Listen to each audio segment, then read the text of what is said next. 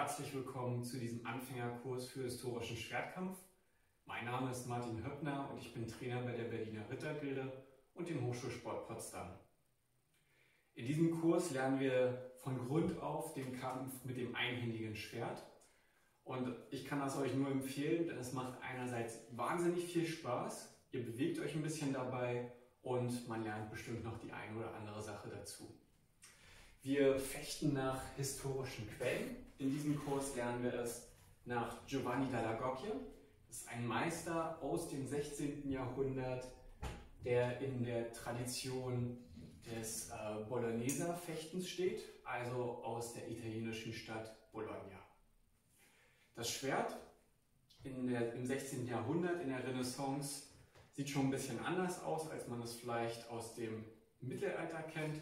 Es beginnt hier auch mit dem Knauf, der zu Anfangs des Schwertes dient. Darauf folgt der Griff des Schwertes, das Kreuz und verschiedene jetzt schon Fingerringe oder äh, Knöchelringe, die die Hand einfach schützen sollen.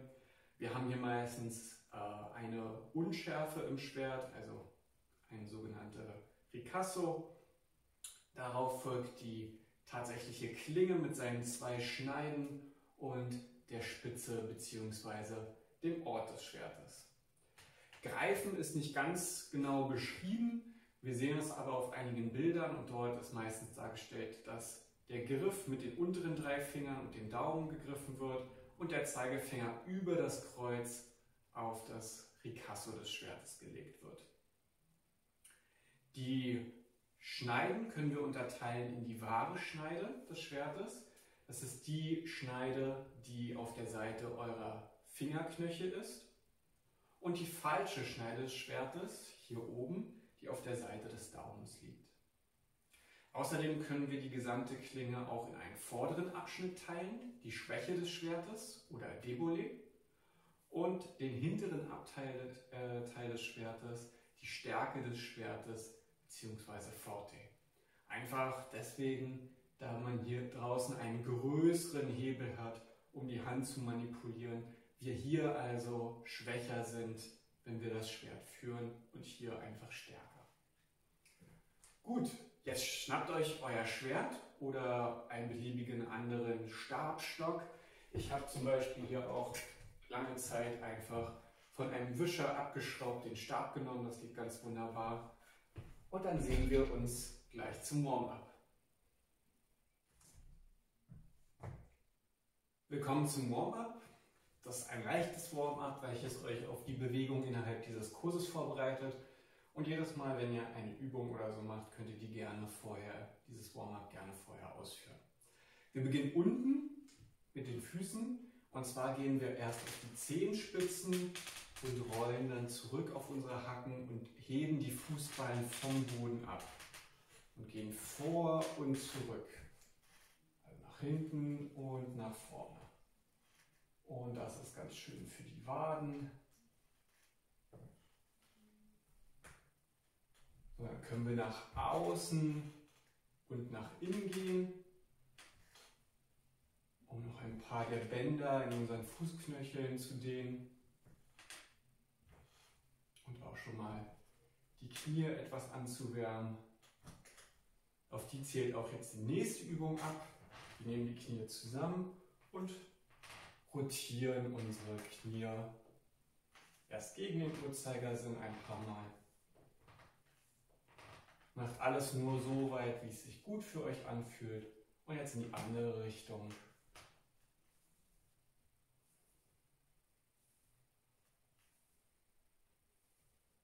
Gut, wir wandern weiter hoch, wollen in die Oberschenkel einmal angreifen und dazu ziehen wir den einen Fuß nach hinten und gehen nach vorne. Und auch hier wippt der Fuß hin und her. Nach vorne, soweit es geht, strecken und hinten schön hochziehen. Und dann nehmen wir den anderen Fuß.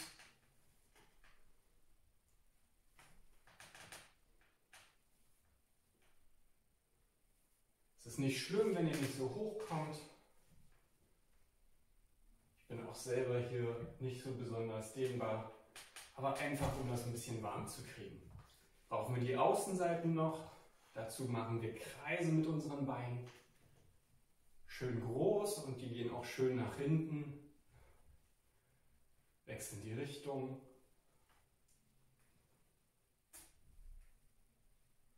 So hoch wie möglich den Fuß dabei nehmen und die andere Seite.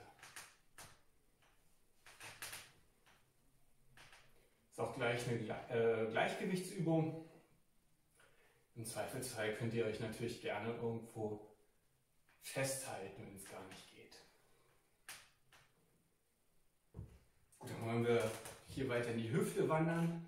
Wir ziehen das Knie nach oben, bringen den, das Knie zur Seite raus, treten nach hinten, ziehen wieder rein, drehen raus, treten nach hinten.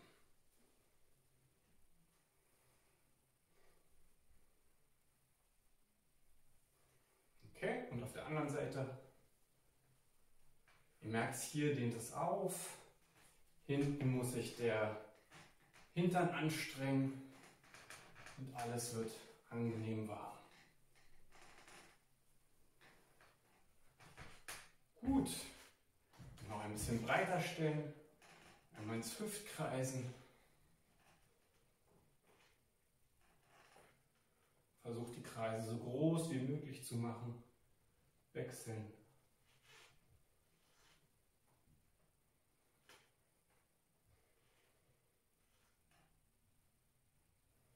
Gut, das soll für unsere untere Körperhälfte reichen. Wir machen weiter mit dem unteren Rücken. Und ein bisschen Dehnung ist tatsächlich sogar immer noch drin für die Hintermuskulatur. Und zwar schieben wir den Hintern ganz weit nach hinten raus, sodass der Oberkörper nach vorne geht mit geradem Rücken. Wir nehmen das Schwert nach vorne und jetzt schieben wir einfach den Hintern wieder nach vorne.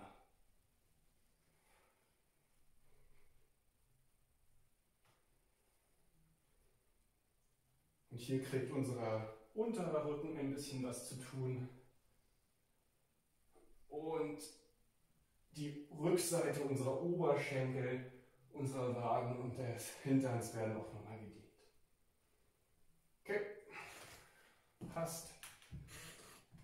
Ein bisschen in die Rotation wollen wir auch gehen.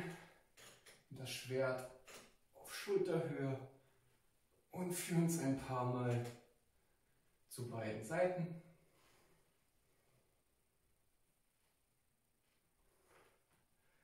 Nehmen es über den Kopf und führen den gesamten Oberkörper mal zur Seite.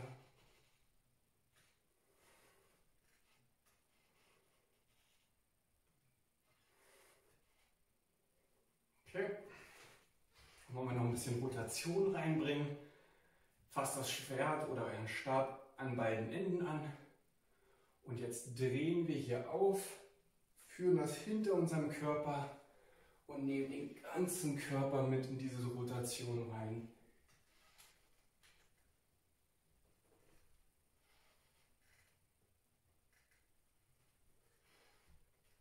Und in die andere.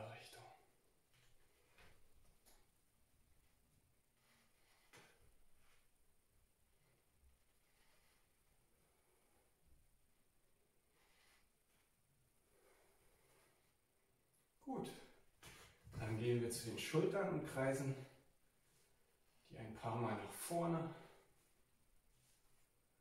und nach hinten.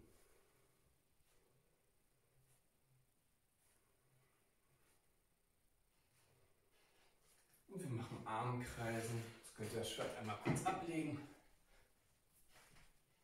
Wenn eure Decken noch höher sind als meine, könnt ihr das auch direkt mit dem Schwert machen und in die andere Richtung.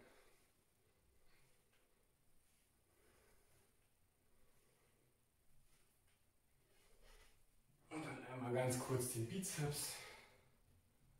Einfach ein paar Mal das Schwert heben, die Ellenbogen bleiben am Oberkörper dran.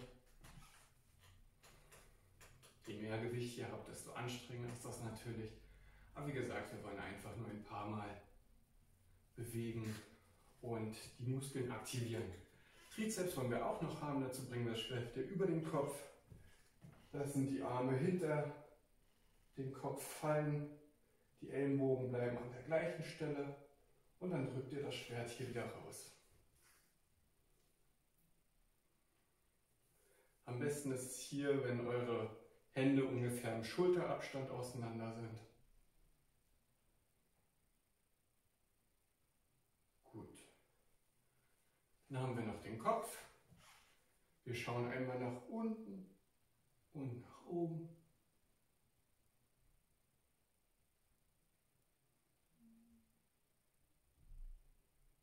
Und nach links und rechts.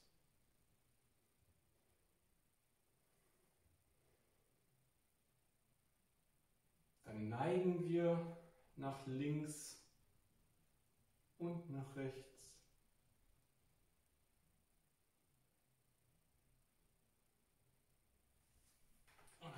auslockern. Und jetzt solltet ihr warm genug sein für alle Übungen, die innerhalb dieses Kurses erstmal auf euch zukommen. Vielen Dank. Willkommen zu dieser ersten Lektion.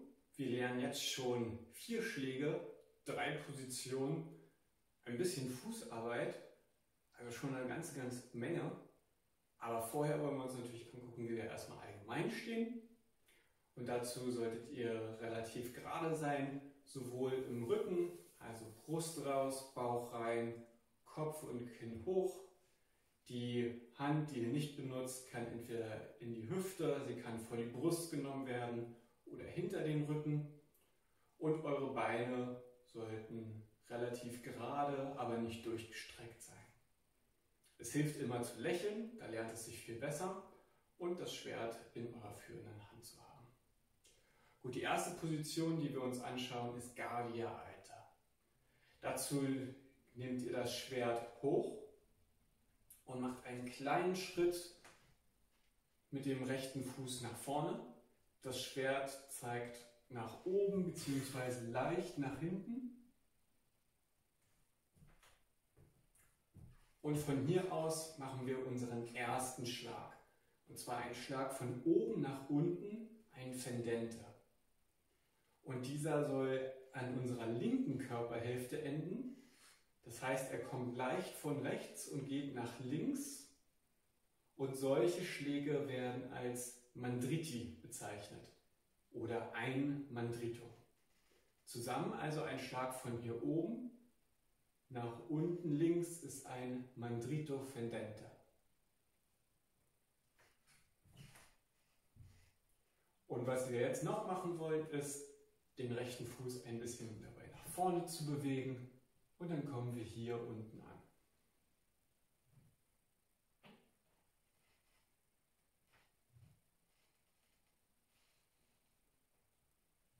Also das ist ein Mandrito Fendente. Fendente, weil von oben kommt und Mandrito kommt für Rechtshänder von rechts.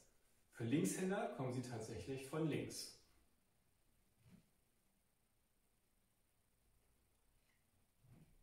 So, und jetzt ziehen wir das Schwert auf der gleichen Linie direkt wieder nach oben. Und zwar jetzt mit der falschen Schneide leitend. Und das ist direkt schon unser zweiter Schlag. Lass die Arme bei diesen Schlägen schön gestreckt. Und dieser Schlag mit der falschen Schneide ist ein Falso. Und da er von der linken Seite jetzt kommt, ist es ein Falso Manco.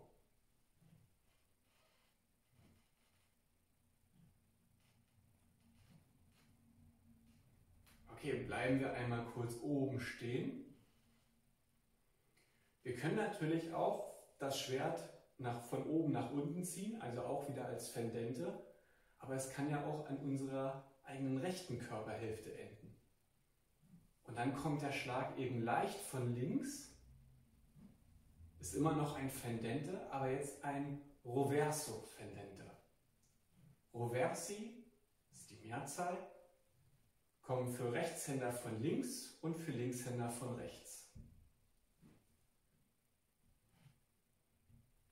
Und ihr seht, wir machen die ganze Zeit hier volle Schläge, das heißt von ganz oben bis nach ganz unten.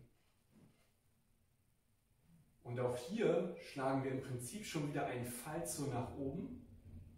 Und diesmal ist es ein Falso Dritto. Dritto einfach die Kurzform von Mandrito. Der Schlag von rechts für Rechtshänder. Das ist also ein Falso, der von rechts unten kommt.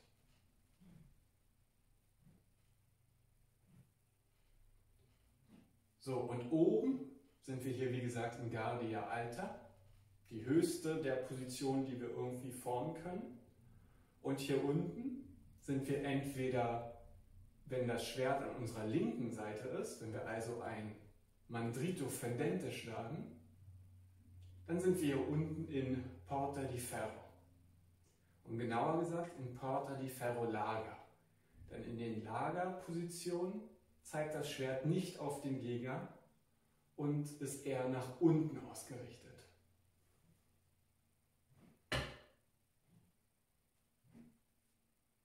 Schlagen wir aber ein Roverso Fendente, also von links nach rechts, endet das Schwert ja auch in unserer rechten Körperhälfte.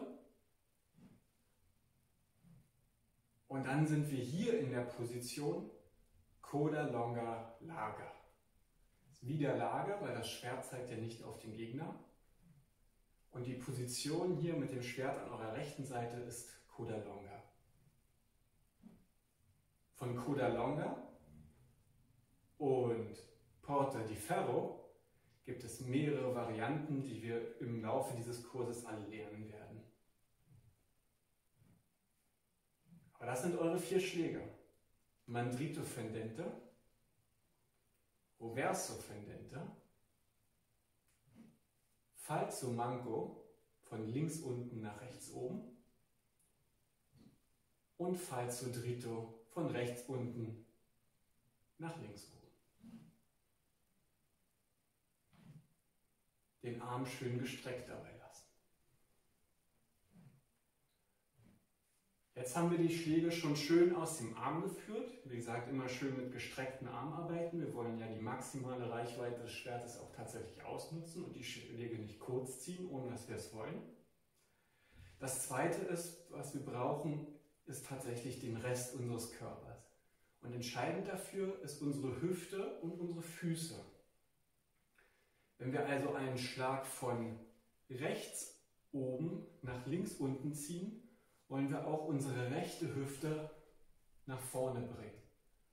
Und dazu kann in der Ausgangsposition der vordere Fuß etwas nach außen zeigen. Und wenn wir jetzt einen Schlag führen von rechts oben nach links unten, geht die Hüfte nach vorne und der Fuß dreht zurück. Das ist wie beim Boxer, der die Schultern und die Hüfte auflädt, um einen kräftigen Schlag zu machen. Also von der Seite. Wir laden die rechte Hüfte auf, sie zieht zurück und beim Schlag geht sie wieder nach vorne und der Fuß ist dann auf den Gegner wieder ausgerichtet. Also aufziehen die Hüfte und schlagen. Und beim Falso genau das Gegenteil. Die rechte Hüfte ist ja jetzt eh schon vorne und die linke hinten. Das heißt, die linke Hüfte ist aufgeladen für einen Schlag, nämlich genau für diesen Fall zum Manko, den wir hier wieder nach oben ziehen können.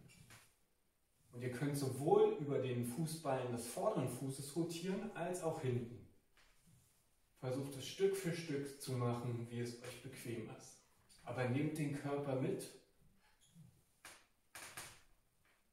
um die Bewegung zu unterstützen.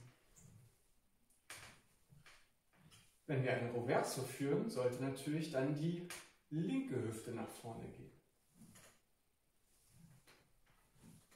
Und hier in Coda Longa, insbesondere wenn der rechte Fuß vorne ist, zeigt dieser rechte Fuß dann eben auch meistens leicht nach außen.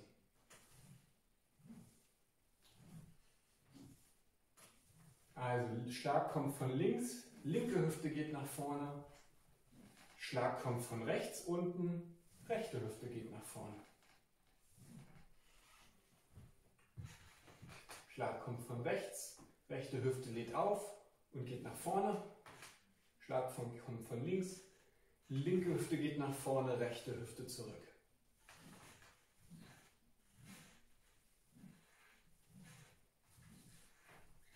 Okay, dann wollen wir uns noch ein bisschen durch den Raum bewegen und dazu nutzen wir halbe Schritte. Und halbe Schritte sind einfach solche, bei denen der vordere Fuß der gleiche bleibt. Also ist mein rechter Fuß der vordere, dann bleibt dieser es auch. Dazu geht der rechte Fuß nach vorne und der linke zieht nach. Oder zurück, der linke Fuß geht nach hinten und der rechte zieht nach.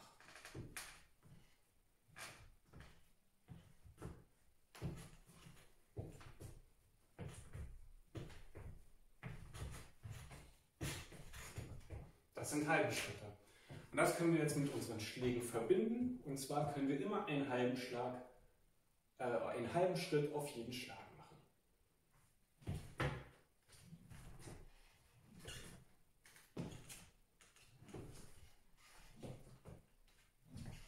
Mit Mandriti Fendenti und Falsi Manchi.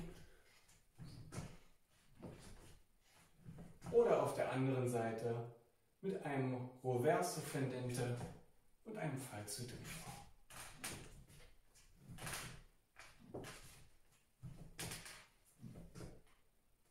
Gut, das war eure erste Lektion. Mandrito Fendente, Roverso Fendente, Falso Drito und Falso Manco. Guardia Alta, Coda Longa Lager und Porta di Ferro Lager. Ein halber Schritt. Vielen Dank und viel Spaß bei den Übungen. Hallo und herzlich willkommen zur Übung für die erste Lektion. Wir beginnen mit einem kleinen Drill und dann wollen wir etwas ins interaktive Training gehen. Fangen wir erstmal mit dem Drill an. Noch ganz ohne Fußarbeit. Wir gehen in Guardia Alta und schlagen ein Mandrito Fendente in Porta di Ferrolaga. Von hier aus schlagen wir ein Falso Manco, wieder in Guardia Alta, gefolgt von einem Roverso Fendente in Coda Longa Laga. Und nun folgt ein Falso Drito und wir gelangen wieder in Guardia Alta. Wir nehmen die Hüften mit, laden auf, Mandrito Fendente, Falso Manco, o verso fendente falso dritto.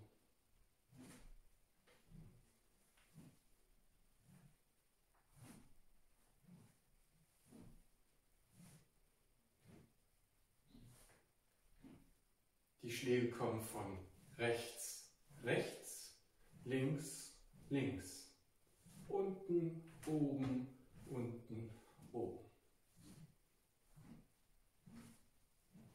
Und im Prinzip zeichnen wir hier eine Schleife vor uns.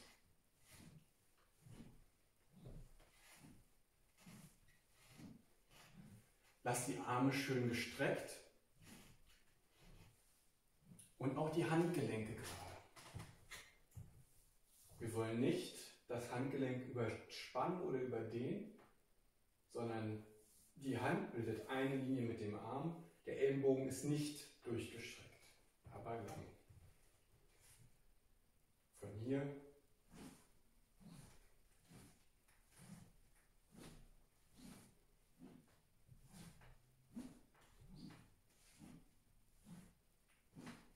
Und jetzt machen wir ein bisschen Fußarbeit dazu. Und zwar auf jedem Fendente machen wir einen halben Schritt nach vorne oder hinten, so wie euer Platz es zulässt. Also, Fendente Schritt, aufziehen,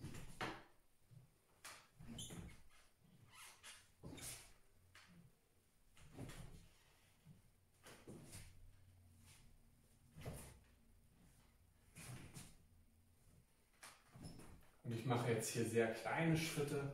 Meine Füße sind sehr dicht zusammen. Wenn ihr mehr Platz habt, macht es gerne auch weiter.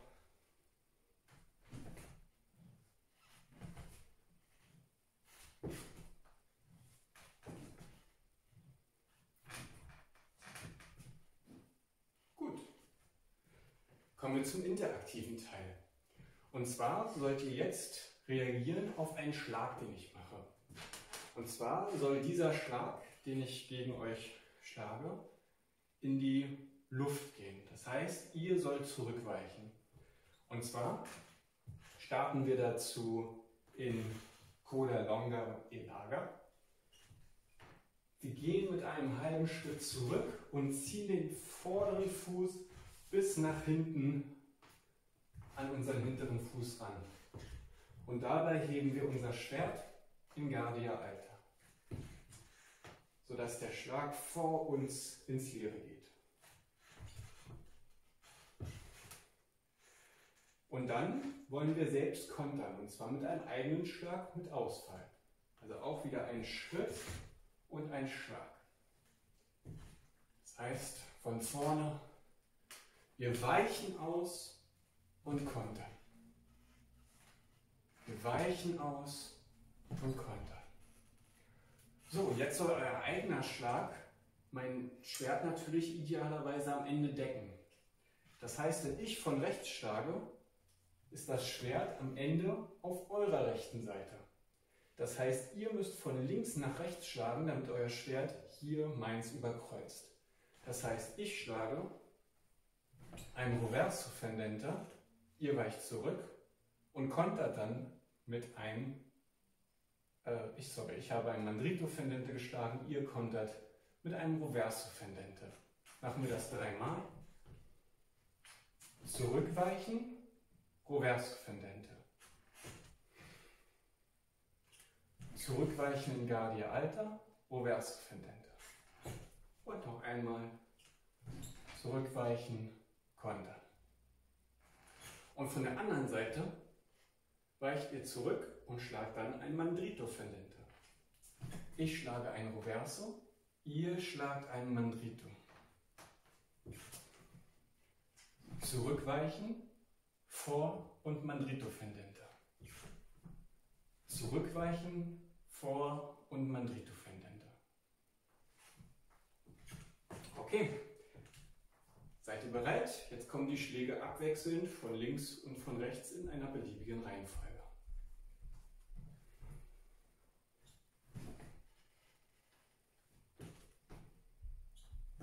Zurückweichen und kontern.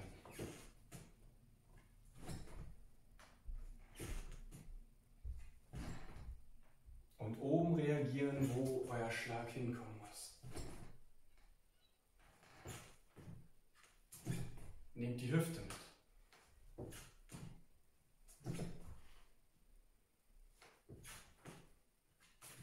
Arme gerade lassen.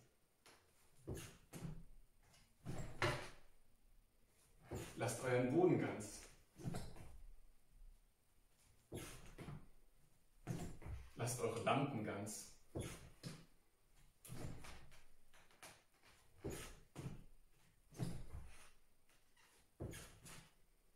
Zurückweichen, Reverso Fendente. Zurückweichen, Mandrito Fendente.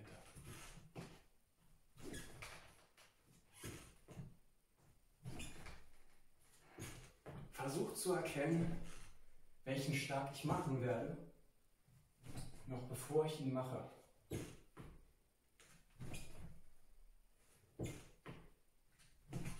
Zurückweichen, kontern.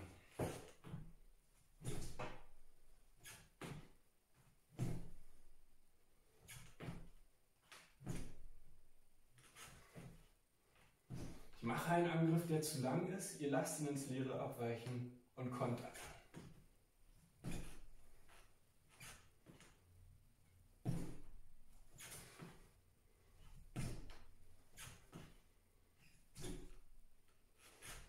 Gut, das soll reichen. Wenn ihr Lust habt, könnt ihr diese Übung gerne nochmal machen.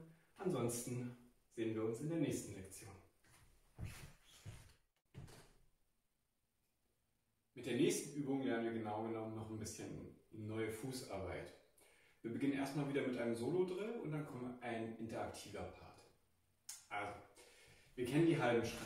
Vorderer Fuß geht vor, der hintere zieht nach. Da wir mit dem rechten anfangen, geht also rechts vor, links zieht nach. Oder wenn wir zurückgehen, links geht zurück, rechts zieht nach. Diese halben Schritte können wir natürlich nicht nur vor und zurück machen, sondern wir können ja auch unsere Position im Vergleich zu unserem Gegner verändern, indem wir beispielsweise nach rechts gehen und der linke zieht nach Oder wir gehen nach links und der linke zieht nach und wir verändern unseren Winkel. Also wir können uns hier im Prinzip auch in der horizontalen bewegen. Und das nächste, was wir machen können, ist, gerade wenn wir zurückgehen, nicht nur einfach linken zurückziehen und rechten hinterhersetzen, sondern wir können ja versuchen, auch manchmal vielleicht etwas schneller zurückzuweichen, indem wir abspringen.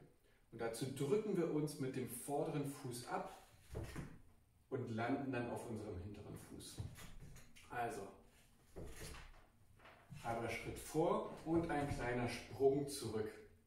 Im Prinzip ist es gar nicht anders als ein halber Schritt, einfach nur ein bisschen energetischer ausgeführt, aber ein ganz wichtiges Element im Bologneser Fechten. Bringen wir das Schwert dazu. Und zwar wollen wir ein Mandrito Fendente schlagen und dabei nach rechts gehen. Mit einem halben Schritt. Also wir gehen nach rechts, ziehen den linken Fuß nach und schlagen bei dem ersten Schritt den Mandrito Fendente, bis wir in Porta di Ferrolaga sind. Von hier aus wollen wir zurückweichen und zwar mit einem Falso Manco. Wir gehen also wieder in Guardia Alta. Aber jetzt springen wir dabei zurück. So, und jetzt wollen wir wieder auf die andere, in die andere Richtung gehen. Das heißt, wir schlagen jetzt ein Roverso Fendente und gehen dabei nach links. Und auch von hier können wir zurückspringen, um wieder mit einem Falso die Aktion beenden. Jetzt ein Falso Drito, um wieder in Guardia Alta zu kommen. Also Mandrito Fendente nach rechts gehen, Falso Manco nach hinten springen, Roverso Fendente nach links gehen und Falso Drito wieder ein kleiner Sprung nach hinten. Das machen wir noch ein paar Mal nach rechts, zurück, nach links, zurück.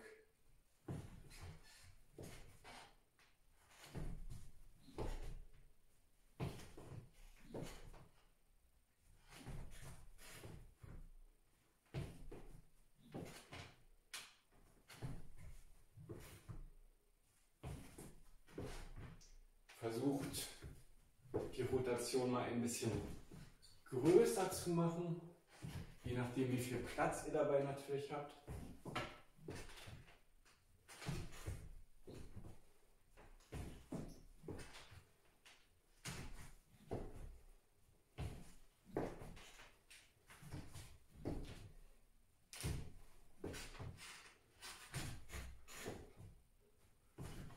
Wir sind hier in Porta di Ferrolaga, dann wieder in Guardia Alta, dann sind wir in Coda Longa Lager und wir in Guardia Alta. Okay, soll reichen. Äh, jetzt wieder in einem interaktiven Drill, das heißt, ihr reagiert auf Sachen, die ich mache. Und was wir jetzt machen, ist ein Parade-Konter-Drill. Natürlich ist es wahnsinnig schwierig, sich vorzustellen, wie man tatsächlich ein Schwert pariert. Das heißt, diese Übungen können auf jeden Fall nur ergänzend in eurem Training sein. Idealerweise könnt ihr all diese interaktiven Drills ja auch mit einem Partner ausführen. Also schnappt euch einfach jemanden und überzeugt ihn, dass Schwertkämpfen eine ganz tolle Sportart ist. Aber ihr könnt trotzdem schon die Fußübung, die Fußarbeit ganz gut lernen und äh, lernen zu reagieren auf einen Input, den ich euch jetzt gebe. So, und zwar ich werde angreifen, wieder aus Guardia Alta, mit entweder einem Mandrito Fendente oder einem Roverso Fendente. Wenn ich ein Mandrito Fendente mache, möchte ich, dass ihr auch selber ein Mandrito Fendente schlagt, der diese Linie hier kreuzt und im Prinzip diesen Schlag wegblockt.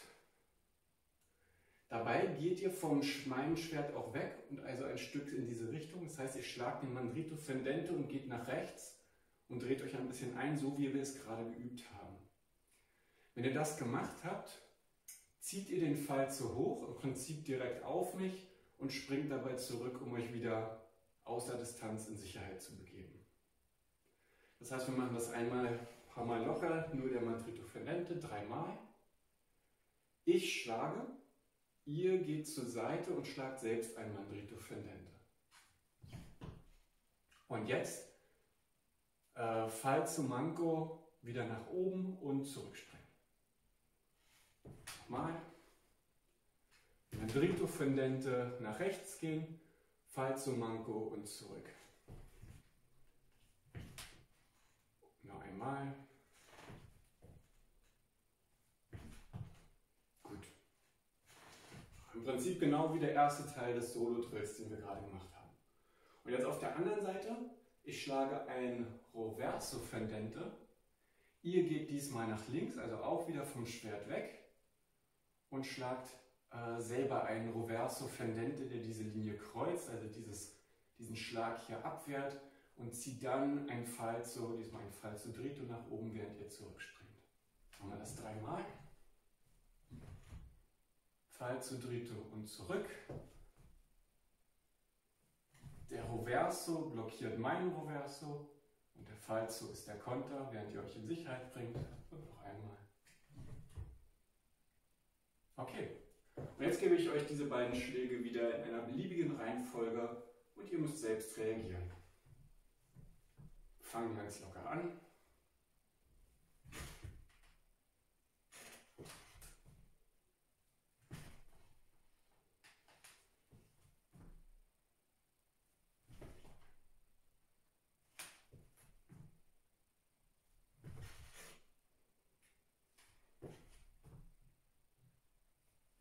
Durch eure Fußarbeit kreiert ihr im Prinzip hier einen Winkel, der euch die Verteidigung leichter macht.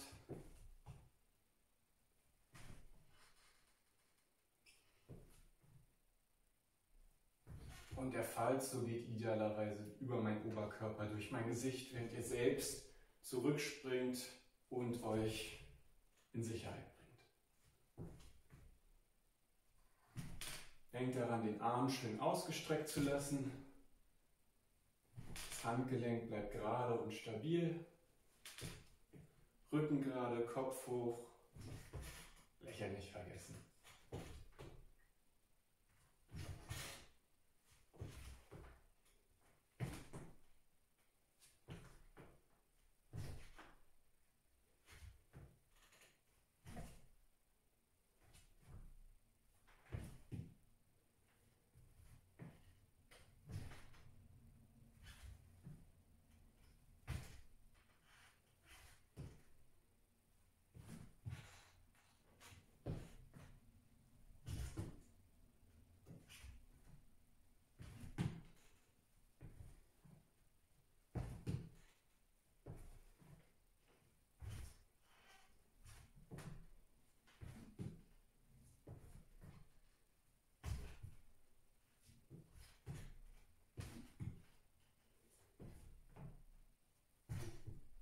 Okay, das soll soweit reichen. Falls ihr Lust habt, macht diese Übung natürlich direkt nochmal. Ansonsten sehen wir uns zur nächsten Lektion.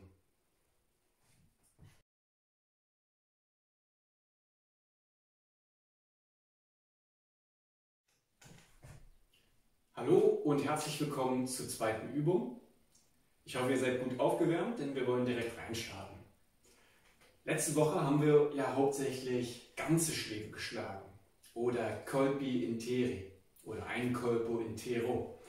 Und zwar aus Gardia-Alter haben wir direkt einen ganzen Schlag in Porta di Ferrolage geschlagen, beziehungsweise ein Riverso Fendente in Codalonga Lager.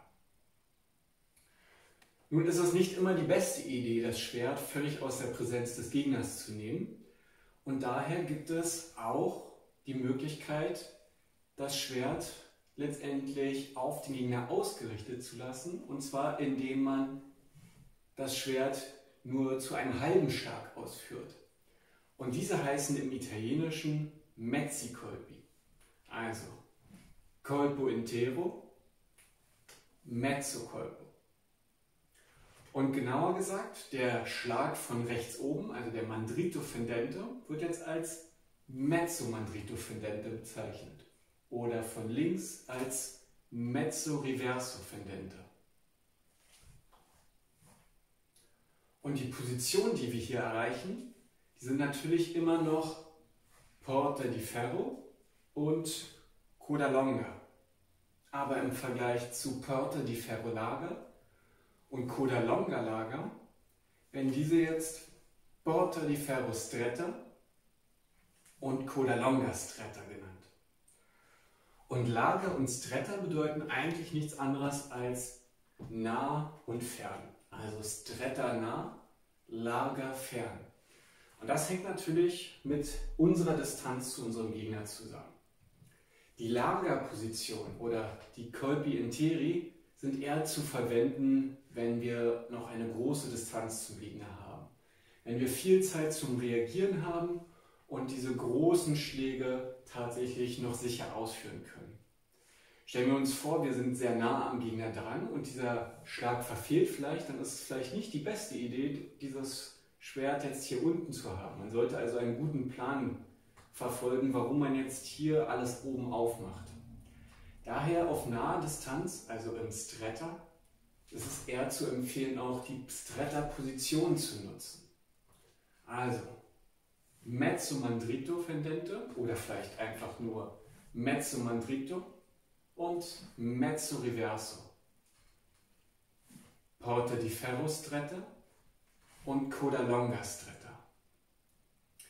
In diesen Positionen ist meine Hand auf der Höhe meiner Hüfte, sowohl vertikal, also hier, als auch horizontal.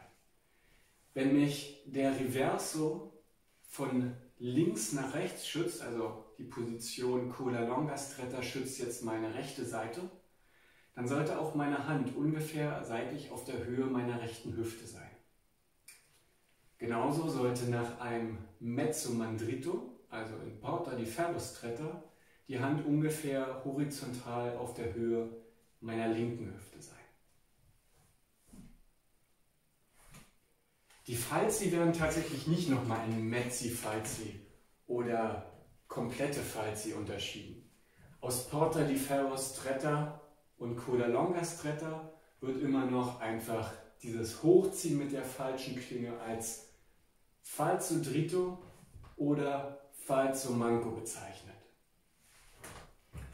Okay, ein weiterer sehr wichtiger Angriff im historischen Schwertkampf ist das, wenn wir nicht nur unsere Klinge benutzen, sondern auch die Spitze, also den Ort unseres Schwertes.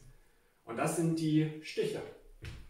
Und die ersten Stiche, die wir lernen werden, sind die Stoccati oder ein Stoccata. Und das ist der Stich von unten. Gehen wir also nochmal in Porta di Ferro Stretta, dann bietet es sich aus dieser Position ja an, direkt die Spitze nach vorn zu führen. Und die Position, die wir dabei erreichen, ist Guardia di Faccia. Diese können wir natürlich auch aus Coda Longa Stretta erreichen. Und sie beschreibt sich dadurch, dass wir ins Profil gehen, also unserem Gegner nur unsere Seite zeigen, die Hand nach vorne streckt und die Handfläche nach oben zeigt. Unsere Fingerknöchel zeigen dementsprechend nach links für uns. Als würden wir hier unserem Gegner etwas anbieten und in der Tat, wir bieten unsere Spitze an. Wichtig ist wirklich diese Hüftrotation. Wenn wir das also mal mit Coda Longa Stretta vergleichen, wo unsere rechte Hüfte ja auflädt, dann, wenn wir hier nur die Hand nach vorne führen würden, hätten wir hier immer noch ein sehr großes Körperprofil und auch Reichweite verschenken. Also den Körper eindrehen und ohne einen Schritt zu machen, gewinnt ihr hier Reichweite und auch äh, ein geringeres Profil, seid also schwerer anzugreifen.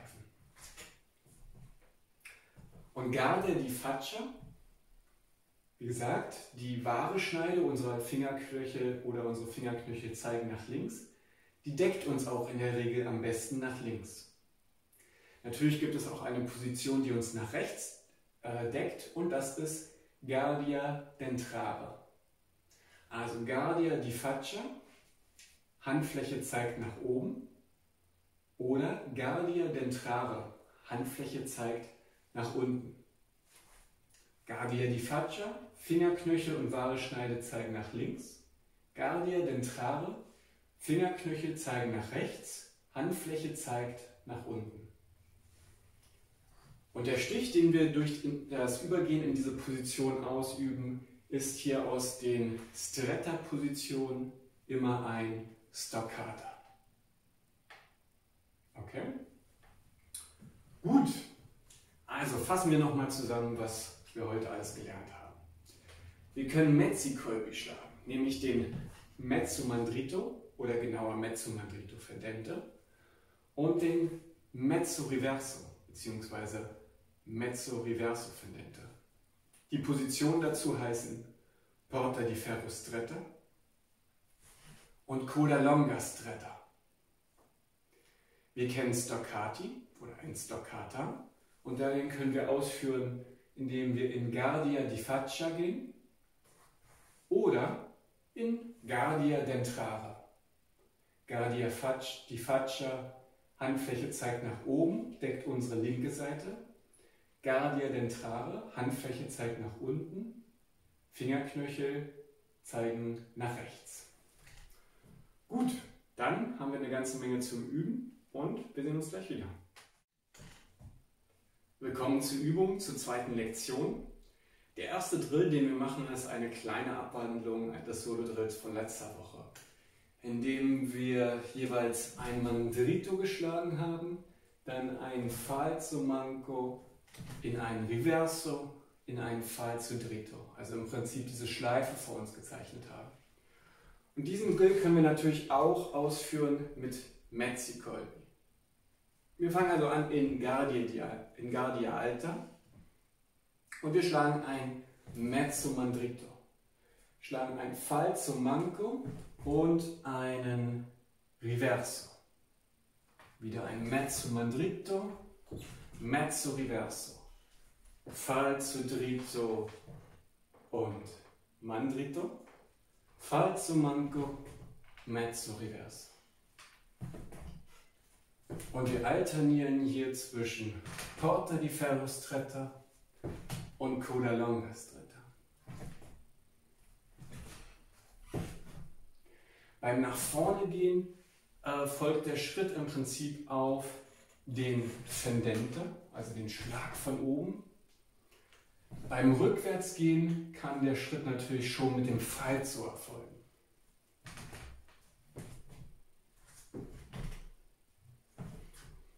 Und in diesen Drill können wir jetzt wunderbar unsere beiden Stiche einbauen. Und das machen wir, indem wir, nachdem wir in Porta di Ferro Stretta sind, in Guardia di Faccia gehen und dabei einen halben Schritt nach vorne machen. Oder wenn wir in Coda Longa Stretta sind, in Guardia d'Entrare gehen und einen kleinen Schritt nach vorne machen. Oder zurück, je nachdem wie ihr Platz habt. Also, Bringen wir das alles zusammen.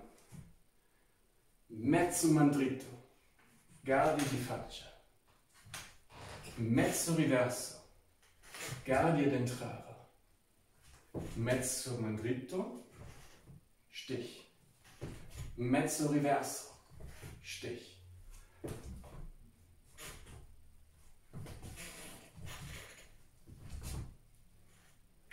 Zwischendurch probiert ruhig mal aus, einfach nur den Oberkörper nach vorne oder nach hinten zu legen. Also, Mezzo Mandrito, Stich. Ihr habt eine ganze Menge Reichweite. Mezzo Reverso, Stich.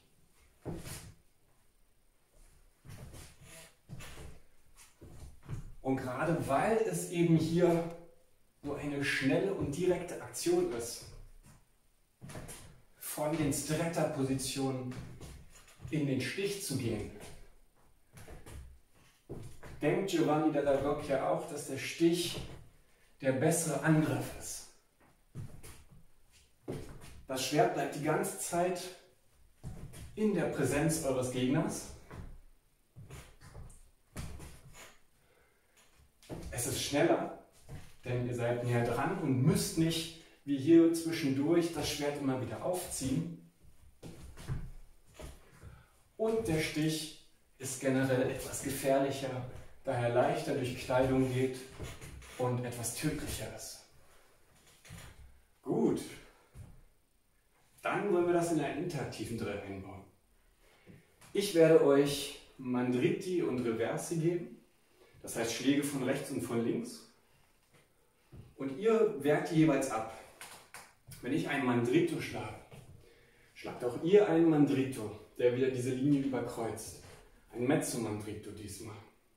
Und wie gesagt, das ist eine Parade, wenn man es genau nimmt. Und es ist schwierig, das zu simulieren, wenn man noch nie gegen ein anderes Schwert gekämpft hat.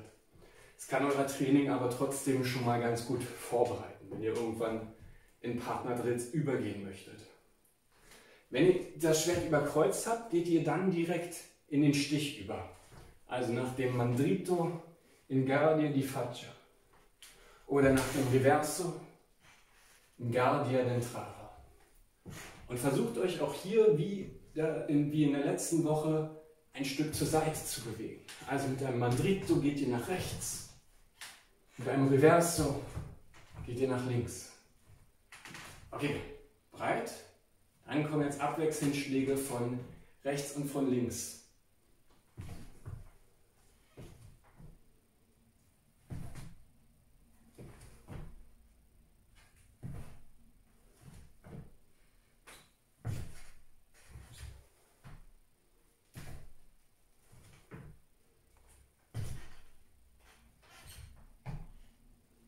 Parade, Ripost.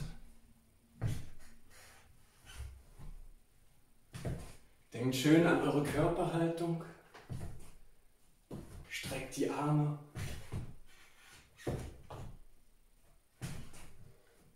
Das Kinn hoch. Und ein Lächeln schadet nie.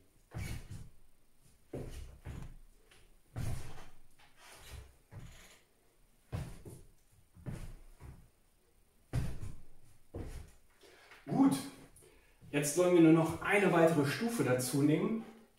Und zwar werde ich auch jetzt Schläge nach unten schlagen. Und wenn ich nach unten schlage, dann könntet ihr natürlich die versuchen abzuwehren, indem ihr ein Colpo Intero schlagt. Aber viel schöner wäre es doch, direkt den Gegner gegen anzugreifen und den Fuß aus der Gefahr herauszubewegen.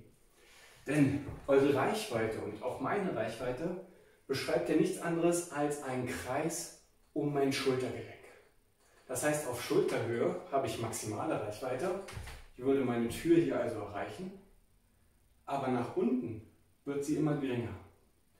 Das heißt, ich habe ganz natürlich eine geringere Reichweite und äh, nach unten und es schwerer dadurch die Füße zu erreichen. Deswegen kann es unter Umständen eine schöne Aktion sein, wenn ihr statt versucht nach unten zu blocken und dann erst gegen anzugreifen, wenn ihr direkt den Fuß aus der Reichweite des Gegners herauszieht oder vielleicht sogar noch weiter, je nachdem, und direkt zu einem Stich, also einem Angriff mit eurer maximalen Reichweite kontert. Also wenn ich ein Mandritusch nach unten schlage, also ein Mandrito nach unten, dann zieht ihr hier euer Bein zurück und streckt euer Schwert in Guardia di Faccia. Schlag kommt für mich von hier. Ich strecke meinen Arm und ziehe das Bein zurück. Schlag kommt von meiner anderen Seite. Ich ziehe das Bein zurück und strecke meinen Arm in Guardia d'Entrare. Machen wir das jeweils nur dreimal isoliert. Ersten Schlägen von rechts. Also ihr zieht das Bein zurück und geht in Guardia di Faccia.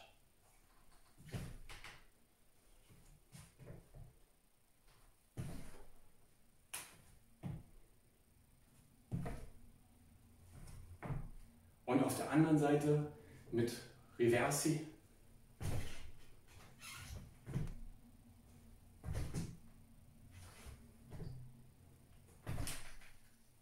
Gut, dann nehmen wir alles zusammen. Ich kann sowohl nach oben schlagen als auch nach unten. Wenn ich nach oben schlage, pariert ihr und kontert. Wenn ich nach unten schlage, zieht ihr das Bein zurück und kontert direkt. Eure Startposition ist immer entweder Coda Longa Stretta oder Porta di Ferro Stretta. Okay, bereit? Dann geht's jetzt los. Wir fangen erst wieder schön entspannt an.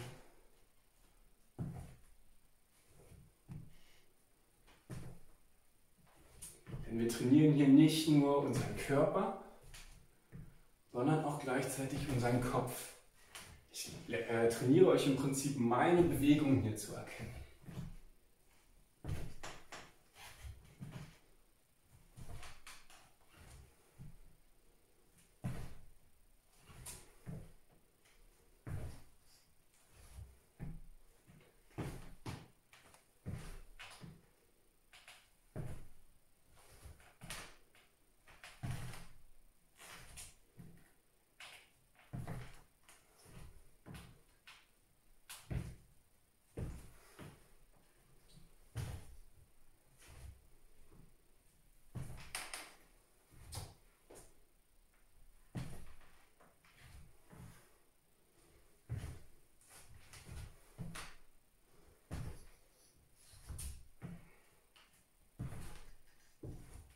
Werden wir ein bisschen schneller.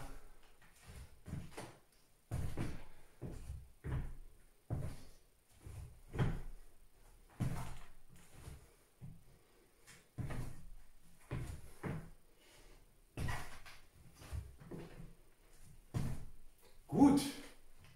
Ich hoffe, das hilft euch weiter. Wie gesagt, wenn ihr Lust habt, macht die Übung direkt nochmal. Ansonsten sehen wir uns zur nächsten Lektion.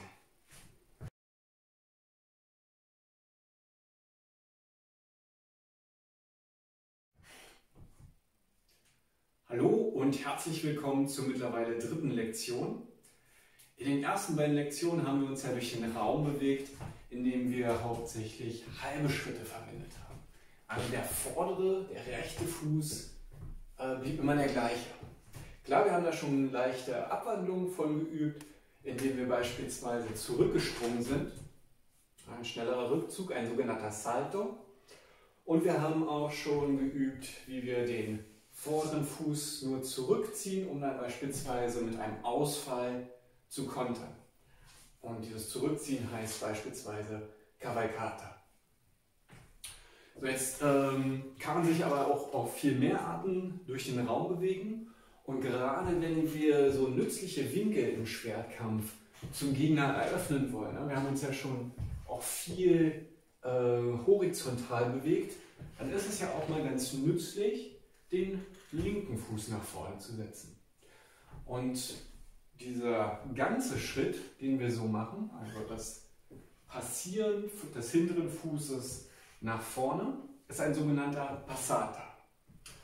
Und im Prinzip all unsere Schläge, die wir schon kennen, aber auch unsere Stiche, können auch mit so diesen Passata oder Passati in dem Fall Plural ausgeführt werden. Die Positionen, die wir dann aber erreichen, heißen zum Teil etwas anders. Also, gehen wir mal wieder von Guardia Alta aus und schlagen jetzt ein Mandrito Fendente als Colpo intero, also als ganzen Schlag nach unten links, aber gehen jetzt mit dem linken Fuß nach vorne. Dann landen wir ja hier in einer Position, die eigentlich relativ ähnlich ist zu Porta di Ferro Lager. Und in der Tat, ne, es schützt ja immer noch unsere linke Seite, genau wie Porta di Ferro. Sie wird aber jetzt ein bisschen anders benannt. Und zwar sind diese Positionen auf der linken Seite, wo mein linkes Bein vorne ist, sind Cinghiare Porta di Ferro. Cinghiare ist der Eber oder also das männliche Wildschwein und verbindet hier Positionen, die historisch irgendwie mittlerweile scheinbar zusammengewachsen sind. Also Cinghiare Porta di Ferro, genau gesagt Cinghiare Porta di Ferro Lager hier, unterscheidet sich von Porta di Ferro Lager nur dadurch, dass hier das linke Bein vorne ist. Ganz wichtig, wenn der Schlag von rechts kommt, obwohl das linke Bein nach vorne geht, ist es dennoch die rechte Hüfte nach vorne zu schieben. Die Hüfte unterstützt unsere Schulter und damit im Prinzip die Art, wie wir diesem Schlag Kraft vergeben, äh, verleihen.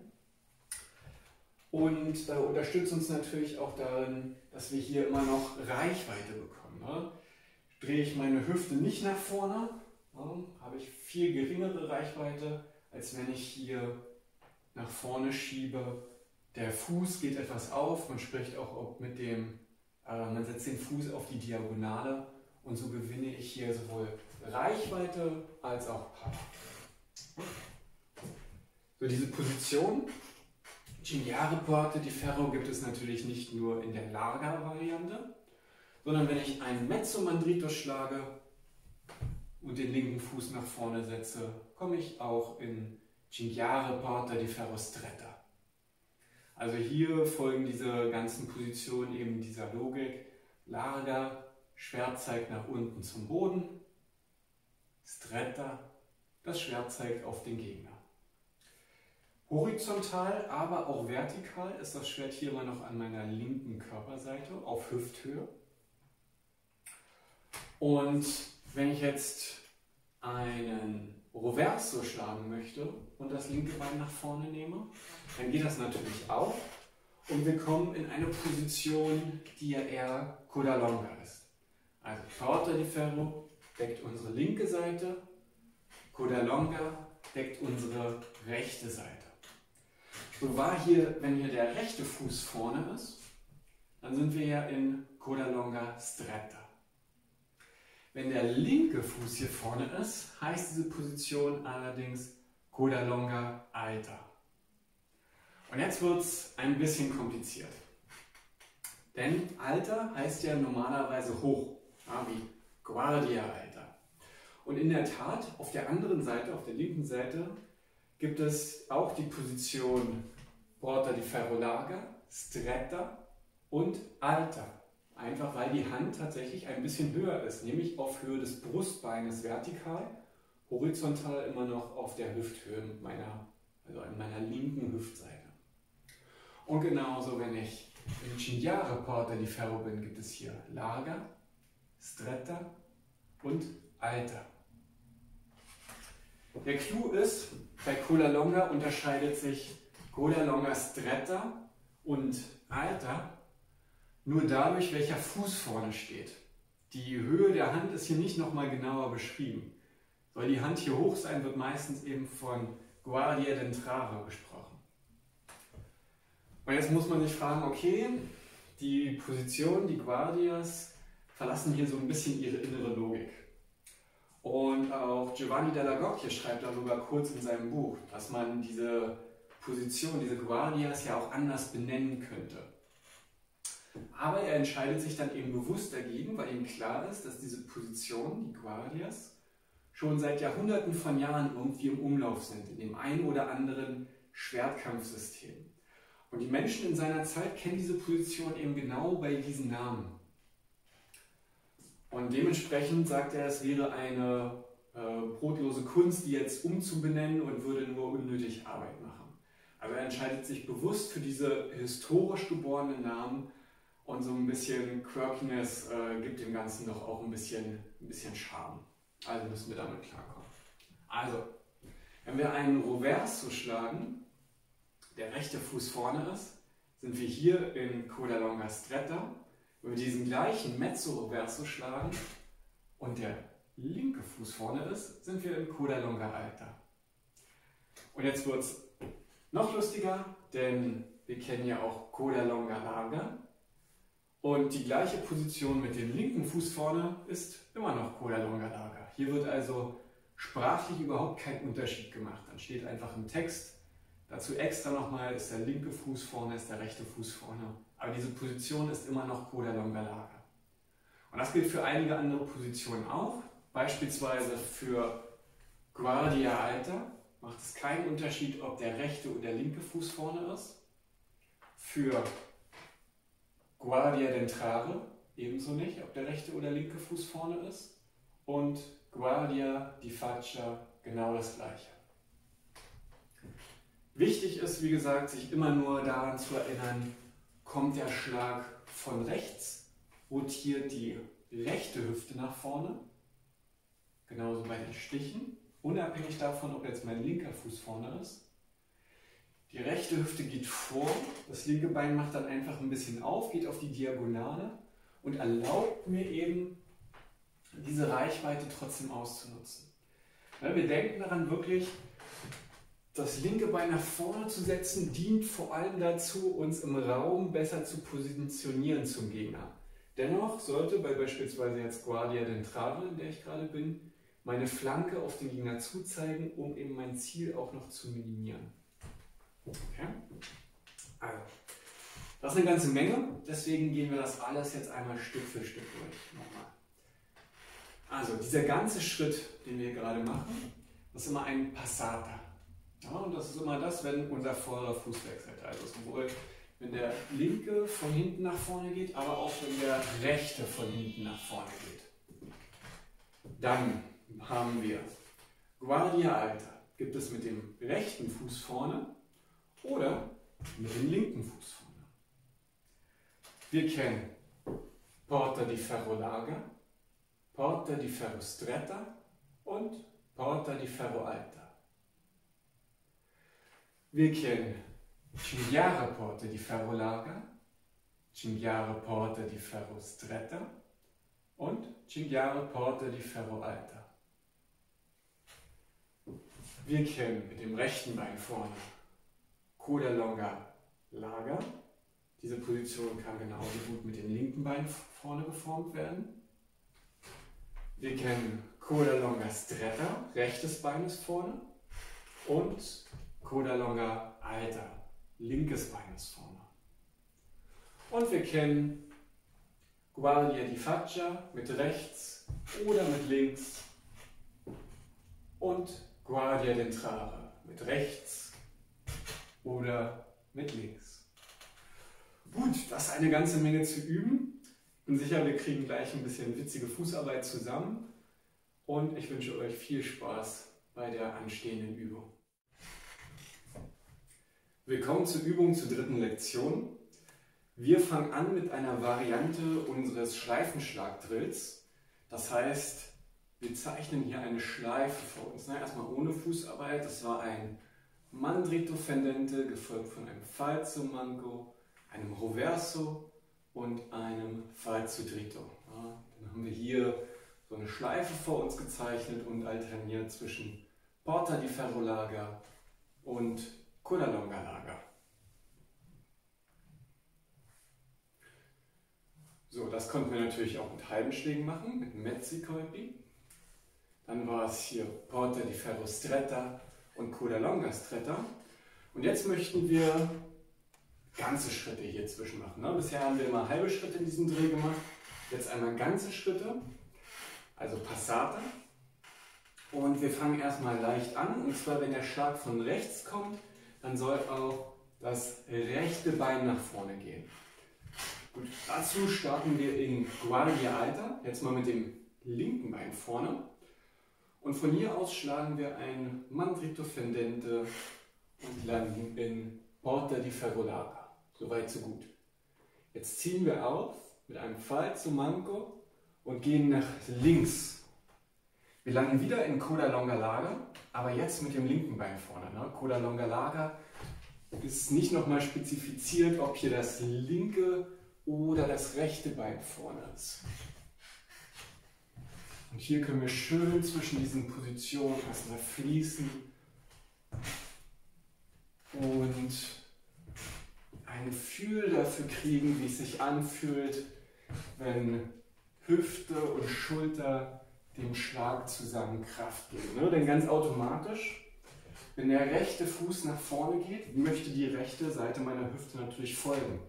Das heißt, es ist hier relativ einfach zu erlernen, dem Schlag, der von rechts kommt, hier auch eine gewisse Power zu geben. Genauso wenn der Schlag von links kommt und mein linkes Bein vorne geht, automatisch wird sich die linke Hüfte nach vorne bewegen. Das ist also relativ einfach zu erlernen und wahrscheinlich auch die gebräuchlichste Variante von ganzen Schritten im Schwertkampf. Aber es läuft nicht immer alles nach Plan.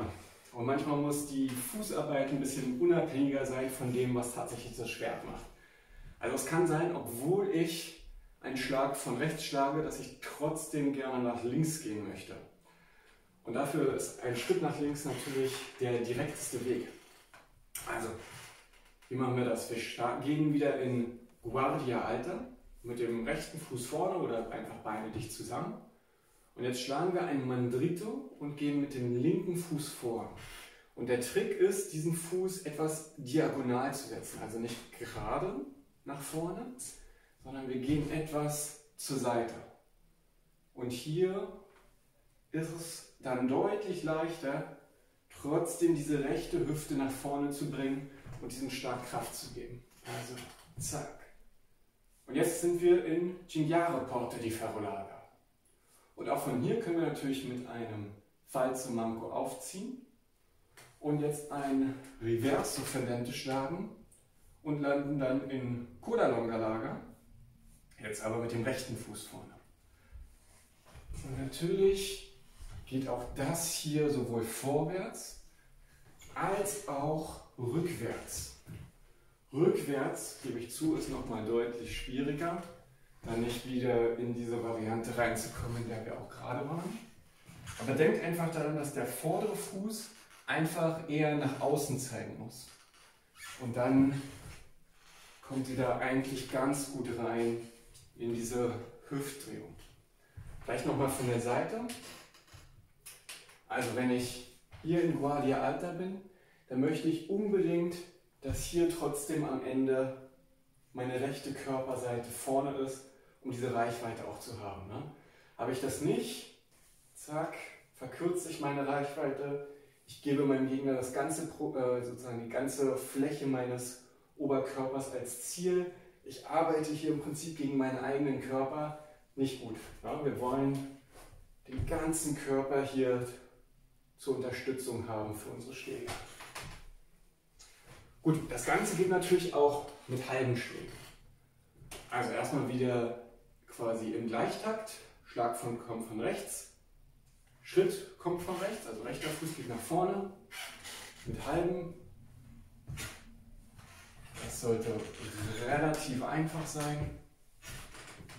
Wir alternieren hier zwischen Porta di Ferro Stretta und Coda Longa Alta. Und genau gegengetaktet geht das natürlich auch. Also, wir gehen mit dem linken Fuß nach vorne. Ne, denkt dran, schön auf die Diagonale setzen oder auch nach außen zeigend. Wir landen in Cinghiare, Porta di Ferro Stretta. Und auf der anderen Seite landen wir jetzt in Colalonga Stretta.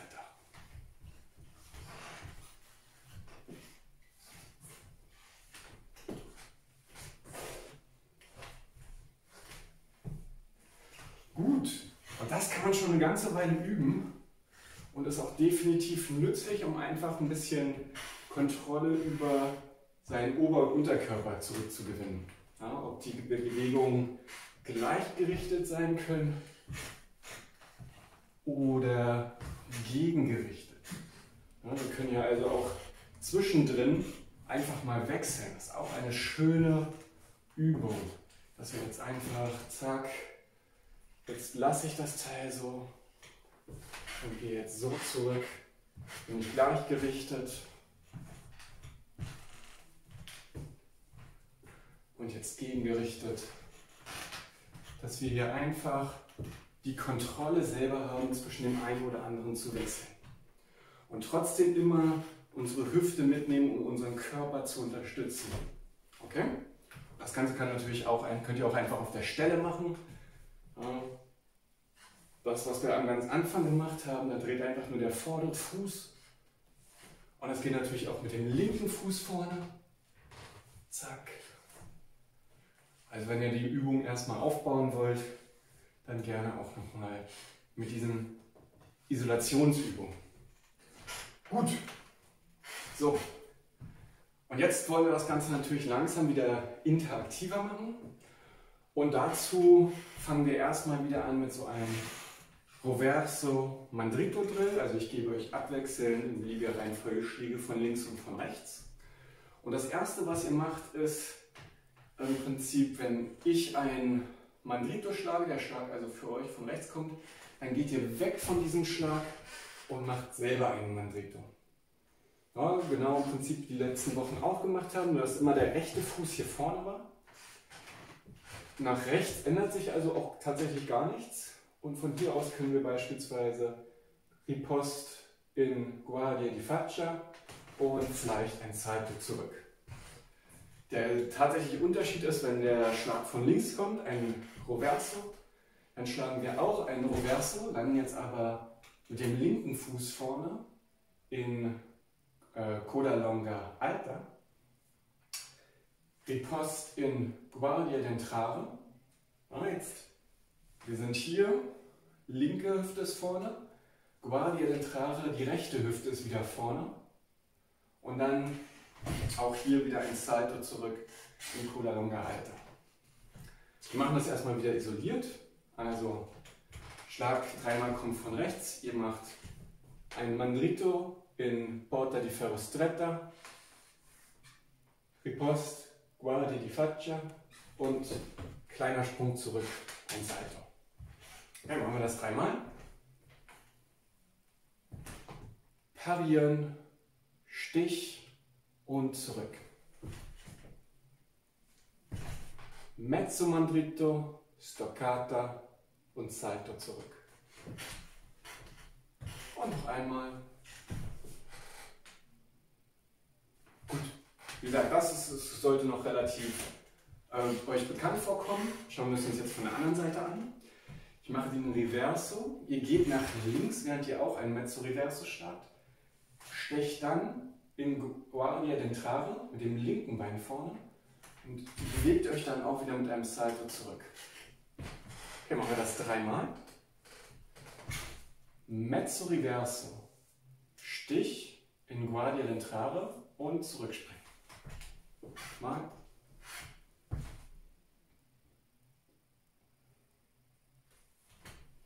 Und noch einmal.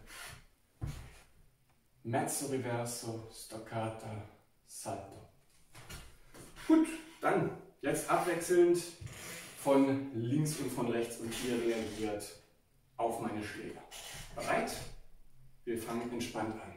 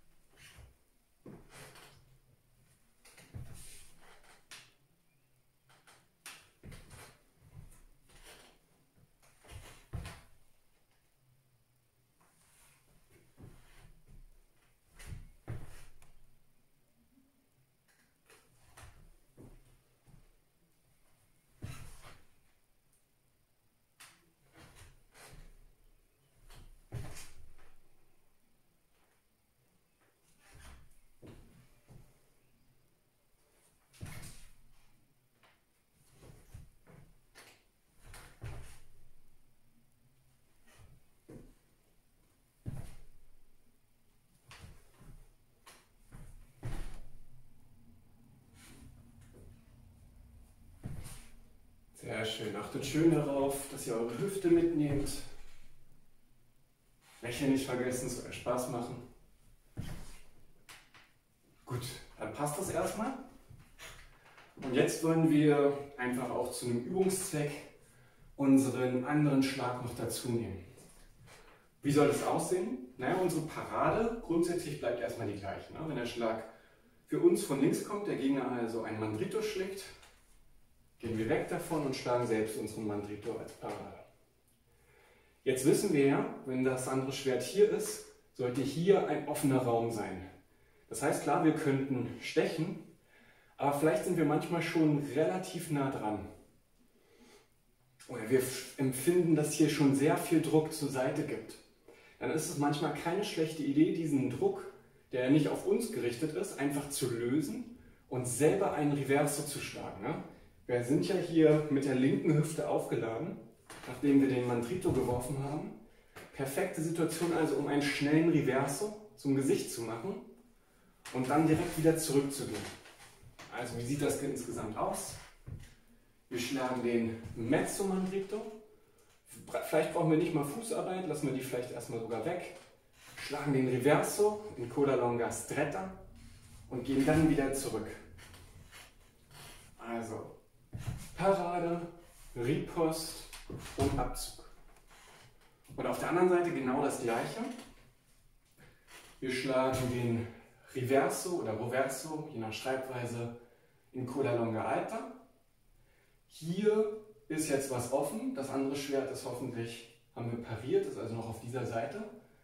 Wir können ein Mandrito schlagen in Ciniara Porta di Ferro Stretta und dann direkt abziehen. Ja, jeder Mandrito lädt ein Reverso auf und jeder Reverso lädt ein Mandrito auf. Also können wir quasi so eine schnelle Dreierkombination machen. Eins, zwei, drei. Oder auf der anderen Seite eins, zwei, drei.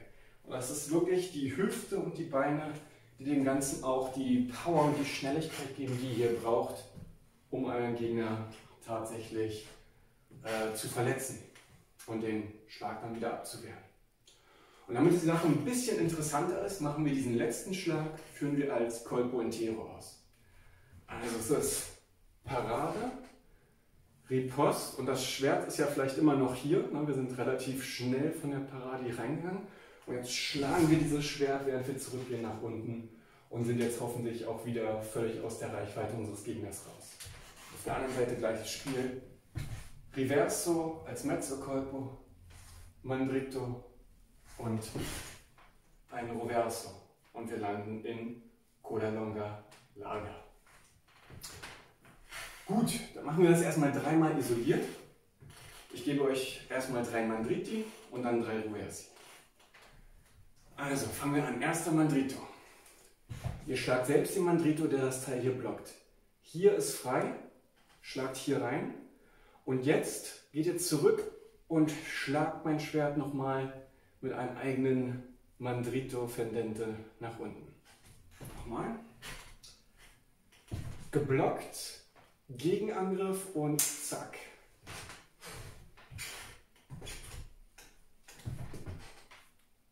Ripost, zack. Und das gleiche geht auf der anderen Seite. Also ich schlage ein Reverso, ihr schlagt ein Reverso und geht in diese Richtung. Hier ist offener Raum, hier könnt ihr reinschlagen. Und jetzt beim Zurückgehen schlagt ihr wieder selber ein Reverso, der mein Schwert hier klärt. Nochmal. Zack, Ripost und weg mit dem Schwert. Zack, Post. Gut, dann abwechselnd. Bereit? Auf geht's. Ah, ich glaube, das Lockerlassen, das sieht nicht ganz so gut aus, wenn ihr mich tatsächlich draufhaut.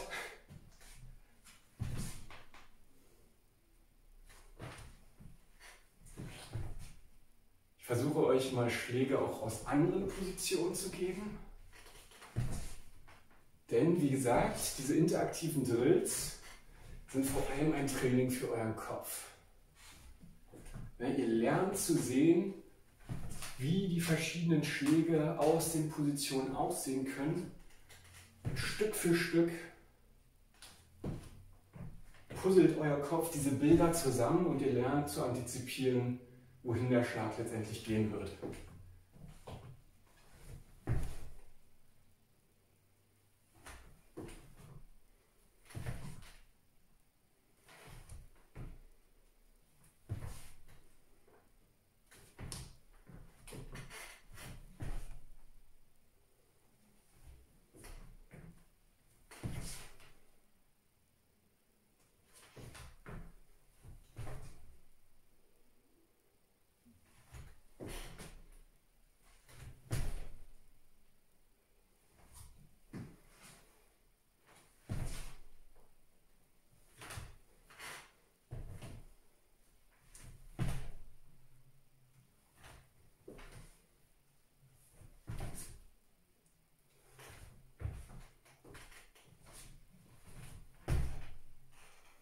Ja, reagiert hier bei diesen Schlägen auch wirklich erst auf den Schlag, wenn ich auf euch zugehe. Alles andere ist eigentlich nur eine Finte, ne, ist ja noch außerhalb der Reichweite, das heißt außerhalb des Kontaktes zwischen uns. Das heißt, man braucht da nicht groß drauf reagieren. Manche dieser Angriffe könnten natürlich dazu geeignet sein, euer Schwert schon irgendwie zu berühren, wegzuschlagen. Das kriegen wir dann alles noch in späteren Lektionen. Das kommt natürlich auf die Distanz an. Und es ist jetzt relativ schwierig in so einem Solokurs hier ohne Kontakt tatsächlich zu lernen. Aber da gibt es viele schöne Sachen.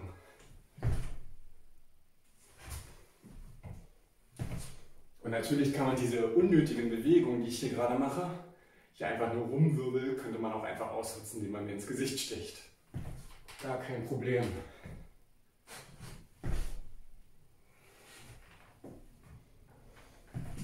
Gut, das soll soweit reichen. Ich hoffe, ihr hattet eine Menge Spaß. Ansonsten sehen wir uns zur Lektion 4 dann nächste Woche wieder. Bis dahin, bleibt gesund.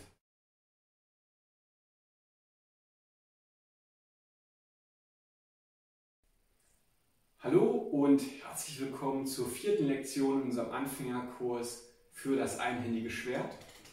Heute möchten wir uns vor allem damit beschäftigen, wann wir den Gegner angreifen sollten. Denn jede Kampfkunst oder jeder Kampfsport ist letztendlich darauf zurückzuführen, wie wir uns im Vergleich zu unserem Gegner positionieren, wie wir ihn kontrollieren und welches Timing unsere Techniken haben. Und um das Timing, genau darum soll es heute gehen. Und Giovanni Dalla Gocchia gibt uns in seinem Text gleich mehrere Hinweise darauf. Und der erste ist, greife niemals einen Gegner an, der bereit für einen Angriff ist. Also der einfach hier schon wartet darauf, dass wir ihn angreifen. Da wird es sehr leicht fallen zu reagieren und einen Gegenangriff zu starten. Und das schreibt er genau, ein wartender Gegner da laufen wir die Gefahr, in einen Konter reinzugehen. Also, was sollen wir stattdessen machen? Er sagt, wir sollen die Tempi nutzen. Und fünf davon gibt er uns an. Was ist ein Tempo? Die Einzahl von Tempi? ein Tempo ist ein Zeitfenster. Und Giovanni dalla Gocchio stammt ja aus dem 16. Jahrhundert, also ein Zeitraum, wo Zeit eben noch nicht in Sekunden und Millisekunden ganz exakt gemessen wurde.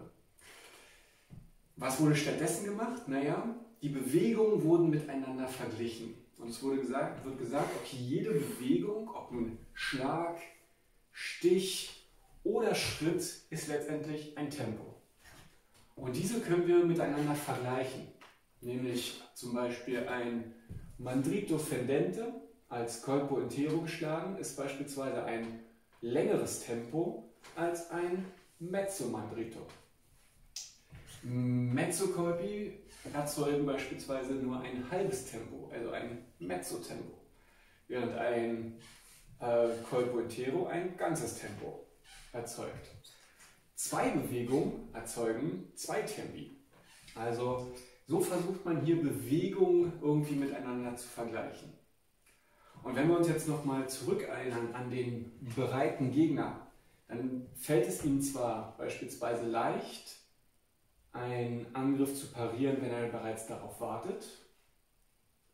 Aber es wäre ja jetzt deutlich schwieriger, wenn er bereits selber in einer Bewegung ist. Also ich beispielsweise hier einen, selber einen Reverse schlage und in dem Moment kommt dieser gleiche Hieb auf meine linke Seite. Da müsste ich ja erst hier quasi mein Schwert stoppen. Ich müsste es umdrehen und wieder hier zurückführen. Das ist also ein wesentlich längeres Tempo, ein größeres Zeitfenster, um für meinen Gegner, mich hier anzugreifen.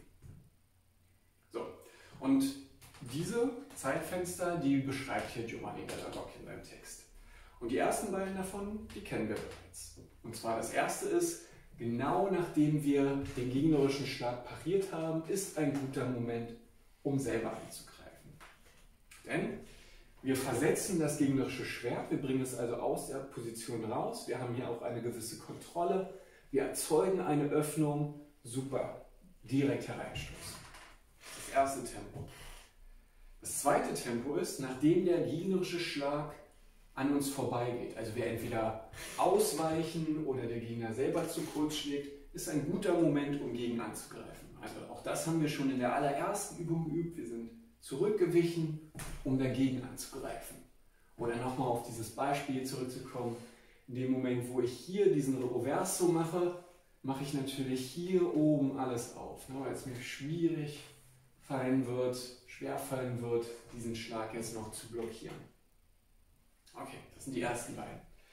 Das dritte Tempo, von, bei dem Giovanni, das, von dem Giovanni Dalla hier spricht, ist es, wenn die Schwerthand gehoben wird. Und zwar genauer, wenn die Schwerthand zu einem Schlag gehoben wird.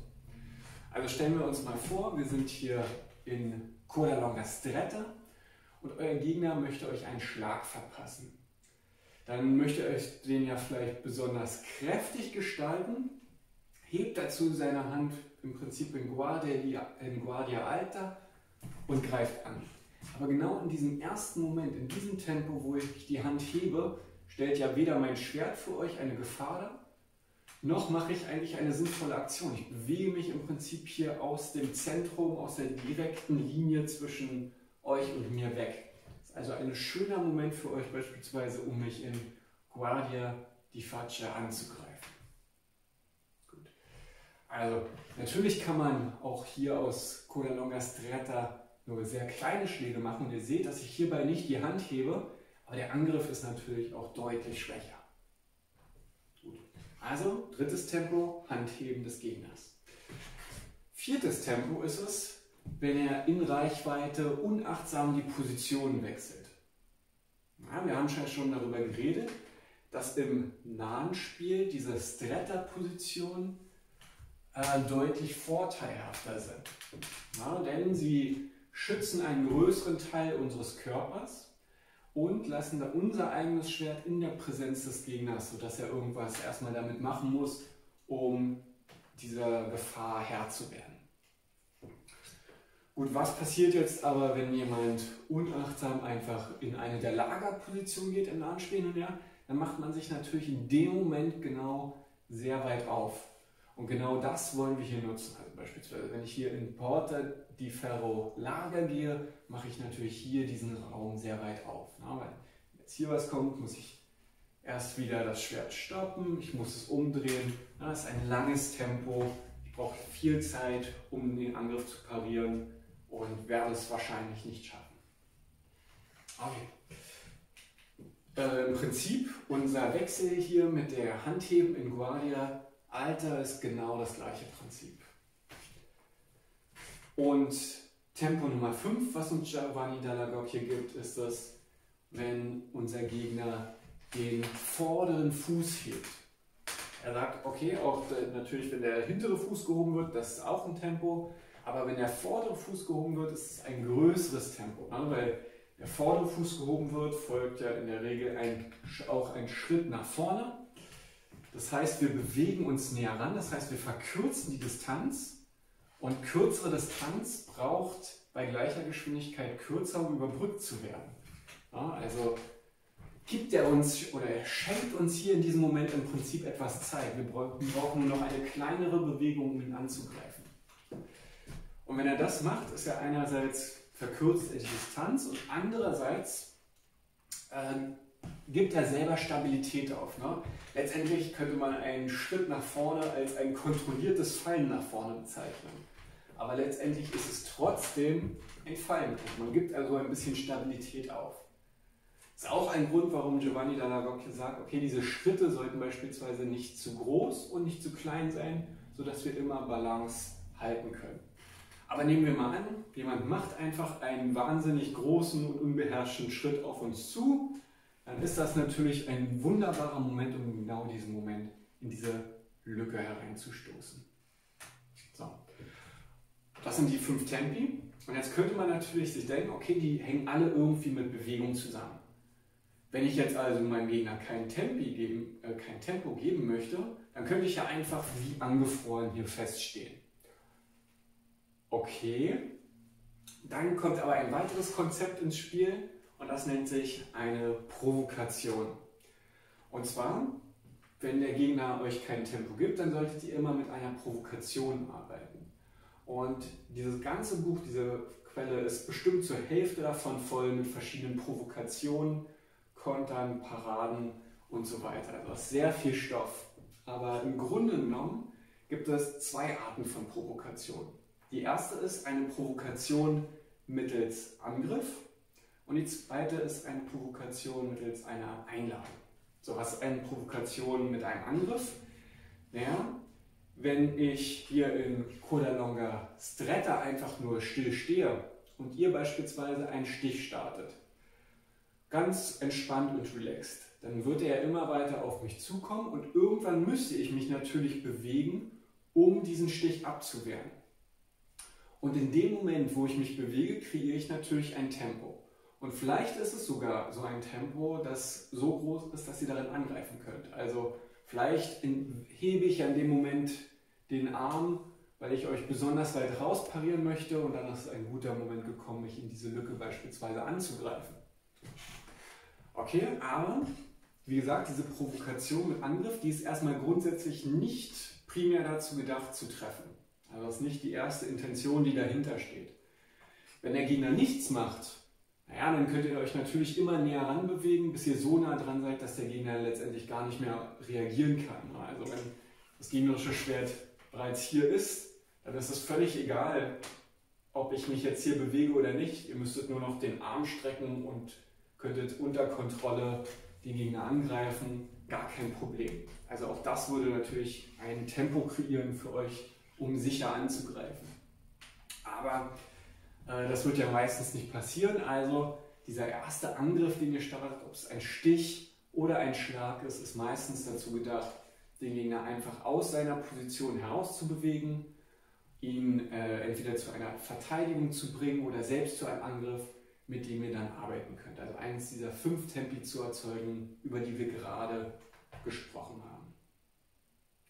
So, und das zweite ist mit einer Provokation via Einladung. Und jede dieser Positionen der Guardias, über die wir gesprochen haben, die decken ja alle einen Teil unseres Körpers. Also Coda Longa Stretta deckt mich zum Beispiel nach rechts, aber sie laden auch auf einer anderen Seite ein. Sie geben gewisse Öffnungen und dieses Schwert kann mich nicht komplett schützen. Also nach rechts hier oben bin ich gedeckt, aber hier unten bin ich offen, ich bin hier offen und vor allem ist meine gesamte linke Körperseite offen. Aber wenn ich also so zu meinem Gegner stehe, ist es wahrscheinlicher, dass ich hier angegriffen werde. Oder noch extremer, wenn ich das Schwert herunternehme, dann ist natürlich hier alles oben offen. Und solche Einladungen können eben dafür verwendet werden, einen Angriff zu provozieren, mit dem man dann rechnet, um ihn dann beispielsweise abzuwehren und gegen anzugreifen. Okay, also das ist eine ganze Menge. Wir fassen das nochmal alles kurz zusammen. Es gibt fünf Tempi, in denen man sinnvoll angreifen kann. Ein Tempo ist ein Zeitfenster. Das erste Tempo ist, nachdem wir den gegnerischen Angriff pariert haben, können wir angreifen. Das zweite Tempo ist, nachdem wir dem gegnerischen Angriff ausgewichen sind, können wir gegen angreifen. Das dritte Tempo ist, wenn der Gegner die Schwerthand hebt, können wir angreifen. Das ist keine Gefahr, gerade für uns in dem Moment, wo er noch ausholt. Das vierte Tempo, wenn er unachtsam zwischen den Positionen wechselt oder zu große Bewegungen macht. Und das fünfte Tempo ist, wenn er den vorderen Fuß hebt, ja, weil dann dieser Schritt folgen wird. Gut, und wenn der Gegner nichts macht ja, und auf uns wartet, dann sollten wir mit Provokationen arbeiten. Wir sollten ihn also dazu zwingen, aus seiner Position herauszugehen und die Tempi, die sich uns bieten, dann zu nutzen. Gut, dann freue ich mich, hoffe ihr habt was gelernt und wir sehen uns gleich in der Übung. Wir kommen zurück zur Übung. Da es heute vor allem um das Timing gehen soll, ist die, sind die Aktionen, die wir machen, relativ einfach. Also es wird immer nur entweder ein kleiner Schlag in einen Stich sein oder direkt ein Stich als Angriff. Wir möchten aber ein bisschen ähm, Fußarbeit damit zumachen, sodass wir flexibel reagieren können, ob jetzt gegnerische Angriffe von oben oder unten kommen und sich unsere Reaktion nicht groß unterscheidet. Und zwar, was wir machen, wenn ein Angriff auf unsere linke Seite kommt, der Gegner also einen Mandrito schlägt, dann möchte ich, dass unser Schwert auf jeden Fall hier in eine der Porta di Ferro Position kommt. Genauer gesagt möchte ich auch, dass der vordere Fuß zurückzieht. Ihr könnt selbst entscheiden, ob ihr ihn nur ranzieht, wie wir es in der allerersten Woche gemacht haben. Dann seid ihr hier in Porta di Ferro Stretta oder vielleicht Porta di Ferro Alta, wenn die Hand etwas höher ist, der Angriff etwas höher kommt. Oder, das überlasse ich euch, ihr könnt den Fuß auch ganz zurückziehen. Dann seid ihr hier in Cinghiare Porte di Ferro Stretta oder Cinghiare Porte di Ferro Alta. Okay, und aus diesen Positionen möchte ich, dass ihr einfach, wenn das Schwert am Ende auf dieser Seite noch ist, in Guardia di Faccia geht und gegen angreift. Und wenn das Schwert aus welchem Grund auch immer, vielleicht geht es ja nach unten, es gleitet durch, ihr weicht ja auch automatisch aus. Hier durch diese beiden Bewegungen, wenn es da ist, dann möchte ich, dass ihr in Guardia d'entrare gegen angreift. Ja, Guardia d'entrare deckt mich besser nach rechts, Guardia di Faccia deckt mich besser nach links.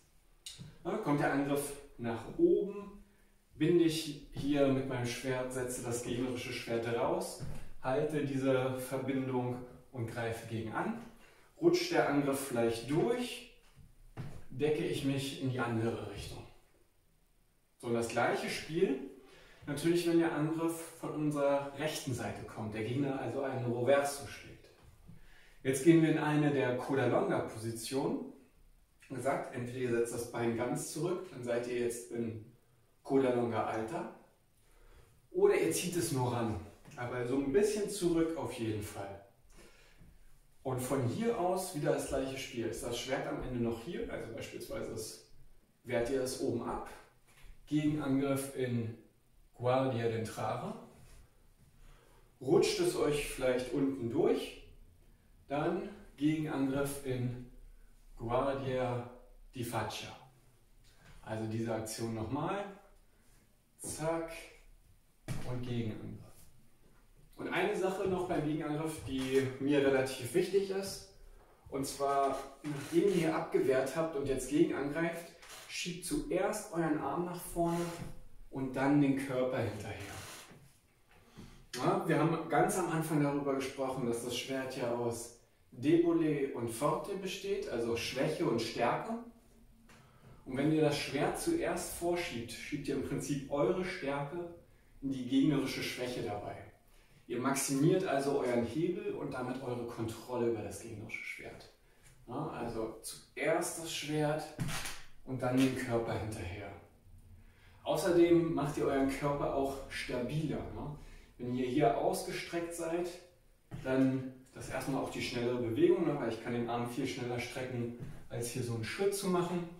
Aber ich bin auch stabiler, wenn ich jetzt irgendwo tatsächlich äh, aufstoße, dann möchte ich ja, dass das die Kraft tatsächlich durch meinen Arm und den ganzen Körper bis ins Bein transportiert wird und ich nicht hier irgendwie so krumm aufkomme und dann vielleicht das hier einknickt und ich gar keine äh, Power und keine Durchschlagskraft hinter diesem äh, Stich mehr habe.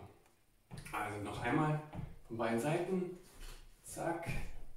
Oder wenn der Angriff durchrutscht, zack. Wenn ich hier abwehren muss, zack. Oder wenn der Angriff so durchrutscht, Ups, nochmal. Zack. Gut, dann gebe ich euch jetzt abwechselnd Mandriti und Roversi. Bereit? Wir fangen entspannt an.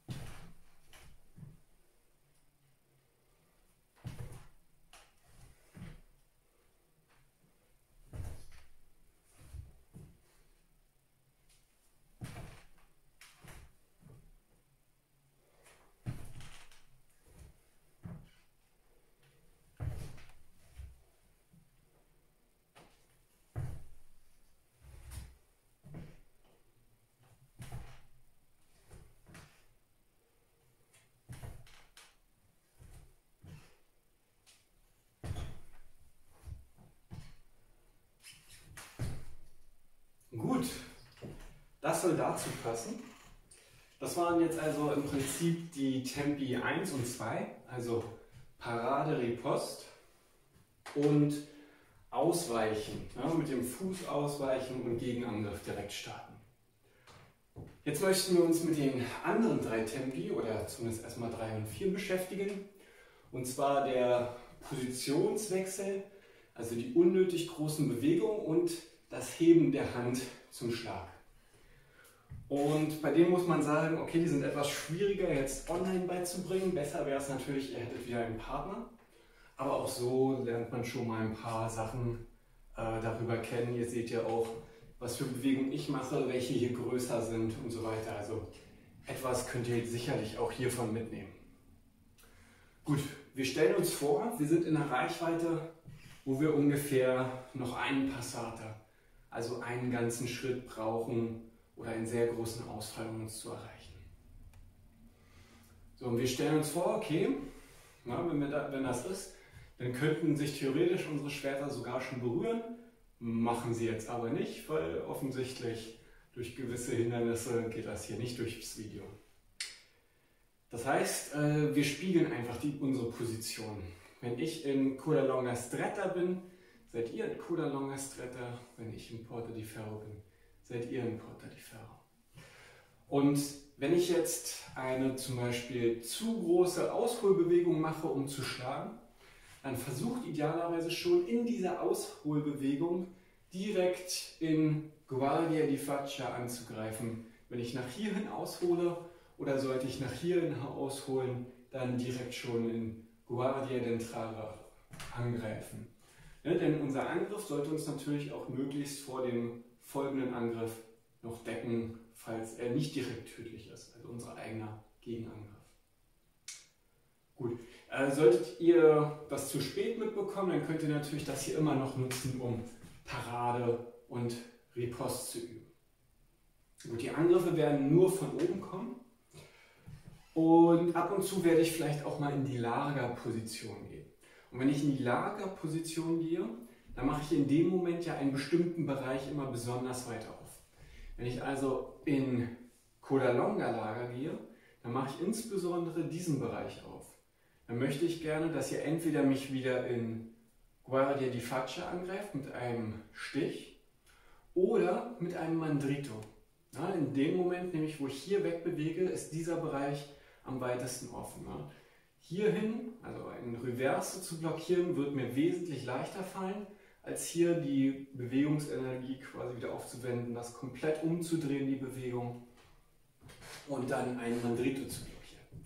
Gleiches Spiel, wenn ich in Porta di Ferro Lager gehe, mache ich hier auf.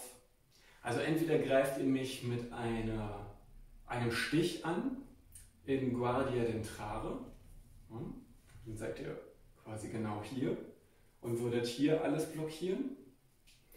Oder ihr greift mich mit einem Reverso an. Ja, weil es mir natürlich wieder am schwersten fallen wird, diesen Angriff zu blockieren. Gut, also versuchen wir uns da mal reinzuversetzen. Wenn ich nur zwischen den Stretta-Positionen wechsle, wechselt ihr auch einfach zwischen den Stretta-Positionen.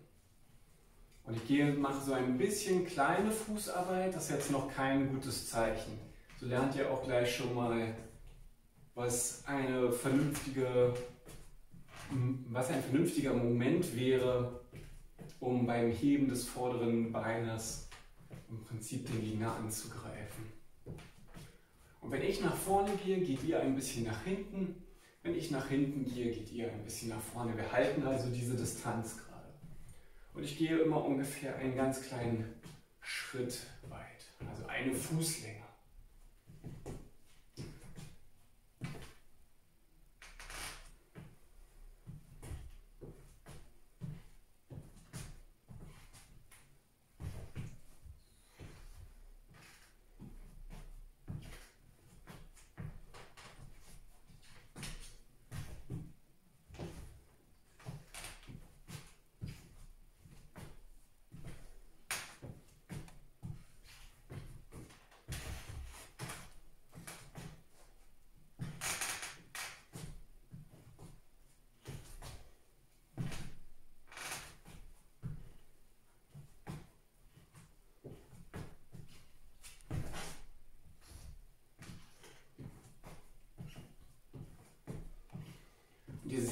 Verschiedene Ausholbewegungen können ja einfach für diese Distanz zu groß sein.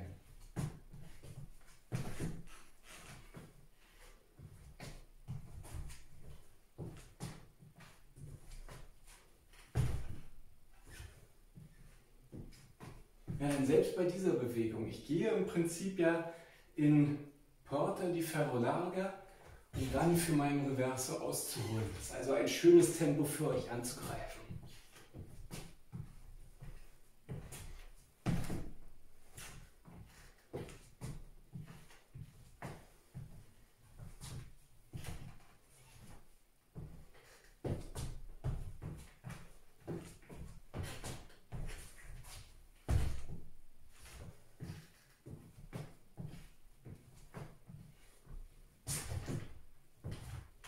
Gut, ich wollte keine Angriffe nach unten machen, jetzt habe ich es doch getan. Vielleicht seid ihr ausgewichen. Das letzte, was wir gesagt haben, das letzte Tempo, was uns Giovanni Dall'Agocchi gegeben hat, war, wenn der Gegner einen Schritt nach vorne macht, also den vorderen Fuß hebt. Und natürlich habe ich das auch gerade ganz oft getan. Und wenn man es ganz genau nimmt, könnte man wahrscheinlich sogar bei diesen kleinen Tempi eine Möglichkeit finden, zumindest seine Position zu verbessern. Aber um einen Angriff dort zu starten, da muss müsste man schon ganz genau treffen. Lieber möchte ich euch jetzt erstmal ein größeres Tempo geben. Und zwar, wenn ich sehr weit aushole und einen großen Schritt mache und danach, also um in Reichweite zu kommen, um danach dann quasi anzugreifen. Also deswegen ist es auch immer ganz wichtig, dass ihr erst das Schwert bewegt und euch Sicherheit schafft, bevor der Schritt kommt. Aber sollte es mal jemand anders machen und sich quasi erst nach vorne bewegen und dann schlagen, ist es ein guter Moment für euch, diesen Fehler auszunutzen. Und wie wir das machen, ich werde wieder so leichte Schritte vor und zurück gehen und ihr werdet schon merken, dass ab und zu werde ich deutlich größere Schritte machen. Das sind also deutlich größere Tempi und wahrscheinlich werde ich auch ein bisschen ausholen dazwischen, um die Lücke wirklich sehr weit aufzumachen. Bereit? Auf geht's.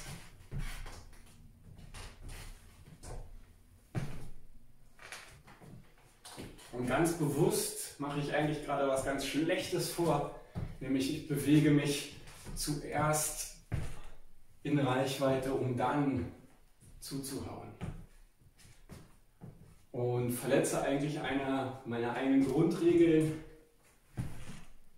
präsentiere nämlich zuerst ein Ziel, bevor ich eine Bedrohung präsentiere. Das ist natürlich was Schlechtes.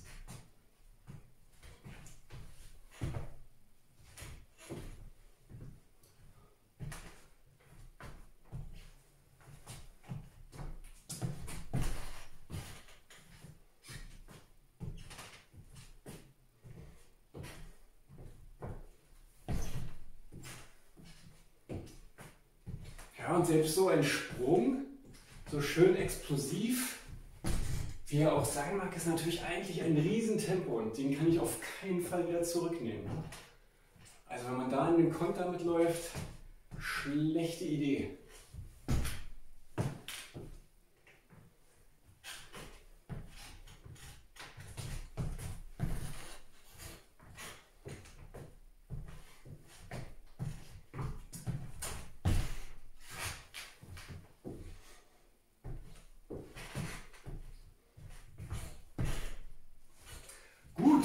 soll es auch für diese Übung gewesen sein. Ich hoffe, ihr konntet was mitnehmen. Wie gesagt, spielt die Übung gerne nochmal ab, um vielleicht noch zwei, drei mehr Tempi zu sehen, die ihr nutzen könntet. Und ansonsten sehen wir uns dann zur nächsten Lektion in der nächsten Woche wieder.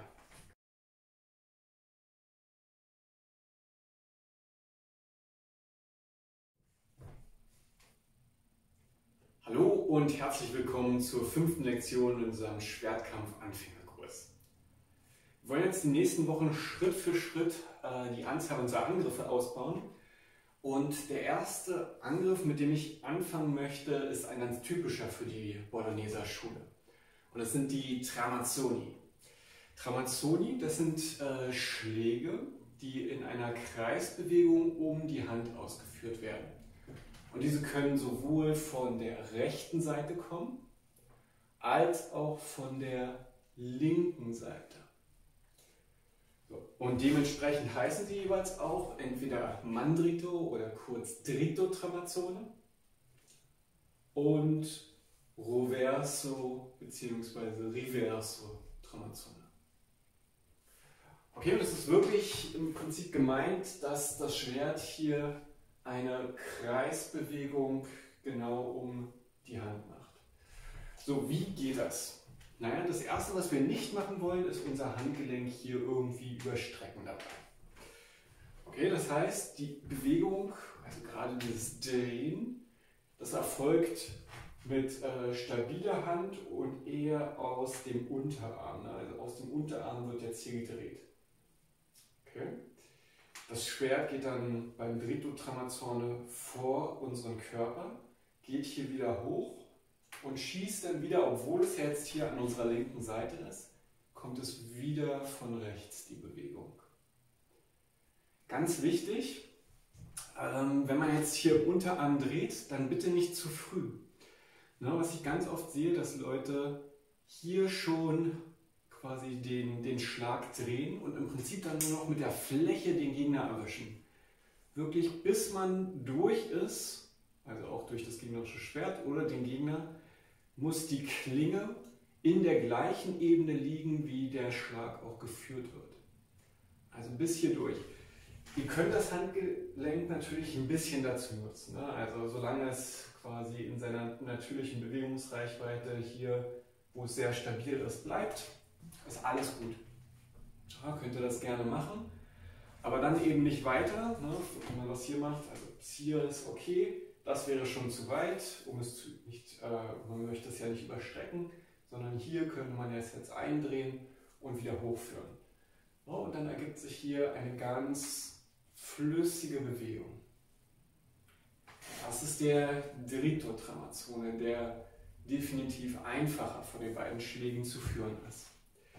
Der Reverso Tramazzone verläuft jetzt hinter unserem Körper.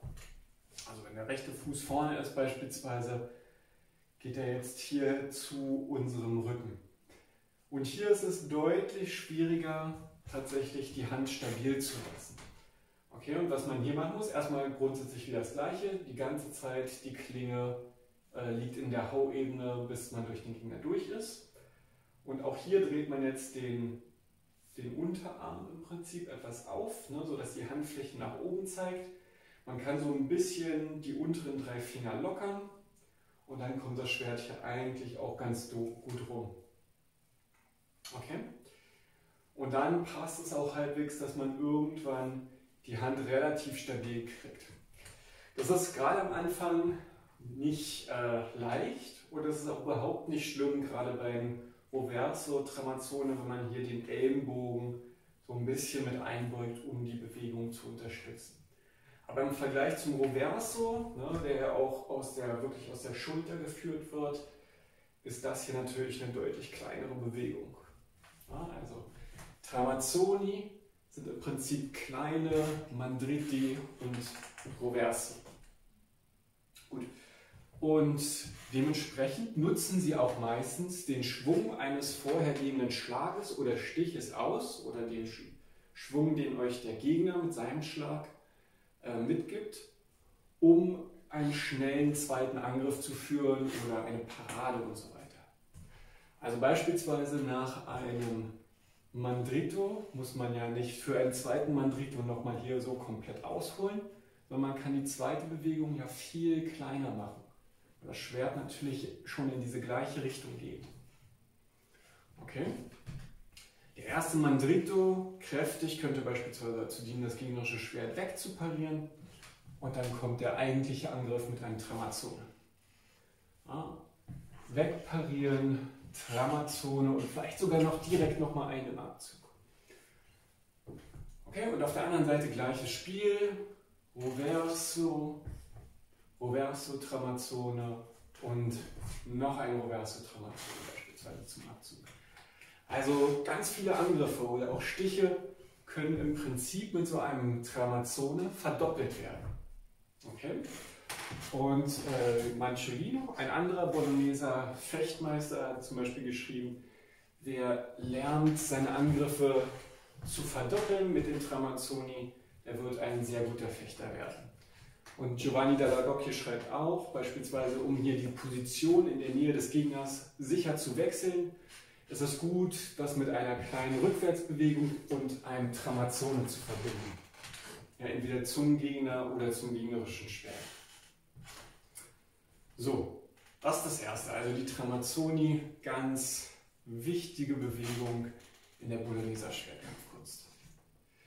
Das nächste ist eine neue Position, die wir uns nochmal anschauen wollen. Und zwar kennen wir ja Guardia Alta, dem rechten oder linken Bein vorne. Aber manchmal, gerade wenn man einen Roverso schlagen möchte, dann geht man ja vielleicht lieber auch mit der äh, Hand eher zur linken Schulter. Natürlich kommt man nicht mehr ganz so hoch, ne? man kommt hier nicht mehr in Guardia Alta oder dann hier wäre man wieder in Guardia Alta. Aber irgendwo ist hier dieser Übergang, wo man im Prinzip hier über seinen Unterarm schaut und hier einen bequemen Roverso schlagen kann. Und diese Position heißt Guardia di sopra il braccio. Sopra ist über und Braccio ist der Arm. Das ist also die Position über dem Arm. Und gemeint ist damit eben dieser linke Arm. Ne? Ihr habt sicherlich bisher auch schon viele Bilder gesehen, wo hier in der linken Hand der Buckler gehalten wurde und das natürlich dann noch weiter einschränkt. Und Guardia di sopra il braccio ist halt die Position, wo eure rechte Hand über der linken ist. Okay? Und es ist eben eine schöne Position, um ein Reverse zu schlagen. Gut. Und das allerletzte, was wir heute noch äh, sozusagen wiederholen wollen, ist nochmal eine gute Verteidigung.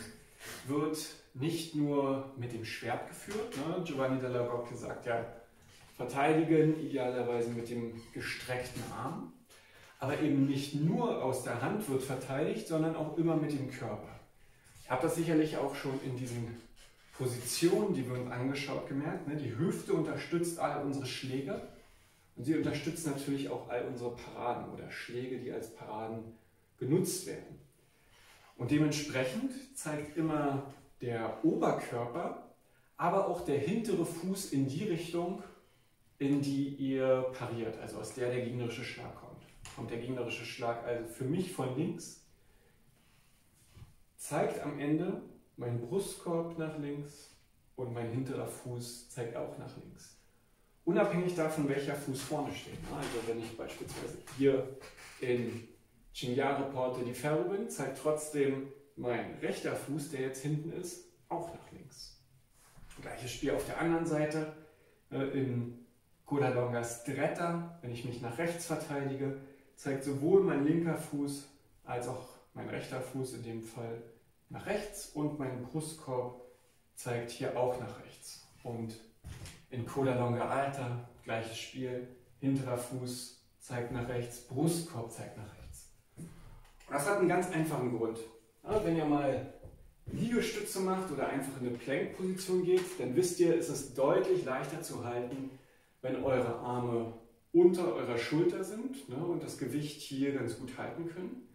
Es wird deutlich schwieriger, wenn ihr diese gleiche Position versucht und die Arme hier versetzt. Okay, ihr bräuchtet viel mehr Stabilität ne? und ihr werdet merken, wie auf einmal euer Körper hier selbst wegrotieren will und euer ganzer Bauch und die Rückenmuskulatur hier dagegen halten muss. Wenn ihr schon mal einen einarmigen Liegestütz probiert habt, wisst ihr auch ganz genau, was ich meine. Seid ihr nicht mehr auf einmal ganz zentral, sondern euer Bauch und Körper muss viel mehr arbeiten. Und genau das versuchen wir zu vermeiden. Ne? Also unser Schwert ist in dieser Verteidigungsposition im Prinzip, die Schwerthand ist auch genau vor dem Brustbein. Ne? Und dann hier auf der Höhe meiner linken Hüftseite. Okay, fassen wir nochmal alles zusammen. Es gibt Tramazzoni, ganz wichtige Bewegungen in der Bologneser Schwertkampfkunst. Und das sind Schläge, die um unsere Hand rotieren. Okay? Wir wollen dabei aber nicht die Handgelenke überstrecken, sondern es ist vielmehr eine Bewegung im Unterarm und vielleicht auch durch das Öffnen und Schließen der unteren drei Finger, ja, dass wir hier durch locker lassen. Wir wollen insbesondere hier darauf achten, dass die wahre Schneide immer in einer Ebene liegt mit dem Hau, den wir tatsächlich machen, ja, bis wir durch den Gegner durch sind und erst dann eindrehen. Wir wollen nicht mit der Fläche treffen.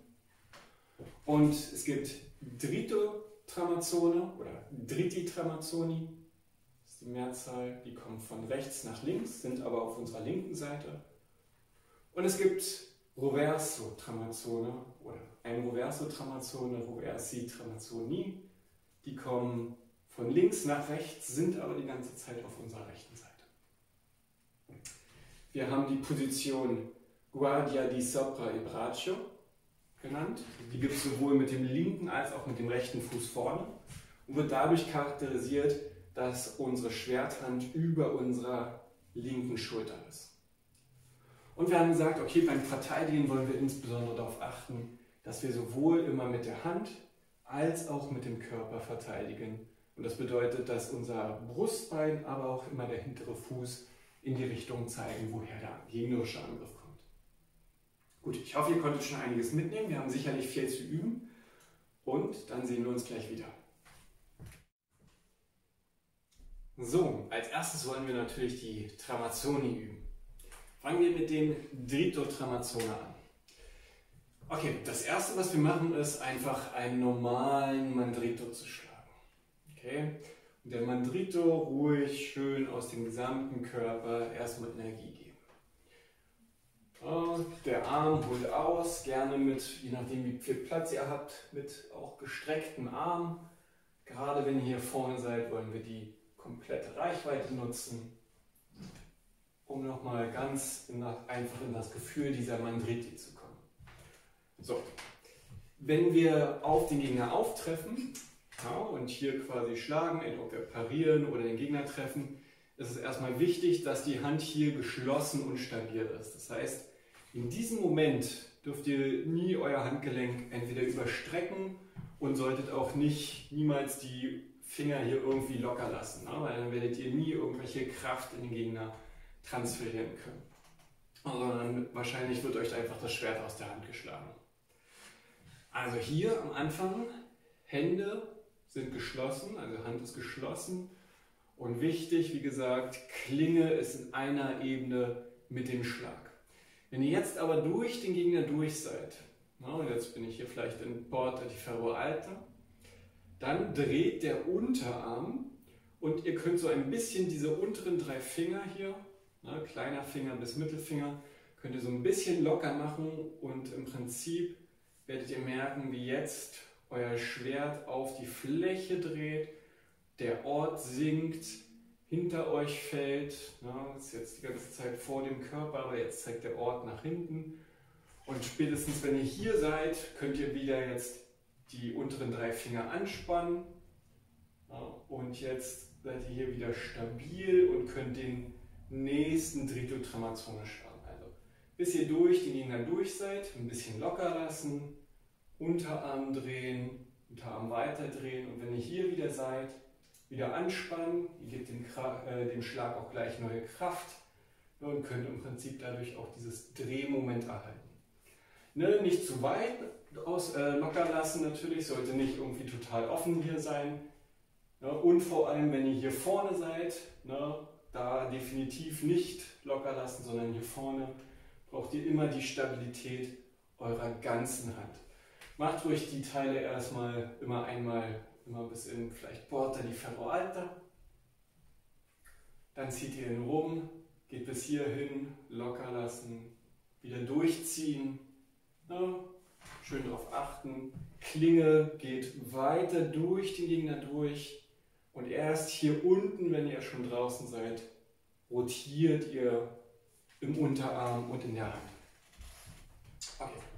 Wie gesagt, dran denken, nicht den, die Handgelenke dabei zu überstrecken. Also nicht hier versuchen, die Hand einfach gerade zu machen und jetzt hier irgendwie zu versuchen, das Schwert so durch den Gegner durchzukriegen. Das funktioniert natürlich auch nicht, wenn ihr irgendwelche Kraft durch den Gegner transferieren wollt. Also lieber die Hand ein bisschen senken, hier unten den Unterarm drehen und dann wieder rumbringen. Gleiches Spiel im Prinzip beim Roverso Tramazzone. Also, nachdem ihr das hier jetzt vielleicht 10 bis 20 Mal gemacht habt, jetzt der Roverso Tramazzone. Und zwar auch hier, wir fangen an mit einem normalen Roverso. Die ganze Schulter geht mit, die Hüfte geht mit und wir kriegen das Gefühl, ihr könnt ruhig aus Guardia di Sopra e Braccio schnappen, kriegt ihr das Gefühl, okay, das hier ist diese Rotation und auch hier ist natürlich die Hand vorne fest, solange es durch den Gegner geht. Und die Klinge immer an einer Ebene mit dem Schlag selbst. So, wenn wir jetzt daraus ein Roverso Tramazzone machen wollen, dann eigentlich das gleiche Spiel. Wir fangen erstmal genauso an, ziehen durch, bis wir durch den Gegner durch sind. Ne? Denkt dran, nicht das Handgelenk hier überstrecken, nicht das machen, sondern ruhig dann das Hand, äh, die Hand ein bisschen tiefer nehmen. Wenn ihr durch seid, den Unterarm aufdrehen und jetzt könnt ihr die Hand auch wieder ein bisschen öffnen. Ne, hier werdet ihr wahrscheinlich den Ellbogen, äh, Ellbogen auch genau wie ich beugen müssen. Und dann kriegt ihr das Teil hier wieder hoch und wenn ihr hier seid, wieder schließen und nach vorne schießen. Ne? Also dann landen wir in irgendeiner Position von äh, vielleicht Coda longa stretta sind wir zwischendurch, oder wenn ihr das Mittelbein vorne habt, Coda longa alta. Ja, und dann könnt ihr das Teil erstmal immer einfach bis hierhin üben, vielleicht stabil halten. Ja, denkt dran, in Stretta oder Alter, der Schwert ist ja noch nicht durch den Gegner durch, sondern zeigt noch auf ihn zu. Also erst noch ein Stück in dieser Ebene weiterziehen, dann öffnen und dann neu. Okay? Zack, schließen und Power geben. und wenn ihr das dann ein paar Mal gemacht habt und ein bisschen flüssiger habt, dann werdet ihr merken, okay, ihr müsst diese Hand immer weniger bewegen irgendwann. Aber so eine leichte Ellenbogen-Einbeugung, das wird immer passieren hier beim äh, Roverso Tramazzone. Beim Drito Tramazzone ist es deutlich weniger. Okay? So, dann macht ihr das auf beiden Seiten wie gesagt, 10, 20 Mal, vielleicht immer im Wechsel, bis ihr es euch relativ wohl fühlt. Und dann können wir es verbinden. Zum Beispiel den Drito-Travazzone mit einem normalen Mandrito. Also stellen wir uns vor, wir wollen entweder ein gegnerisches, äh, ein gegnerisches Schwert, was uns entgegengestreckt wird, aus dem Weg schaffen und dann angreifen. Oder vielleicht wir parieren einen Schlag, der von hier kommt. Wir parieren mit einem Mandrito sind im Porta di Ferro Stretta. Gegnerisches Schwert ist hier. Und wir nutzen unseren einen Schwung direkt, um dem Dritto Tramazzone die entsprechende Power zu geben. Erstmal ohne Fußarbeit. Starten in Guardia Alta.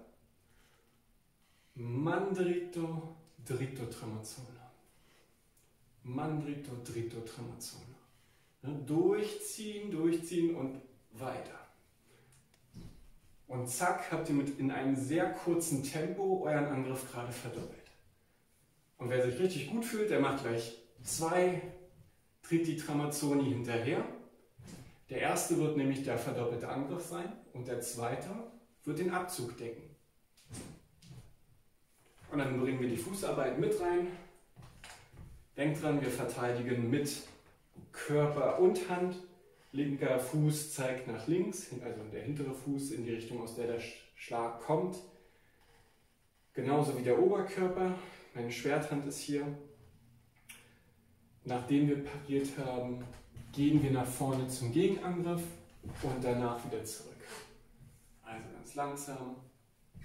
Eins, Parade, Gegenangriff und zurück. Travazzoni gehen immer leichter, wenn man wenigstens so ein bisschen Geschwindigkeit drin lässt. Parade gegen Angriff und Abzug. Parade gegen Angriff, Abzug. Weil dann natürlich diese, dieses Drehmoment hier erhalten bleibt. Also nochmal. Parade, wir gehen leicht nach rechts. Gegenangriff und Abzug.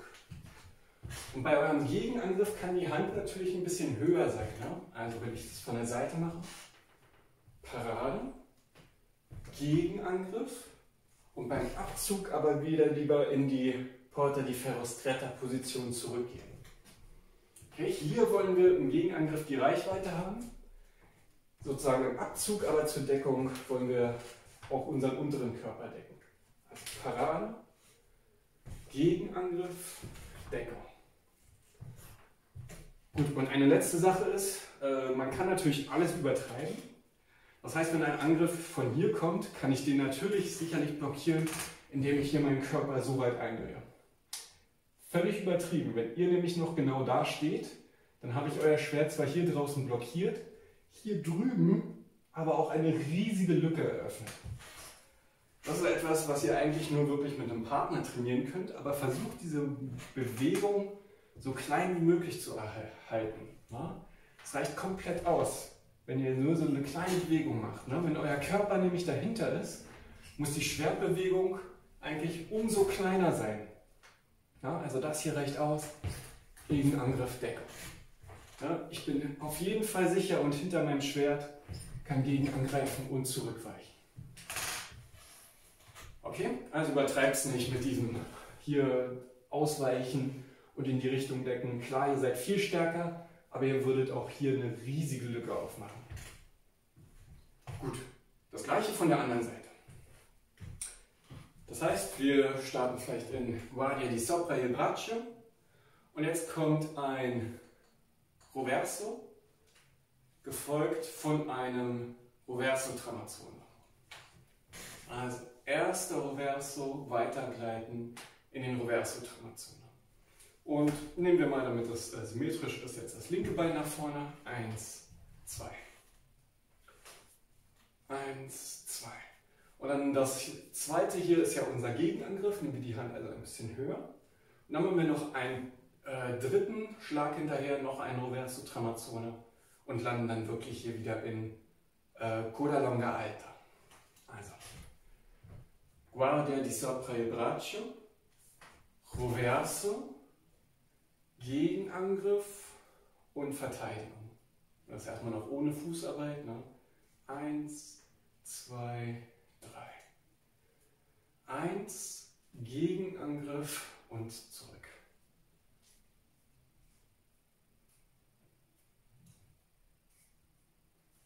Gut, und dann bringen wir die Fußarbeit dazu. Wir machen unsere Parade, denkt dran, nicht bis hierhin gehen. Ihr seht, alles hier ist offen. Sondern ihr wollt die Sachen eng lassen, ne, damit wirklich wenig Deckung auf der anderen Seite äh, noch vonnöten ist, ne, sodass wenn er rumschlägt beispielsweise nur eine ganz kleine Bewegung für die andere Seite nötig ist.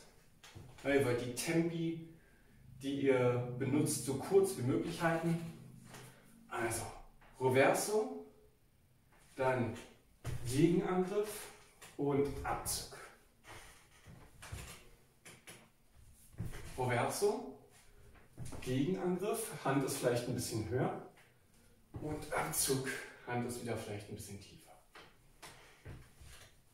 Zack, Abwehr, Gegenangriff und Abzug. In die Richtung einmal. Zack, Parade, Gegenangriff mit Reverso oder Roverso Tramazone und Abzug. Gut, dann wollen wir das natürlich in einen interaktiven Drill einbauen.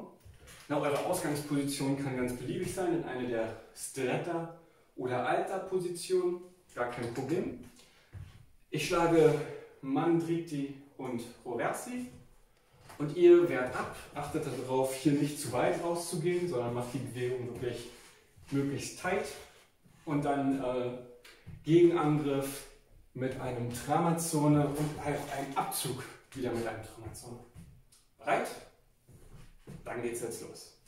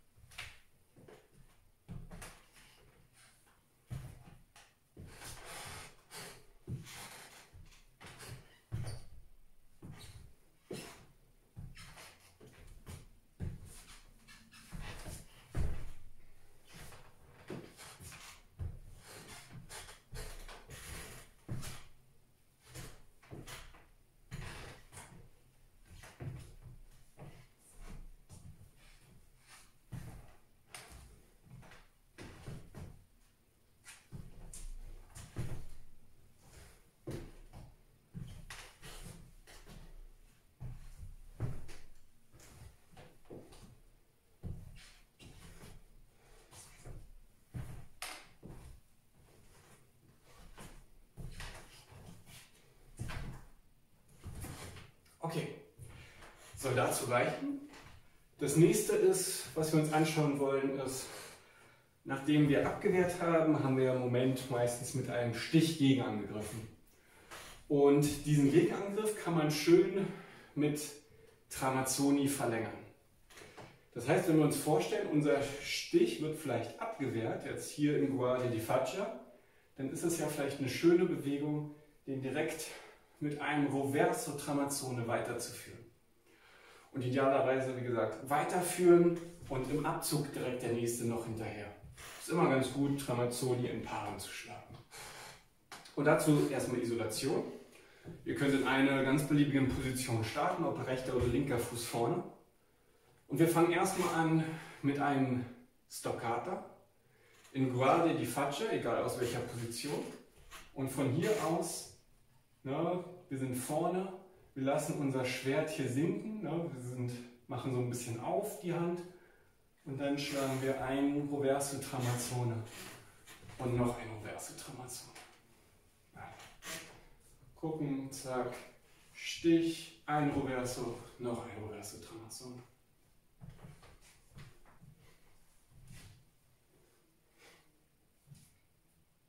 Und der erste Roverso Tramazzone ist wieder ein bisschen höher mit der Hand und der zweite wieder tiefer, um uns dann zu decken.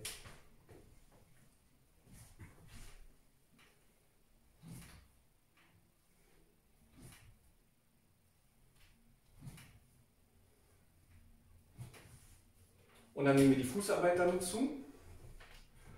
Und zwar der erste beim Stich gehen wir nach vorne. Beim ersten Roverso Tramazzone wollen wir auf die andere Seite. Ne? Wir werden ja hier nach hier wegblockiert. Also ist hier was offen. Und dann gehen wir zurück. Also Stich, rumgehen, zurückgehen. Und ihr könnt das ja auch mit dem linken Fuß vorne gemacht haben. Eins, trotzdem in diese Richtung gehen und zurück. Ne, probiert hier einfach verschiedene Fußarbeiten vielleicht mal aus. Also mit Stich nach vorne, rumgehen mit dem ersten Groverso Tramazzone, zurückgehen mit dem zweiten.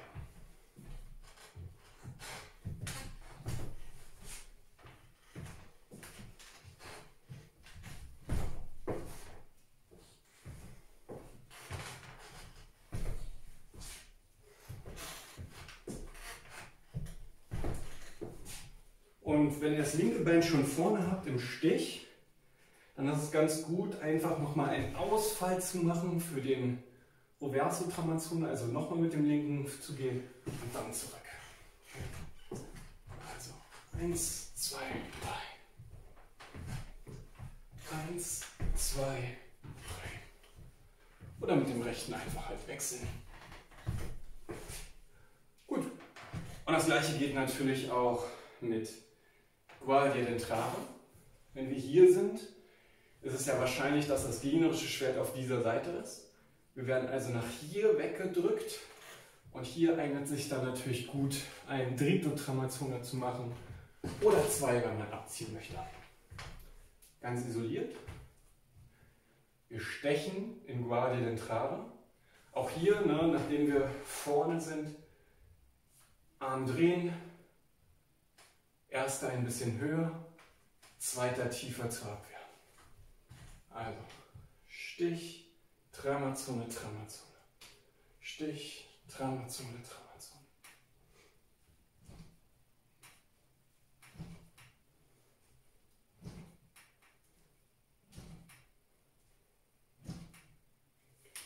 Gut. Wenn wir das haben, dann bringen wir das Ganze wieder ein bisschen zusammen.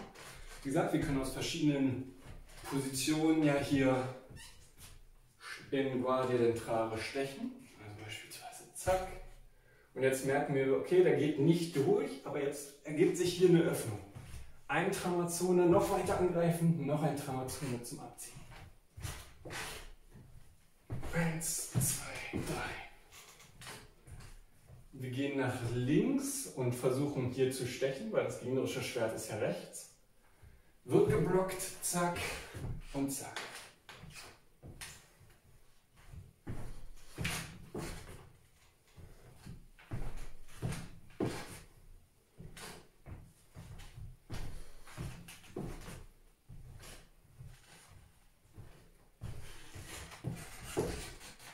Gleiches Spiel, wenn der rechte Fuß vorne ist. Ne? Hier wird geblockt, einfach ein Ausfall nach rechts und dann zurück. Also, zack, zack, zack.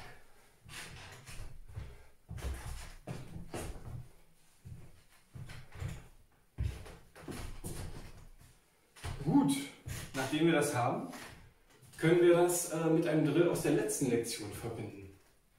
Und zwar werde ich in den Strette oder Alter Position sein und ab und zu werde ich entweder in Guardia Alta gehen oder in Guardia di sopra di braccio. Und wenn ich in Guardia Alta bin, dann drohe ich euch ja mit einem Mandrito.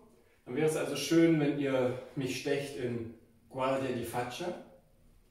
Und wenn ich in Guardia di sopra di braccio bin, bedrohe ich euch mit einem Roverso. Also es wäre ganz gut, wenn ihr mich in Ventrare bedroht. Auf euren Stich werde ich dann meistens wahrscheinlich wirklich ein Roverso und ein Mandrito folgen lassen. Und ihr stellt euch einfach vor, okay, das trifft euer Schwert und ihr nutzt aber diesen Schwung aus, um dann direkt mit einem Tramazzone weiterzumachen. Okay? Seid ihr bereit? Dann auf geht's. Ihr seid auch in einer der Stretta oder Alta Positionen. Und wenn ich jetzt hier hochgehe, zack, Stich und Tramazzone.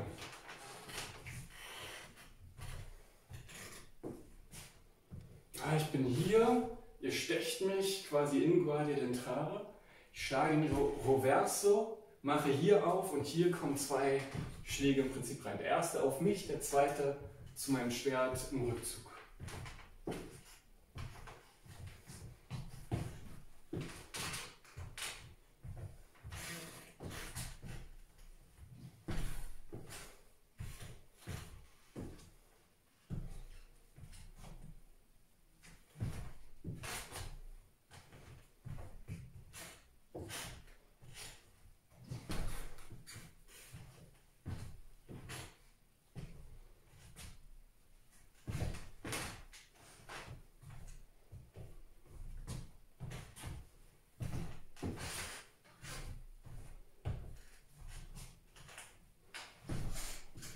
und ihr seht direkt, okay, das ist dieses Tempo, ne? die Handheben zum Schlag, von dem wir beim letzten Mal gesprochen haben.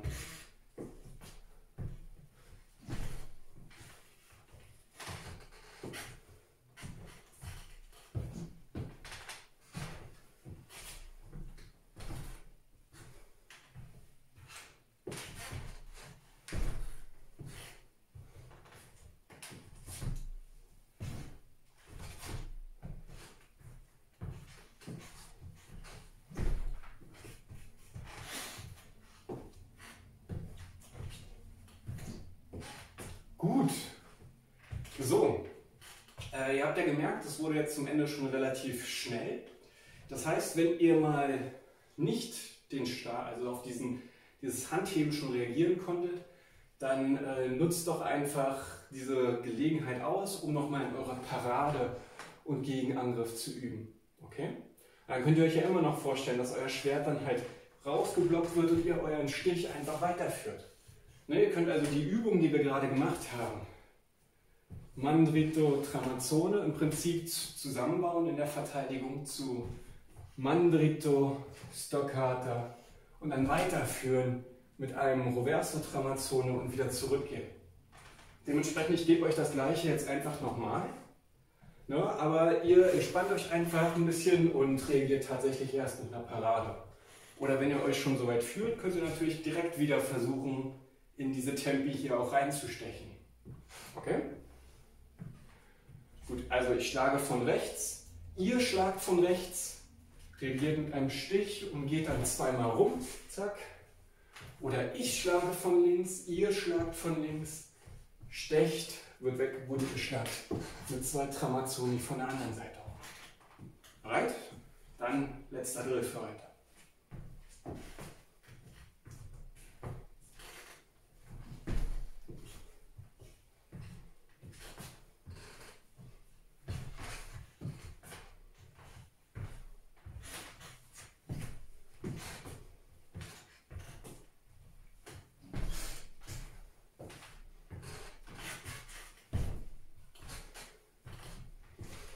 Sind jetzt deutlich kürzere Tempi hier, die ich in den Angriff reinstecke.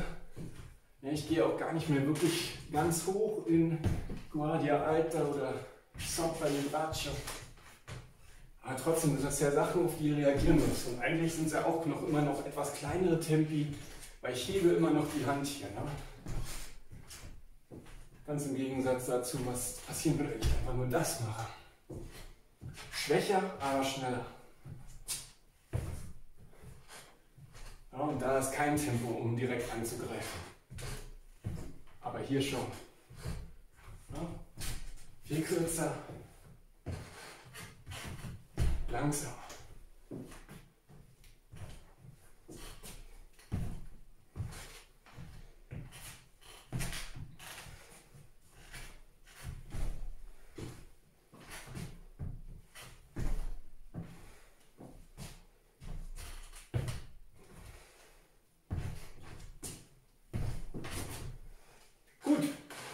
das soll es für heute gewesen sein. Ich hoffe, ihr konntet wieder was mitnehmen. Wie gesagt, die Übung könnt ihr gerne direkt nochmal nutzen. Ansonsten sehen wir uns dann nächste Woche wieder zur Lektion Nummer 6.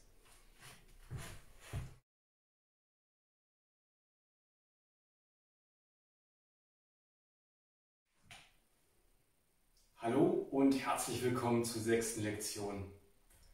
Heute geht es ein bisschen mehr um Quantität im Lernen neuer Angriffe. Die sind an sich nicht so schwer. Und zwar, wir kennen ja jetzt schon unsere Fendenti, also die Schläge von oben, sowohl von rechts als auch von links, also Mandrito Fendente und Roverso Fendente. Wir haben von unten Schläge gelernt, das sind unsere Falsi, also Falso Dritto und Falso Mango. Und heute soll es um ganz viele andere Winkel gehen, aber all diese Schläge werden mit der wahren Schneide geführt, also die Schneide, die in einer auf der Seite ist, wo unsere Fingerknöchel sind. So, und wenn wir jetzt von oben schlagen können, mehr oder weniger direkt von oben, dann können wir natürlich auch schräg von oben schlagen. Das sind die Squalimbri oder ein Squalimbro bei Giovanni della Gocchia.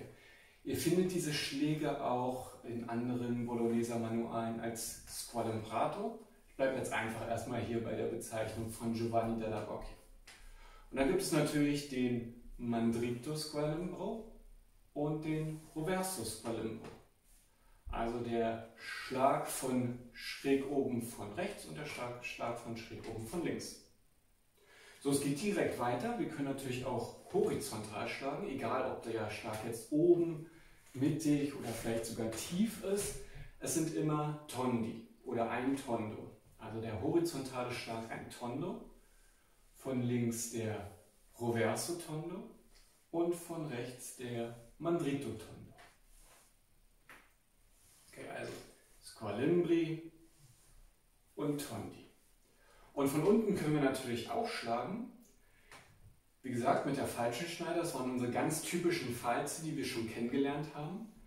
Und führen wir diese Schläge aber mit der wahren Schneider, dann führen wir Ridoppio aus oder ein Ridoppio. Und auch hier wieder Roverso Ridoppio von links und Mandrito Ridoppio von rechts. Also das sind unsere neun Schläge. Wir haben Squalimbri, Tondi und Ridoppio, jeweils von der Mandrito oder der Reverso-Seite. Und jetzt sind natürlich auf diese Position, äh, auf diese Schläge ein paar Positionen relativ wahrscheinlich, denn wir können ja jeden Schlag grundsätzlich wieder als Colpo intero schlagen, also komplett durchziehen, oder als Mezzo Colpo, sodass der Ort den Gegner am Ende bedroht. Ich meine, okay, bei den Squalimbri, da ist es relativ klar, wir landen genauso wieder in den Stretta-Positionen oder in den Lagerpositionen, genau wie eben.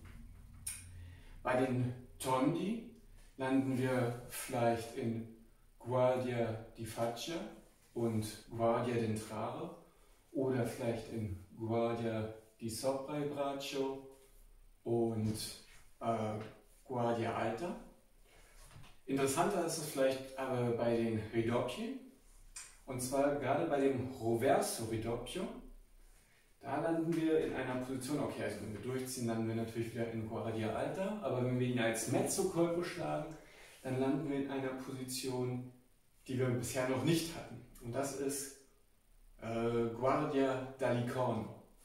Die Position oder die Hut des Einhorns. Und die kennzeichnet sich, kennzeichnet sich dadurch, dass der Arm auf jeden Fall auch gestreckt ist.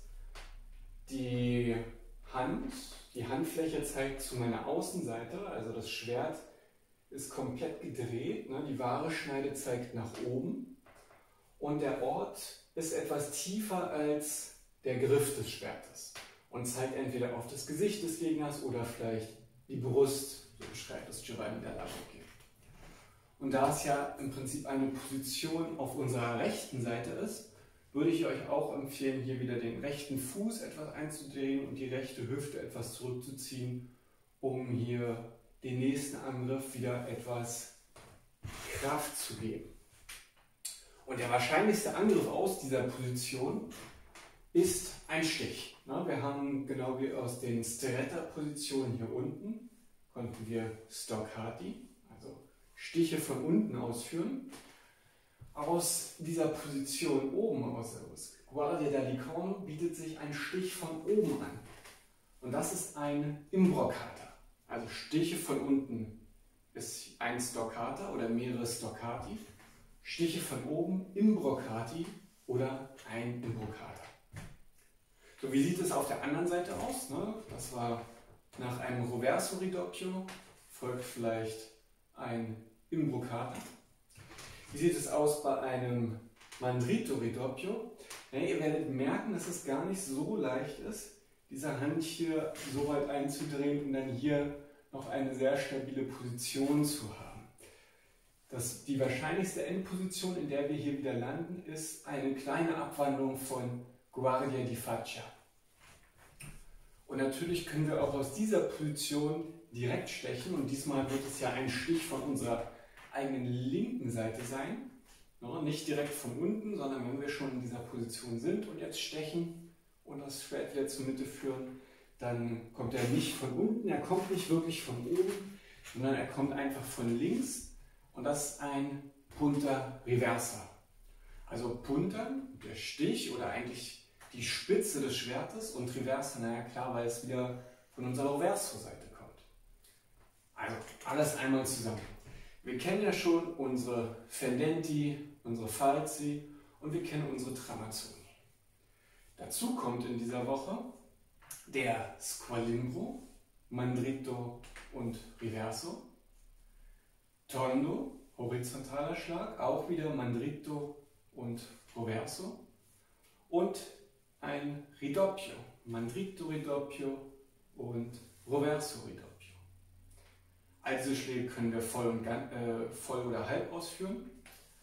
Und wenn wir, gerade wenn wir den halb ausführen, landen wir hier bei den Ridoppii in einer neuen Position, und zwar nach dem Reverso Ridoppio landen wir in Guardia d'Alicorno, die Position des Einhorns.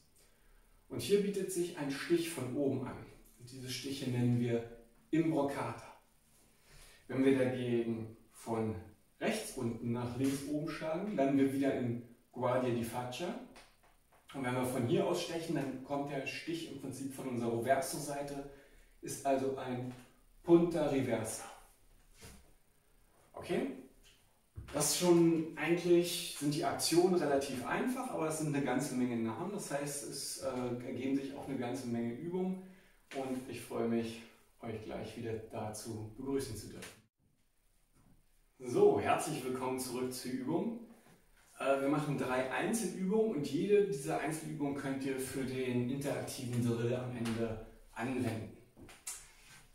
Das erste ist erstmal, wir haben ja eigentlich eine ganze Menge Schläge, aber beispielsweise, wenn ihr schon ein Fendente schlagen könnt, dann könnt ihr auf jeden Fall ein Squalimbo schlagen. Und in dem zu üben, würde ich einfach nochmal den Schleifenschlagdrill vorschlagen. Ne, wir kennen es, ein Falso Drito gefolgt von einem Mandrito und ein Falso Manco gefolgt von einem Proverso. Und das ist wahrscheinlich einer der Drills, den ihr am häufigsten in eurer fechterischen Karriere begegnen werdet. Und was ich euch da eigentlich nur mit sagen möchte, ist, versucht ihn öfter auch mal zu variieren. Sowohl was eure Hand macht, ne, ihr könnt ja eure Hand die ganze Zeit unten lassen, in den Stretter-Positionen, möglichst kein Tempo geben, aber kleinere Schläge machen. Ihr könnt mehr ausholen, ihr könnt ganze Schläge machen und vor allem ihr könnt mit der Fußarbeit so viel variieren. Ne? Ihr könnt das mit halben Schritten machen, wir haben das mit ganzen Schritten schon gemacht. Ne? Und macht das mit ganzen Schritten sowohl gleichgerichtet, also rechter Fuß ist vorne, Schlag kommt von rechts, linker Fuß ist vorne, Schlag kommt von links, aber auch entgegengesetzt, ne, um hier in die Cinghiara Porta di Ferro Stretta zu kommen und Coda Longa Stretta. Und versucht das beliebig hin und her zu variieren, sodass ihr äh, da locker in den Füßen und auch in den Händen und den Körper werdet. Okay.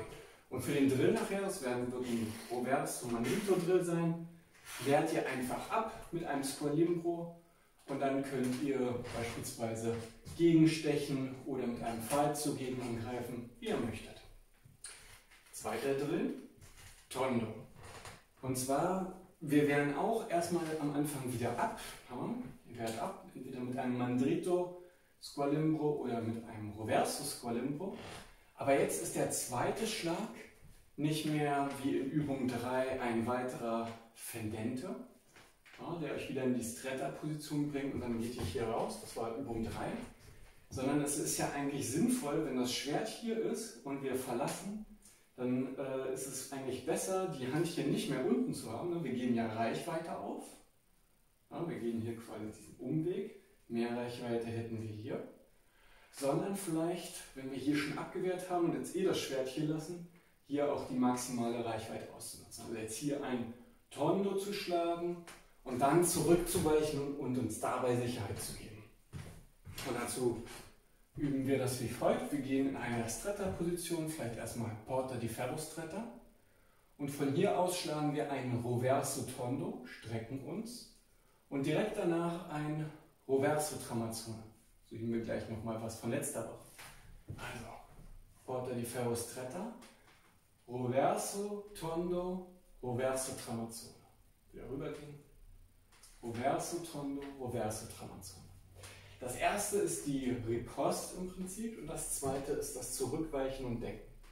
Das heißt, wir können das verbinden, den Tondo mit einem Schritt nach vorne und die Tramazzone mit einem Schritt zurück. Das gleiche geht natürlich auch von unserer rechten Seite.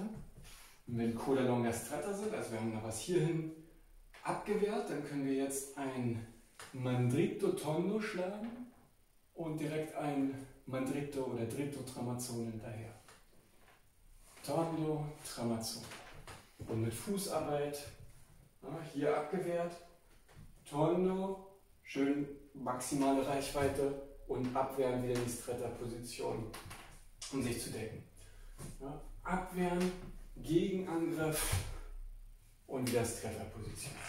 Ja, das hat einfach den Vorteil, dass wenn wir uns hier schon aufmachen, ne, wir gehen ja absichtlich von dem Schwert weg, dass wir dann wenigstens unsere Chance maximieren, den Gegner auch tatsächlich zu verwunden und quasi über die Bedrohung unsere eigene Sicherheit schaffen, weil er damit äh, etwas tun muss.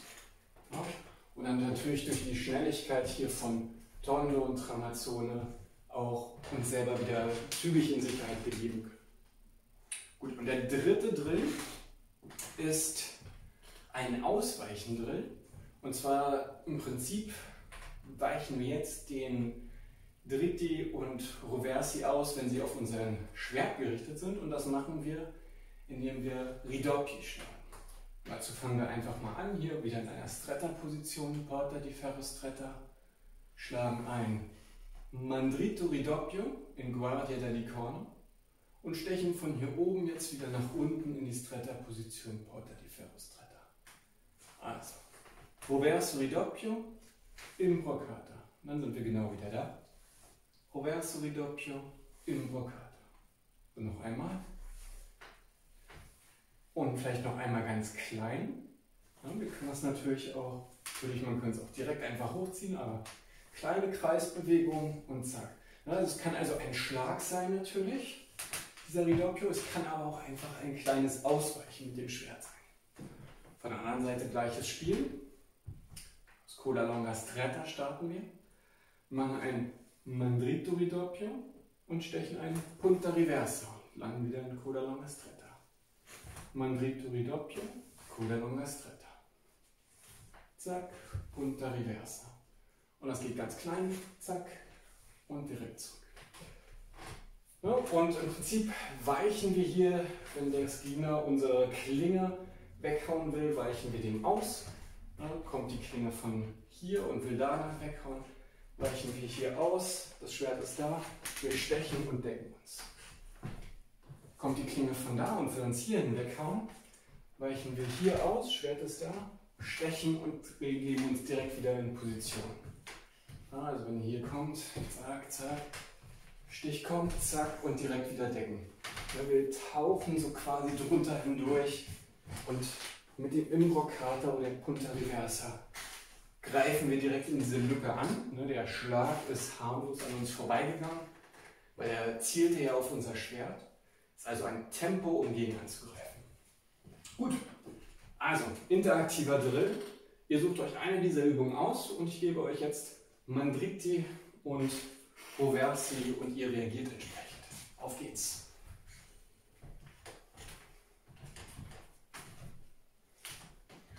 Und ich werde mal halbe Heuer machen ich werde mal Colpo Interi machen, also ganze Heuer. Und ihr versucht entsprechend darauf zu reagieren.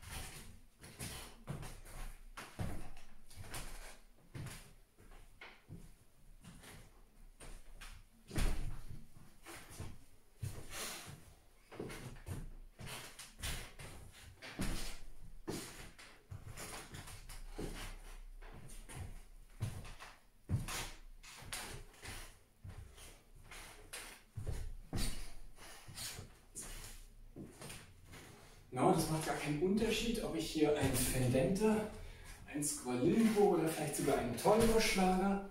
Eure Abwehr ist eigentlich immer die gleiche.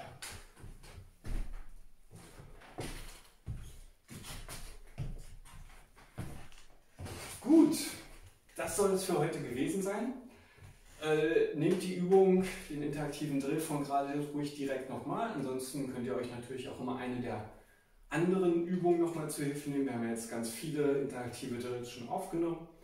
Und dann hoffe ich, sehen wir uns gesund und munter nächste Woche zu Lektion 7 wieder.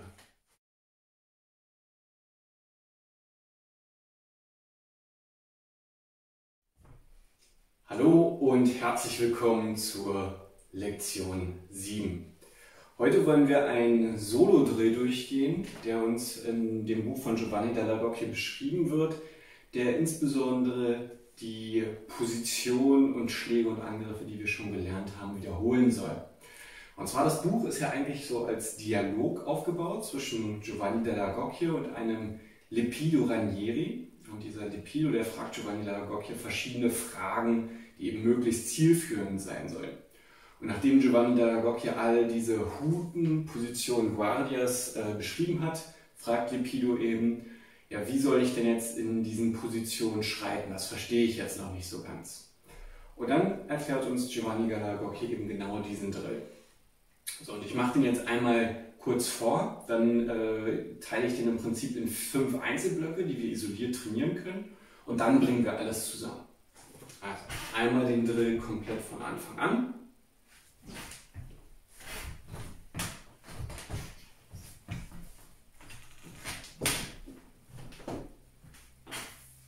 Gut, das war's schon. Der Block, äh, der Drill setzt sich wie gesagt aus fünf Einzelteilen zusammen und das erste ist das Ziehen des Schwertes.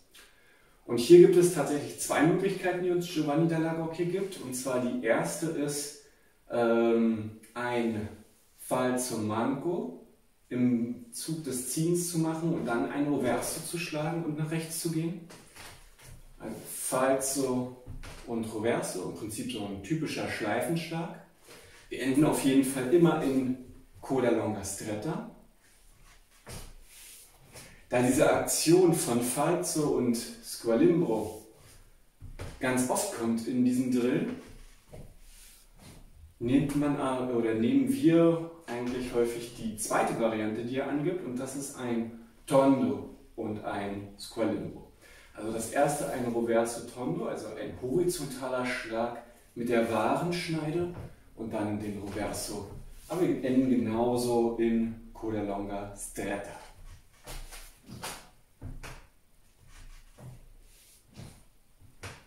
Okay, und dann habt ihr vielleicht gemerkt, ganz oft, dass hier so ein Falso und Squalimbro oder Fendente jeweils zusammenkommt. Und das, der einzige Unterschied sind hier die Fußarbeiten. Also das erste ist eben diese gleichgerichtete Fußarbeit. Wenn wir von links schlagen, zwei Schläge von links, dass der linke Fuß dann am Ende vorne ist. Wenn wir von rechts schlagen, der rechte Fuß. Und das sowohl vor als auch zurück. Und mit diesem Drill solltet ihr natürlich mittlerweile sehr vertraut sein. Die Füße unterstützen hier eure Hüftdrehung und ihr alterniert zwischen Coda Longa Alta und Porta di Ferro Stretta. Hier könnt ihr auch variieren, indem ihr die Hände mal zwischendurch höher nehmt oder eben unten lasst. Gut, das ist der zweite Block. Der dritte Block, dieser gleiche Schleifenschlagdrill, aber wir alternieren zwischen Cinghiare Porta di Ferro Stretta und Coda Longa Stretta. Also die Füße unterstützen nicht mehr zwangsweise unsere Hüftarbeit. Deswegen, um das trotzdem zu ermöglichen, müssen wir sie nach außen setzen. Also Stretta, der Fuß zeigt nach rechts. Cinghiare Porta di Ferro Stretta, der Fuß zeigt nach links. Ja, Schlag kommt von links, linke Hüfte dreht vor, Schlag kommt von rechts, rechte Hüfte dreht vor. Und damit, wie gesagt, ein bisschen bequem zu werden, das ist hier ganz wichtig. Okay, das war Nummer drei. Nummer vier sind die Tramazzoni. In dem Drill werden nur Dritti Tramazzoni geschlagen, also vor unserem Körper. Und die Fußarbeit dazu sind Trapassata. Ne? Bisher sind wir immer ähm, so geschritten, dass sich im Prinzip unsere Körperposition gedreht hat oder dass wir hier aufgemacht haben, also sich die Hüftposition irgendwie in eine oder andere Richtung verschoben hat. Beim Trapassata bleibt die Hüftorientierung die gleiche. Also in dem Fall für den Dritto Tramazzone zeigt der linke Fuß immer nach außen. Wir wechseln zwischen Porta di Ferro Stretta und Cinghiara Porte di Ferro Stretta. Okay? Und im Prinzip auf jeden Schritt kommt jetzt hier ein Tramazzone. Und diese Fußarbeit hat, wie gesagt, den Namen Trapassata. Beim nach vorne gehen gerne darauf achten, dass ihr erst schreitet, wenn, ihr, wenn der Schlag euch quasi schon Sicherheit schafft, also in der Präsenz des Gegners ist. Beim Zurückgehen könnt ihr natürlich alles gleichzeitig machen. Okay, vierter Block. Das letzte ist dieser Wendepunkt, wenn wir hier vorne sind. Und ihr habt schon gesehen, dass eigentlich war das ein Ridoppio, gefolgt von einem Imbroccata und dann geht es in die andere Richtung. Also etwas, was wir letzte Woche schon gemacht haben. Wir starten in Coda Longa Alta. Und von hier aus schlagen wir ein Roverso Ridoppio in Guardia d'Alicono gehen mit dem rechten Fuß vor, zeigen nach außen, wir laden unseren Stich von rechts auf, stechen den im Rocada, die Hüfte dreht ein, wir machen keinen Schritt, das ist die einzige Aktion, wo wir keinen Schritt machen. Und jetzt gehen wir wieder zurück, und zwar mit einem Falso Manco und Roverso. Und landen wieder in Coda Longa Alta. So, und um das jetzt hier isoliert zu üben, können wir es von hier aus genau wieder starten. Also Roverso Ridoppio, Imbroccata, und Falso Manco und Roverso. Coda Longa Alta. Guardia dell'Icono, Porta di Ferro Stretta, Coda Longa Alta. Und ihr seht, Schritt nach vorne, Stich, kein Schritt, nur Hüfte eindrehen und jetzt geht es wieder zurück. Gut, das sind also die fünf Einzelaktionen. Äh, Im nächsten Schritt geht es jetzt gleich darum, all das zusammenzubringen. Bis gleich. So, also los geht's. Wir starten gerade, Rücken gerade, Kopf zeigt, Gesicht zeigt nach oben.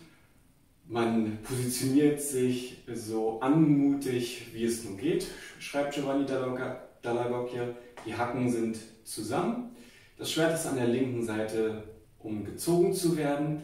Und jetzt folgt eben entweder unser Falso und Roverso oder unser Roverso Tondo und Roverso Squalimbo.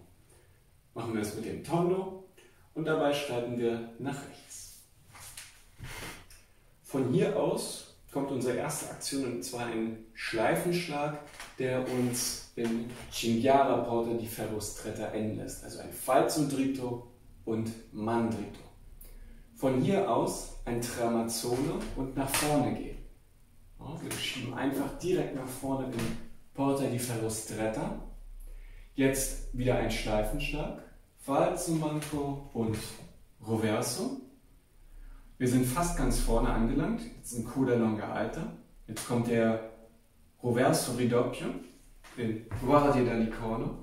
Wir stechen den Imbroccata in Porta di Ferrostretta und gehen zurück mit einem Falso Manco und Roverso wieder in Coda Longa Alta. Jetzt geht es zurück und zwar mit nicht nur einem Tramazzone, Porta di Ferrostretta, sondern noch einem zweiten Tramazzone. Cinghiale Porta di Ferrostretta jetzt. Und jetzt noch ein letzter Schleifenschlag, Falso Manco und Roverso in Coda Longa Stretta. Und nun sind wir da, wo wir nach dem Ziehen wieder angekommen sind und können das Schwert wieder wegstecken. Also nochmal, erstmal nur die Schläger. Roverso Tondo, Roverso Scolimbo. Falso dritto, mandritto, tramazzona. Falso manco, roverso. Roverso ridoppio. Imbroccata. Falso manco, roverso. Tramazzone, tramazzone Falso, Manco und Roverso und fertig. Gut, jetzt einmal mit den Positionen. Wir stehen gerade. Wir gehen in Coda Longa Stretta, Cinghiara Porta di Ferro Stretta, Porta di Ferro Stretta, Coda Longa Alta, Guardia da Licorno, Porta di Ferro Stretta, Coda Longa Alta, Porta di Ferro Stretta, Cinghiale Porta di Ferro Stretta, Coda Longa Stretta und sind fertig. Okay, also das sind im Prinzip hier unsere fünf Blöcke. Und jetzt können wir dann üben, das Schritt für Schritt nach vorne zu bringen. Also wir haben ja schon unser Schwert gezogen.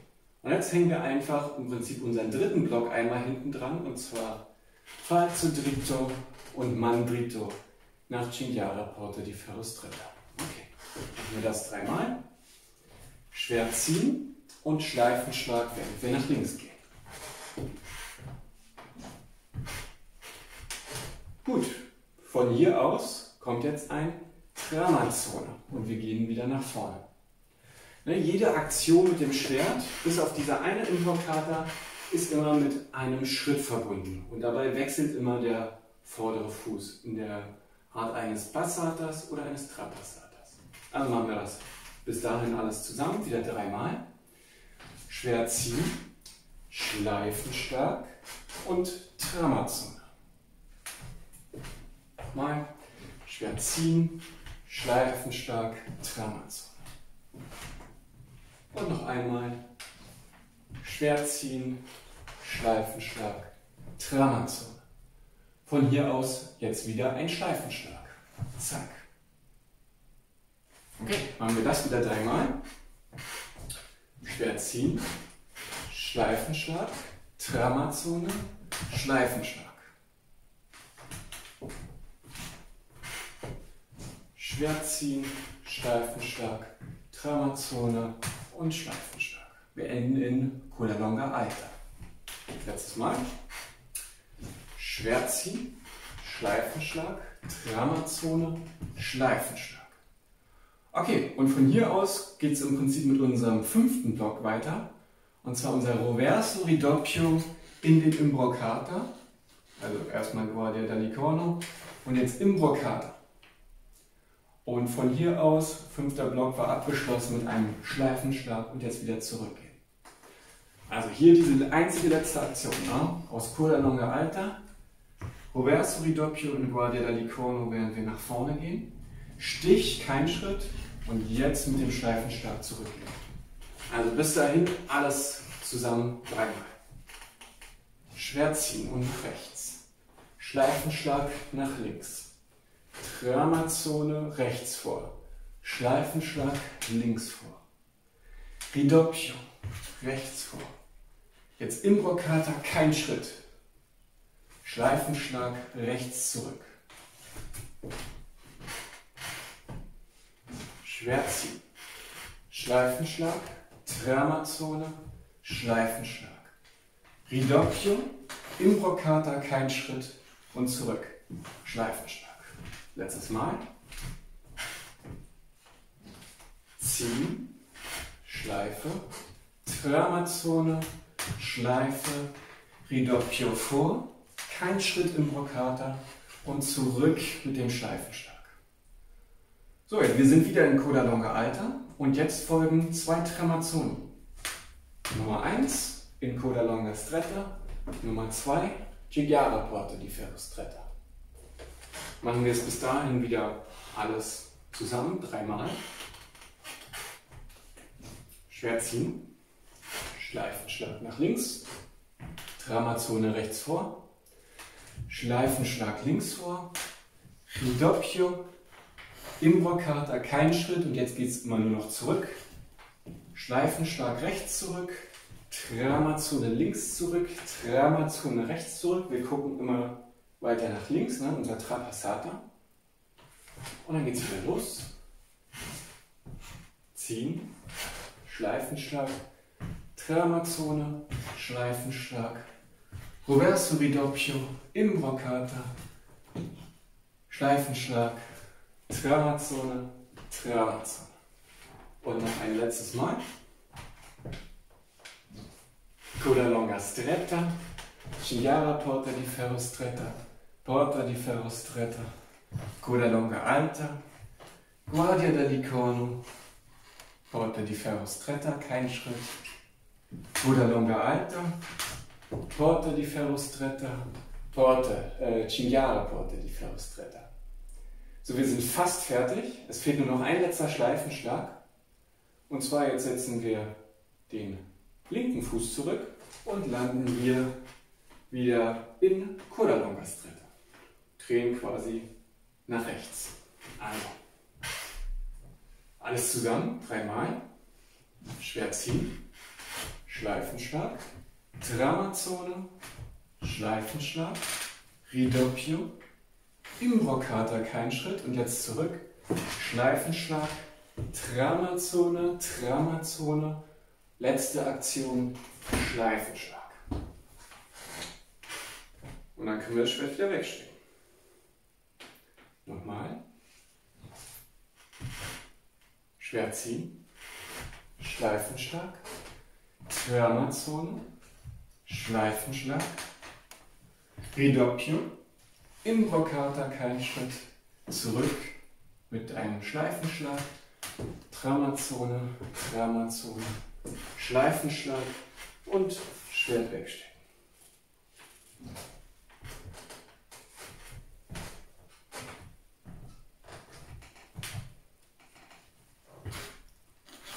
Kein Schritt, zurück, Tramazone, Tramazone, Schleifenschlag und das Schwert wieder wegstecken.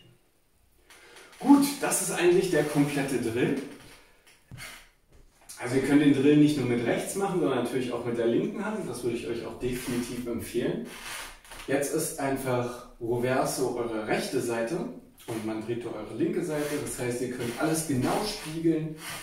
Schwert ziehen, Schleifenschlag, Tramazone, Schleifenschlag, Ridoppio, Imbroccata, Schleifenschlag, Tramazone, Tramazone, Schleifenschlag und wir sind wieder, wo wir angekommen sind. Ihr könnt die zweite Hand auch anders nutzen und zwar einfach vielleicht in den Weg bringen. Ne, als würdet ihr ein Schwert, äh, vielleicht ein zweites Schwert halten, ein Dolch, einen kleinen Schild, einen Buckler, einen Umhang über den linken Arm und könnt dann natürlich diesen Drill hier genauso gut verwenden. Ja. Ihr könnt andere Waffen nehmen, zweihändiges Schwert, versuchen mit einem Speer und so weiter. Also der Drill hat quasi unbegrenzte Möglichkeiten. Ihr könnt den Anfang variieren, ihr könnt die Hände höher nehmen, ihr könnt mal bis in die Lagerposition auch runtergehen und ein bisschen damit experimentieren, versuchen, die Fußarbeit weniger linear zu machen, je nachdem wie ihr Platz habt. Also nutzt diesen Drill fleißig in eurem Training, um euch vertraut einfach mit diesen verschiedenen Arten der Fußarbeiten zu machen und wandelt im Prinzip in den Fußstapfen eines Meisters des 16. Jahrhunderts. Vielen Dank für die Aufmerksamkeit und wir sehen uns nächste Woche zu Lektion 8.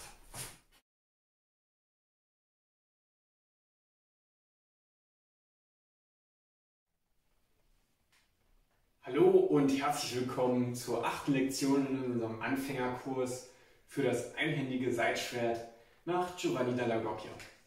Wir haben jetzt eine ganze Menge Angriffe gelernt und auch gelernt, wie wir zwischen diesen Positionen mit diesen Angriffen schreiten. Heute wollen wir wieder eine Anwendung lernen, denn wir kennen bisher ja, wie wir beispielsweise dem Gegner ausweichen und dann gegen anzugreifen. Wir wissen, wie wir ihn parieren um dann gegen anzugreifen. Und wir wissen, wie wir in bestimmten Momenten, beispielsweise wenn er das Schwert hebt, direkt reinstoßen können, um selber die Initiative zu übernehmen. Heute soll es um eine alternative Art der Verteidigung gehen, und zwar das Ausweichen zusammen mit dem Ablenken. Und das ist äh, für die Bologneser Fechtkunst ein sehr typisches Merkmal, dass der gegnerische Angriff beispielsweise mit einem Falso abgelenkt wird. Was heißt das?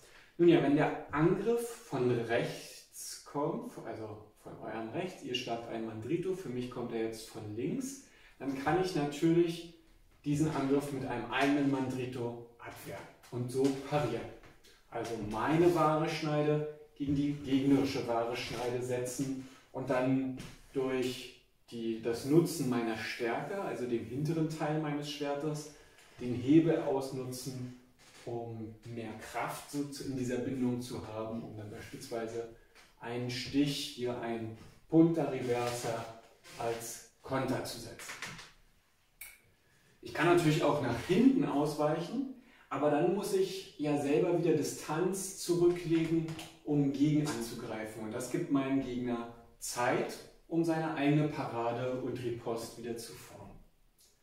Eine Alternative ist es eben nicht nach hinten auszuweichen, sondern im Prinzip unter diesem Schwert halt drunter durchzutauchen. Also gerade wenn der Schlag beispielsweise sehr steil von oben kommt, also ein Fendente zu euch geschlagen wird, oder aber eher ein Tondo zu euch geschlagen wird, der auch sehr hoch ist, dann kann das ja leichter sein durch eine kleine Seitwärts- oder eine kleine Bewegung nach unten, also beim Fendente eher eine Seitwärtsbewegung, beim Tondo eher eine Bewegung nach unten, diesen Schlag auszuweichen, ohne dabei nach hinten zu gehen. Also wir gehen im Prinzip in die Richtung, aus der der gegnerische Schlag kommt. Und da wir uns aber nicht nur auf unsere eigene Fußarbeit und das Ausweichen verlassen wollen, nehmen wir das Schwert dazu, um uns zu unterstützen. Und zwar stellen wir uns vor, der Schlag kommt eben hier für uns von links, also der Gegner schlägt ein Mandrito und wir stehen selbst in Porta di Ferrolaga. Wenn der Schlag von hier kommt, kann ich mit schön gestreckten Armen, wir wollen ja die maximale Reichweite unseres eigenen Schwertes ausnutzen, quasi hinter den gegnerischen Schlag gehen. Er kommt von hier. Ich gehe hinter den gegnerischen Schlag und leite es so ein bisschen um. Das ist so einen leichten Stups noch weiter in diese Richtung kriegt. Und automatisch ne, und ein bisschen nach oben und so ein bisschen für mich nach rechts wird das Schwert geschubst, sodass es dann an mir vorbeigeht. Also was ich mache ist, im Prinzip ausreichen ja, und hier schön mein Schwert heben und im Prinzip meinen Körper jetzt hinter meinem Schwert verstecken. Ja, das ist ganz wichtig, dass man eben nicht nur das macht. Ja, und das schreibt Giovanni Della Rocchia selbst, wenn man nicht schnell genug im Körper und im Arm ist, dann läuft man die Gefahr, sich das gegnerische Schwert selbst ins Gesicht zu ziehen und trotzdem getroffen zu werden. Also wir müssen hier die Verbindung machen zwischen Körperbewegung und Armbewegung. Und wie gesagt, wichtig ist, dass ihr hier wirklich die ganze Länge eures Armes und Schwertes ausnutzt. Und tendenziell trifft man jetzt das gegnerische Schwert mit der eigenen Schwäche im Vergleich zur Parade, wo wir mit der Stärke treffen. Aber wir versuchen es ja auch gar nicht aufzuhalten, sondern wir geben ihm einfach einen zusätzlichen Schubs. Und von hier aus gibt es natürlich mehrere Möglichkeiten. Wir können beispielsweise selber auf der gleichen Linie zurückschlagen. Also ich mache einen Falso Manco und schlage dann einen Mandrito und weiche aus. Oder wie wir es schon eigentlich oft gelernt haben, so ein Schleifenschlag ist natürlich auch immer eine Möglichkeit. Ne? Das gegnerische Schwert ist jetzt hier drüben. Ich weiche aus, lenke es nach da ab und schlage jetzt einen Roverso. Und was Giovanni della Rocchia beschreibt als ideale Möglichkeit dieser Anwendung des Falsos zum Ablenken ist, immer ein Falso mit einem Tramazzone zu verbinden, da man dort die Abwehr und den Gegenangriff im Prinzip fast in einem Tempo vollzieht. Ja. Und dazu schreibt er, okay, im Prinzip schon fast im Tempo des Falsos dreht man schon fast auf die wahre Schneide. Also ich ziehe das hier zwar hoch, aber automatisch geht das hier im Prinzip fast schon in Richtung Ridoppio.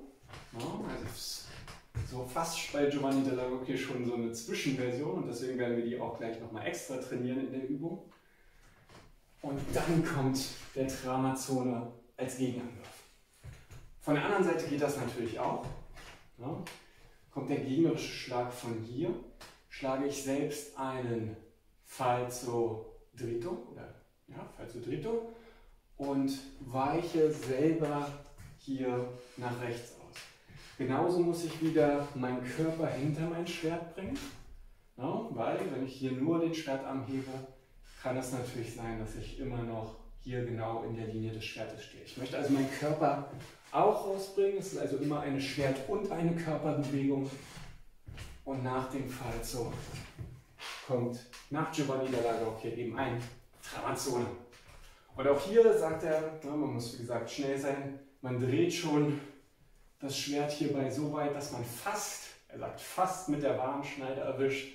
Also es geht fast so ein bisschen in die Richtung von einem Ridoppio. Und natürlich könnt ihr das mit dem Ridoppio auch, oder Ridoppi auch von Anfang an machen. Stellt euch vor, ihr seid in einer anderen Position, die wir bisher noch nicht hatten. Nämlich, wir kennen ja äh, Guardia di sopra il braccio, also die Position mit dem Schwert über dem linken Arm. Es gibt auch die Position Guardia di sotto il braccio. Das ist die Position des Schwertes unter dem linken Arm. Und im Prinzip zeigt hier das Schwert auch wieder nach hinten und ist eine schöne Ausgangsposition, um ein Roverso Doppio zu starten. Doch hier können wir mit diesem ausweichen und alles andere bleibt eigentlich gleich. Eine analoge Position gibt es natürlich auch auf unserer rechten Seite. Und hier wissen wir, alles was rechts von unserer Seite ist, ist eigentlich diese Coda Longa Position, also Stretta und Lager. Oder mit dem linken Fuß vorne war es hier Alta.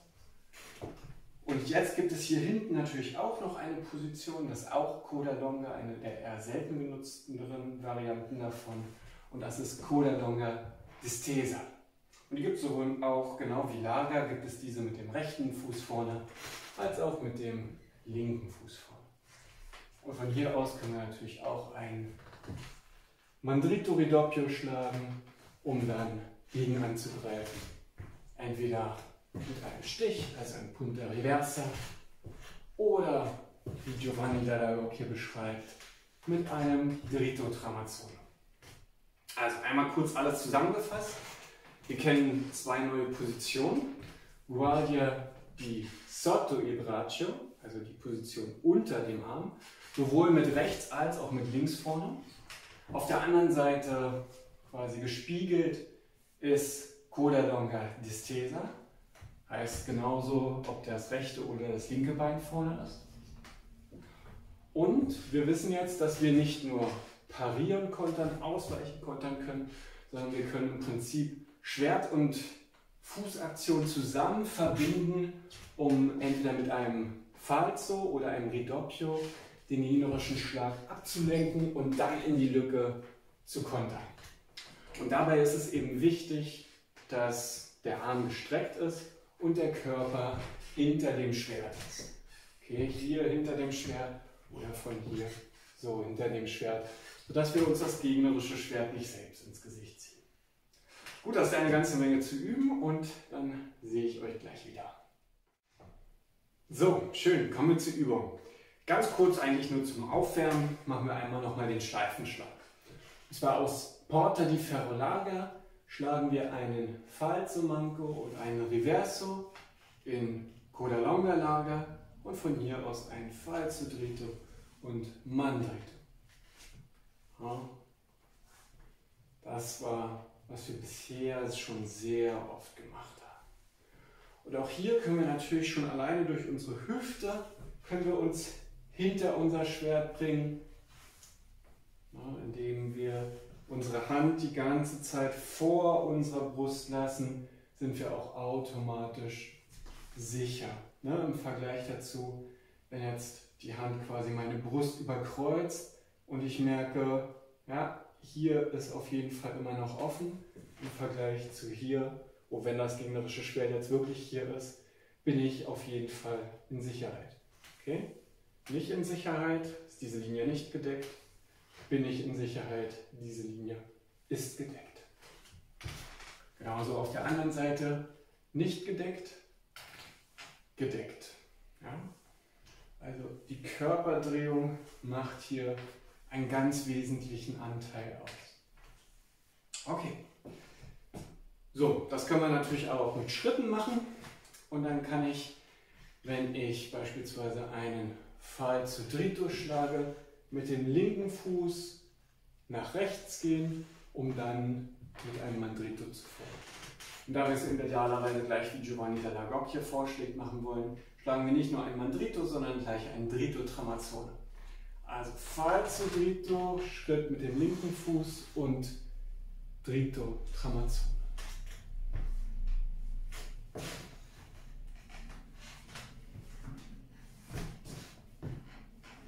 Und ihr seht schon, da habt ihr auch Gelegenheit, gleich noch ein bisschen Distanz auf den gut zu machen. Ne? Ihr habt ja abgewehrt, er geht vielleicht zurück und ihr könnt hinterher.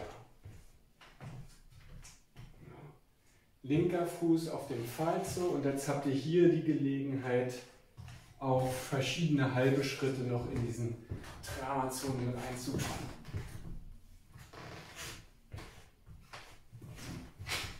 Okay, von der anderen Seite ist das Ganze natürlich genauso möglich. Da wird euer, eure Riposte allerdings wahrscheinlich eher auf den gegnerischen Schwertarm ausgerichtet sein. Ja, da ist ja der, dieser rechte Arm des Gegners. Und hier ist natürlich genauso, ihr dreht euch ein. Der linke Fuß geht jetzt nach links. Und hier könnt ihr entweder zurückweichen mit dem rechten Fuß ja, und Distanz auf den Gegner gut machen oder ihr verringert die Distanz und dann müsst ihr einfach nur hier genauso nach vorne gehen. Das sind immer die Möglichkeiten. Ja, natürlich könnt ihr auch hier könnt ihr den rechten Fuß nach hinten nehmen. Ich muss nur ein bisschen mit dem Platz aufpassen. Und auf der Reverso-Seite genauso Falso und nach hinten oder Falso und Reverso Tramazzone nach vorne. Beides ist möglich. Und natürlich geht das auch mit dem linken Fuß vorne. Probiert euch da selbst einfach mal aus. So idealerweise wollen wir für diesen Schlag hier noch ein gewisses Setup machen. Ne? Also an sich, klar, diese Positionen ne, sind ja an sich auch schon eine Einladung. Ja, wenn ich hier bin, lade ich irgendwie was ein. Aber wenn ich mich einfach nur so meinem Gegner nähe, ist es wahrscheinlich eher unwahrscheinlich, muss man genauer sagen, dass der Gegner mich jetzt tatsächlich angreift, weil er weiß, ich habe da was im Schilde. Wie ist es besser? Naja, wir können ihm ja bewusst ein kleines Tempo geben, um dann auszunutzen, wie er sich bewegt. Sagen wir, der Gegner steht beispielsweise schon mit dem Schwert irgendwie auf seiner rechten Schulter oder hier ausgeholt wie zu einem Mandrito oder ähm, in einer Position vielleicht eher ein Cola Longa Stretta. Und wir überlegen uns, okay, was wird er jetzt machen? Naja, wir können ihm ja schon mal ein kleines Tempo geben, indem wir einfach selber ein Mandrito als Colpo Intero schlagen und dann abwarten kurz, was er macht. Ne? Und vielleicht schlägt er dann diesen Mandrito. Also es ist ein Mandrito Falso und Reverso Tramazzone. Mandrito, gucken ob was kommt. Falso, Reverso Tramazzone. Oder auf der anderen Seite, vielleicht hat der Gegner seine Position gerade in Guardia di Sopra e Braccio, schlägt also von links, ne? der Schlag kommt eher für mich von da. Naja, dann vielleicht kann ich ihn ja dazu überreden, diesen Schlag auch zu machen indem ich selber einen Roverso als Colpo Intero schlage. Ich bin hier offen und jetzt zack. Na, rechne ich, kann ich mit diesem Angriff rechnen und ihn weiter ablenken und gegen angreifen. Also diese Aktion Roverso in Coda Longa Larga und dann Falso und Dritto Tramanzo. Gut, wir wollen uns diese Sache mit der Warenschneide aber auch noch angucken. Ne? Wie gesagt, Giovanni della Gocchia beschreibt ja, man dreht hier schon fast auf die wahre Schneide. Dazu wollen wir uns mal angucken, wie es dann theoretisch mit der Warenschneide geht. Und dazu starten wir einfach mal in Guardia di Sotto di Braccio. Also mit, der, mit dem Schwert unter dem linken Arm, als hättet ihr das vielleicht gerade sogar äh, weggesteckt oder ihr versucht es nur vielleicht hinter einem Schild oder einer Hand oder Mantel vor dem Gegner zu verbergen. Naja, auch aus dieser Position kann natürlich so ein Ableiten geschehen. Dann einfach mit einem Roverso Ridoppio. Das ist das Erste, was wir machen. Schlagen ein Roverso Ridoppio und von hier aus könnte man natürlich wieder Tramazzone machen, aber weil es sich hier halt so schön anbietet, stechen wir jetzt hier ein Imbroccata. Okay? Wir schlagen das Schwert dahin, wir stechen den Imbrokater und weil das Schwert ja noch da ist, sollten wir auch unser eigenes Schwert hier lassen. Außer es wandert drum, dann nehmen wir es natürlich auf die andere Seite. Also wir sind hier, der gegnerische Schlag kommt. Ne? Wir können genauso mit einem Mandrito provozieren, den ziehen wir nur noch weiter durch, schlagen unseren Roverso, Ridoppio und stechen den Imbocata. Also nochmal alles komplett. Mandrito, die Öffnung quasi, der Schlag kommt von hier, zack, Gegenstich und Abwehr. Das gleiche geht von der anderen Seite. Gegner hat das Schwert vielleicht schon da.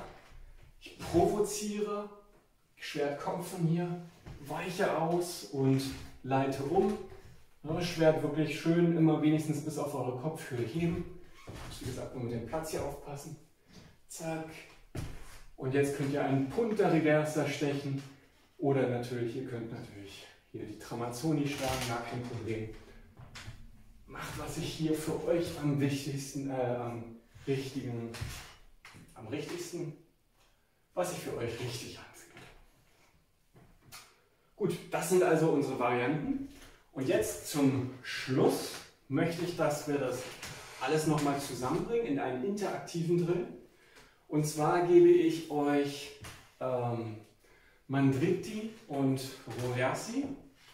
Einige werden eher auf eure Körpermitte ausgerichtet sein. Und das sind Schläge, die ihr generell eher parieren solltet.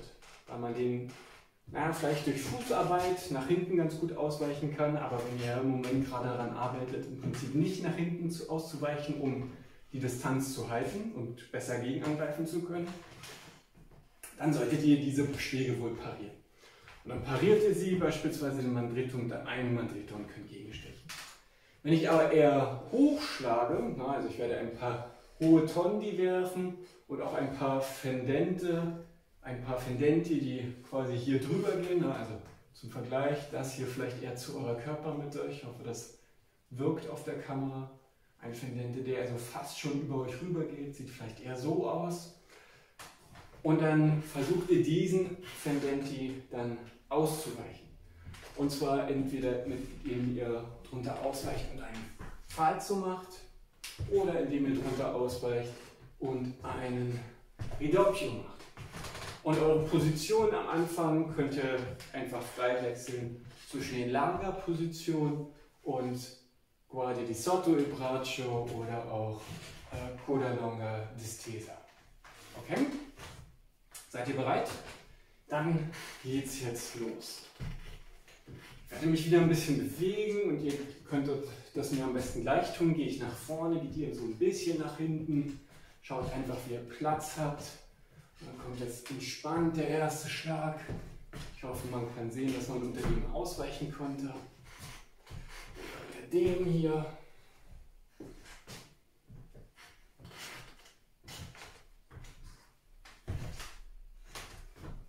Der schon fast eher zu den Beinen ging.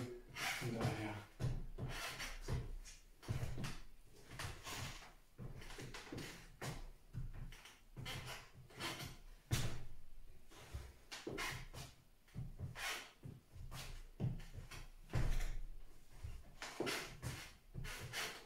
Angriffe zur Körpermitte oder nach unten eher parieren.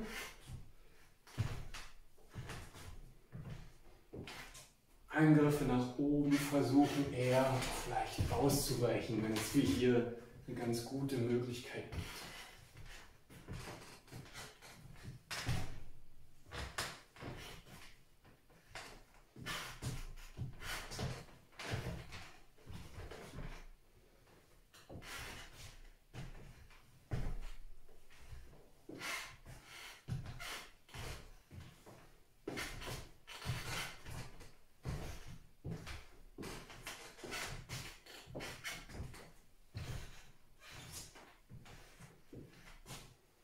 dann vergessen wir nicht das Lächeln. Die Sache soll ja auch ein bisschen Spaß machen. Und dann ziehen wir noch einmal kurz das Tempo an.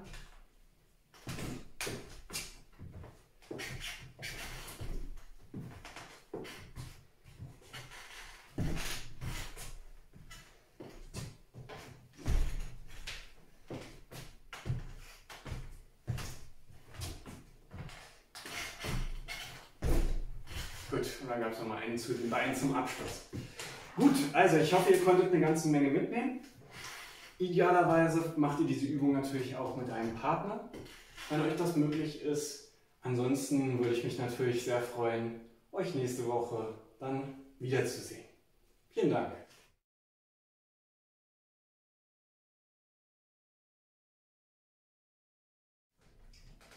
Hallo und herzlich willkommen zur neunten Lektion in unserem Anfängerkurs für das einhändige Schwert nach Giovanni della Goppia.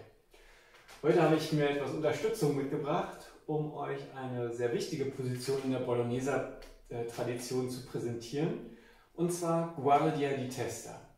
Giovanni della Goppia weicht hier so ein bisschen ab von den anderen Bologneser Fechtmeistern. Und zwar normalerweise wird Guardia di Testa dargestellt, dass der äh, der Schwertarm nach oben auf den Gegner zuzeigt, ungefähr auf Schulterhöhe, und das eigene Schwert zeigt nach oben und nach links. Bei Giovanni della Gocchia ist die Hand noch ein klein bisschen höher, denn Guardia di Testa soll ja den Kopf schützen. Die Schwertspitze zeigt allerdings nach unten. Und dann kann ich den Gegner ungefähr hier so durch dieses kleine Dreieck anschauen. Das ändert natürlich so ein bisschen die Funktion. Ja? Wenn ich sagen würde, okay, Guardia di Testa, das schützt mich wahrscheinlich eher auf der rechten Seite. Obwohl natürlich, wenn ich den Körper hinter mein Schwert stelle, kann mich die falsche Schneide genauso schützen. Guardia di Testa nach Giovanni della Gocchia schützt in seiner Grundposition wahrscheinlich eher die linke Seite. Aber natürlich auch hier durch eine leichte Körperdrehung kann auch hier ein Roverso, also ein Angriff auf meine rechte Seite, abgewehrt werden. So, wie wenden wir diese Position an? Naja, das ist keine statische Position, sondern Giovanni della Gocchia begibt sich immer aus einer anderen Position in Guardia di Testa, um dann einen Angriff abzuwehren und danach natürlich zu kontern. Also, wie kann man so einen Angriff kontern? Beispielsweise einen gegnerischen Mandrito. Ja, es gibt zwei Varianten, die uns Giovanni della Gocchia gibt. Das erste ist ein Mandrito, beziehungsweise am liebsten schlägt er natürlich dann zwei Dritti Tramazzoni. Also wenn der gegnerische Angriff hier kommt, ne, dann werden wir merken, okay, ja, im Prinzip kriegen wir ja schon Druck auf unser Schwert hier und müssen es einfach nur auf dieser Bahn weiter vorschießen lassen, entweder zu einem Drittel, äh, zu einem Drittel Tramazzone oder zu zwei. Das geht auf der anderen Seite natürlich genauso. Wenn wir von hier Druck kriegen, können wir natürlich genauso Dritti Tramazzoni ausführen. Die zweite Variante ist, darauf zurückzuführen, dass natürlich Guardia di Testa schon sehr ähnlich ist zu Giovanni della Gocchias Guardia da Licorno. Ja, der Unterschied ist, dass in Guardia di Testa das Schwert eher etwas links am Gegner vorbei zeigt, während in Guardia da Licorno die Hand noch höher ist und das Schwert auf den Gegner zuzeigt. Aber natürlich ist der Übergang vom einen in die andere Hut sehr fließend. Das heißt, ich kann aus Guardia di Testa in einer kurzen, im Prinzip Roverso Ridoppio Bewegung, also ich mache hier so einen kleinen, ziehe das Schwert und die Spitze hier hoch, kann in einer kleinen Bewegung zu Guardia, in Guardia da Licorne übergehen und dann natürlich ein Imbroccata bequem stechen. Gut. Und Giovanni dalla Gocchi gibt uns diese zwei Alternativen, Mandrito bzw. Dritti Tramazzoni und Imbroccata, immer als Alternativen auf einen gegnerischen Angriff, ob nun Mandrito oder Roverso an. Und mein Assistent soll nun helfen, etwas klarer zu machen, wie wir jeweils auf den gegnerischen Angriff reagieren und wo welche Aktion wahrscheinlich besser wäre. Und dazu versuche ich, den gegnerischen Angriff in zwei grundsätzliche Unterarten aufzuteilen, und zwar einen starken im Prinzip und einen schwachen Angriff. Was meine ich damit? Damit meine ich nicht doller zuhauen, sondern im Prinzip, wo das gegnerische Schwert im Vergleich zu eurem landet. Sagen wir mal, das gegnerische Schwert gleitet eher in eure eigene Schwäche. Ihr merkt also, der gegnerische Angriff ist stark und wahrscheinlich geht er dann weiter nach unten und ihr merkt wirklich, wie das gegnerische Schwert immer weiter in eure Schwäche geht. Das ist der ideale Zeitpunkt, der ideale Zeitpunkt, ne, der gegnerische Angriff kommt von hier, um aus dem gegnerischen Angriff rauszutreten, also nach rechts zu gehen und dreht die Tramazzoni zu schlagen. Denn ihr werdet merken, wenn das gegnerische Schwert hier ankommt, ihr könnt selbst hier ein bisschen ziehen, das gibt im Prinzip euren eigenen Tramazzoni schon direkt die Kraft, die sie brauchen. Ja, einmal noch von der Seite, also das Schwert kommt hier und ihr lasst einfach die Kraft durchgehen und nutzt sie, um dem Gegner ein Tramazzoni zum Gesicht zu schlagen. Gut, die Alternative ist, dass der gegnerische Angriff nicht stark, sondern schwach ist. Und ihr werdet das bemerken, dass der gegnerische Angriff eher in eure Stärke gelangt. Ja? Wie gesagt, ihr könnt so immer leicht versuchen, schon grundsätzlich in Guardia, also sobald ihr pariert habt, in Guardia da Licorno zu gehen. Und wenn ihr das merkt, dass dieser Angriff schwach ist, also beispielsweise sehr direkt auf euren Kopf geht und ihr den jetzt hier in der Stärke habt, also sehr nah an eurer eigenen Hand, dass es euch leicht fallen wird, den gegnerischen Angriff einfach weiterzuleiten. Ne? Es geht so ein bisschen in die Richtung des drunter Durchtauchens von letzter Woche mit einem Roverso Ridoppio. Im Prinzip das gleiche Prinzip. Wir tauchen hier drunter durch, sind dann in Guardia da Licorno, ob mit dem rechten oder dem, hier dem rechten vorhin, dem linken Fuß vorne. Und von hier können wir perfekt einen Imbroccata stechen. Okay? So. Wie sieht es auf der anderen Seite aus? Interessanterweise ganz genauso. Erstmal, das Einzige, was wir beachten müssen, ist, dass wir uns selber in Richtung des gegnerischen Angriffs ausrichten müssen. Ne? Denn ansonsten ist natürlich unser rechter Arm hier einfach offen für einen gegnerischen Angriff. Wir müssen uns also leicht eindrehen. Aber dann grundsätzlich das Gleiche. Landet der gegnerische Angriff hier direkt in unserer Stärke, dann können wir einen Imbrocator stechen. Und zwar jetzt zwar nicht zum Gesicht des Gegners, sondern eher zur Körpermitte, ne, in Richtung Bauch. Aber hier haben wir im Prinzip Kontrolle über das gegnerische Schwert und können nach unten stechen. Kommt das gegnerische Schwert eher wieder in unsere eigene Schwäche, also ihr fühlt, dass es zu stark ist und ihr dem nicht widerstehen könnt, ist das zum Glück auch immer ein Zeichen dafür, dass der Angriff relativ tief zu euch geschlagen wurde. Und wir wissen, ne, die höchste Reichweite haben wir auf Schulterhöhe. Das heißt, wenn jemand tiefer schlägt, können wir dem vielleicht ausweichen und direkt gegen angreifen. Und das wollen wir hier nutzen. Kommt dieser Angriff also hier im Prinzip nach unten auf mein Schwert und ich merke das, dann kann ich auch den einfach durchlassen. Ne? Und einfach durch eine kleine Gewichtsverlagerung und auch durch das Gehen im Prinzip hier, wenn der Schlag tief kommt, nach rechts direkt durchlassen und dann zum gegnerischen Kopfschlag. Oder natürlich auch zum Arm. Gar kein Problem. Also, der Angriff kommt auf eure Stärke. Wir stechen mit einem Imbrocator. Der Angriff geht in eure Schwäche. Wir schlagen mit einem oder zwei Driti-Tramazonen. Die letzte Aktion, die ich noch kurz behandeln möchte, ist das sogenannte Ring. Und zwar, wir haben bisher unsere linke Hand noch kaum genutzt, aber ein Präse kann durchaus nützlich sein. Und zwar könnt ihr mit der linken Hand aus dieser Position sehr einfach, nachdem ihr hier pariert habt, zur gegnerischen Schwerthand greifen. Das gegnerische Schwert kontrollieren und dann mit noch mehr Kontrolle euren eigenen Konter durchführen. Das geht sowohl gegen ein Mandrito, aber natürlich auch hier gegen ein Reverse. Auch hier kann man natürlich dann stechen oder man kann auch schlagen wie es sich eben gerade anbietet. Also die linke Hand ist natürlich nicht immer nur inaktiv und an eurer Hüfte oder hinter eurem Rücken, sondern sie kann aktiv hier nach vorne gehen, hinter, in dem Schutz eures Schwertes oder wenn der Schlag von der anderen Seite kommt, schützt euch euer Schwert hier und zum Gegner gehen. Ihr könnt sogar zur Klinge des Gegners greifen. Das sind schließlich keine Lichtschwerter, die euch sofort die Hand verbrennen, wenn ihr sie nur anfasst, gerade auf die Fläche, also mit den Fingerspitzen auf die eine Fläche, mit der Daumenwurzel und dem Daumen auf die andere, ist das überhaupt kein Problem, das gegnerische Schwert anzufassen und man kann es sehr gut kontrollieren. Also auch hier auf die etwas größere Reichweite, ein Griff hier und dann ein Gegenschlag ist eine sehr sichere Aktion für euch. Und im Zweifelsfall könnte sie sogar zu einer Entwaffnung führen und ihr müsst den Gegner im Prinzip nicht mal verletzen. Gut, also einmal alles zusammengefasst. Die Position, die wir heute gelernt haben, war Guardia di Testa. Und zwar kann sie uns sowohl nach links als auch nach rechts durch eine kleine Körperdrehung schützen.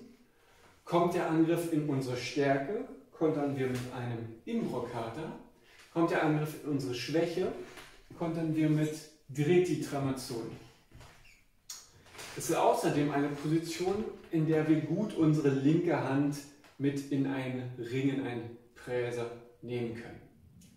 Gut, das ist eine ganze Menge zu üben, dann sehen wir uns gleich wieder. So, willkommen zurück zur Übung. Die erste Übung, die wir absolvieren wollen, ist der Übergang in Guardia del Corno und den Dritti Tramazzoni. Und dazu starten wir eine der beliebigen Stretta- oder Lagerposition. Und als erstes gehen wir einfach in äh, Guardia di Testa und von hier aus schlagen wir in einem fließenden Übergang zwei Dritti Tramazzoni und gehen nach rechts. Also, auf geht's. Guardia di Testa und Dritti Tramazzoni. Der erste ist der Konter und der zweite Dritto Tramazzone ist wie immer zum Zurückweich.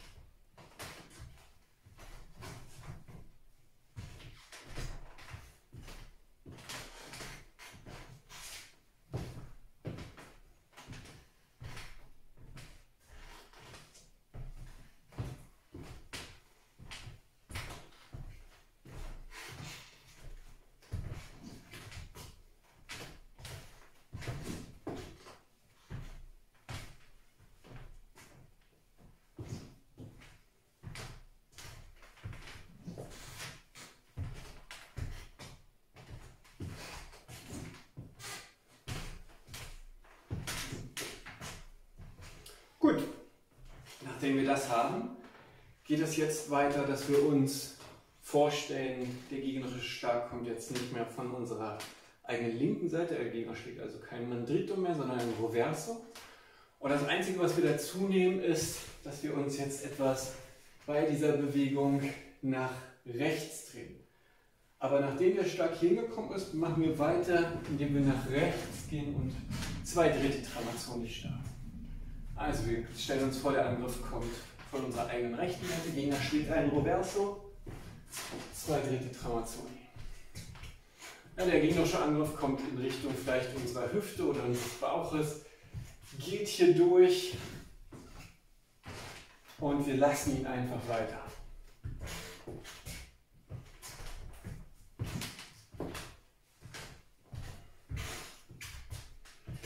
Und wir können hier auch zurückziehen, aber die grundsätzliche Bewegungsrichtung ist eben nach rechts. Also haben wir, er kommt vielleicht sehr weit hier oben, dann vielleicht eher mit dem Fuß zurück und einfach die Distanz zum Gegner managen. Gut. Also, Übergang Guardia di Testa in Dritti Tramazioni. Das nächste ist der Übergang von Guardia di Testa in, im Prinzip Guardia da Licorno, um ein Imbrocata zu stechen. Und wo dieser Imbrocata endet, hängt natürlich davon ab, wo das gegnerische Schwert ist. Also, wir sind wieder in einer der Lager- oder Stretta-Position. Stellen uns vor, der Schlag kommt von links, also ein gegnerischer Mandrito. Gehen in Guardia di Testa. Wir leiten das Teil nach rechts weiter und gehen vielleicht wirklich sogar selber noch nach links. Und von hier aus können wir ein Imbrocata stechen. Und dann ist das Schwert vielleicht immer noch auf der Seite. Also, Guardia di Testa. Weiter rübergehen. Im Prinzip Guardia da Licorno. Imbrocata und decken und abziehen.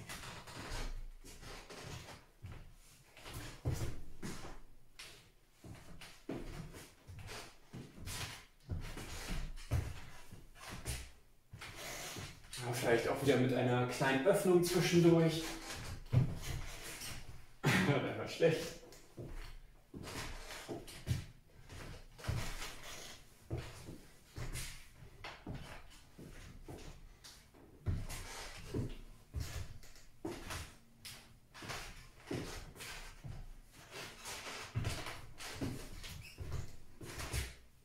Gut, ähnliches Spiel, jetzt analog für einen gegnerischen Reverso.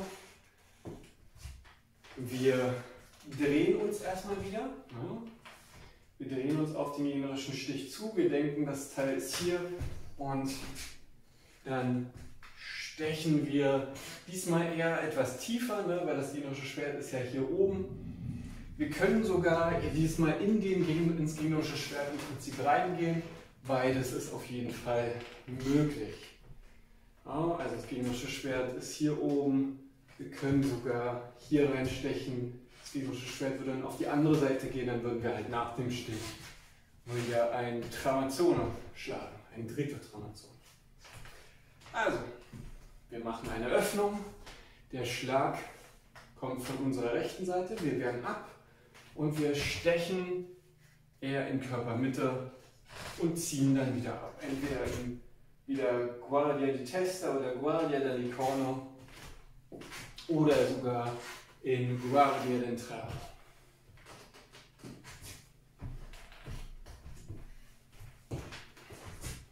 Oder natürlich in einer der Coda Longa Positionen.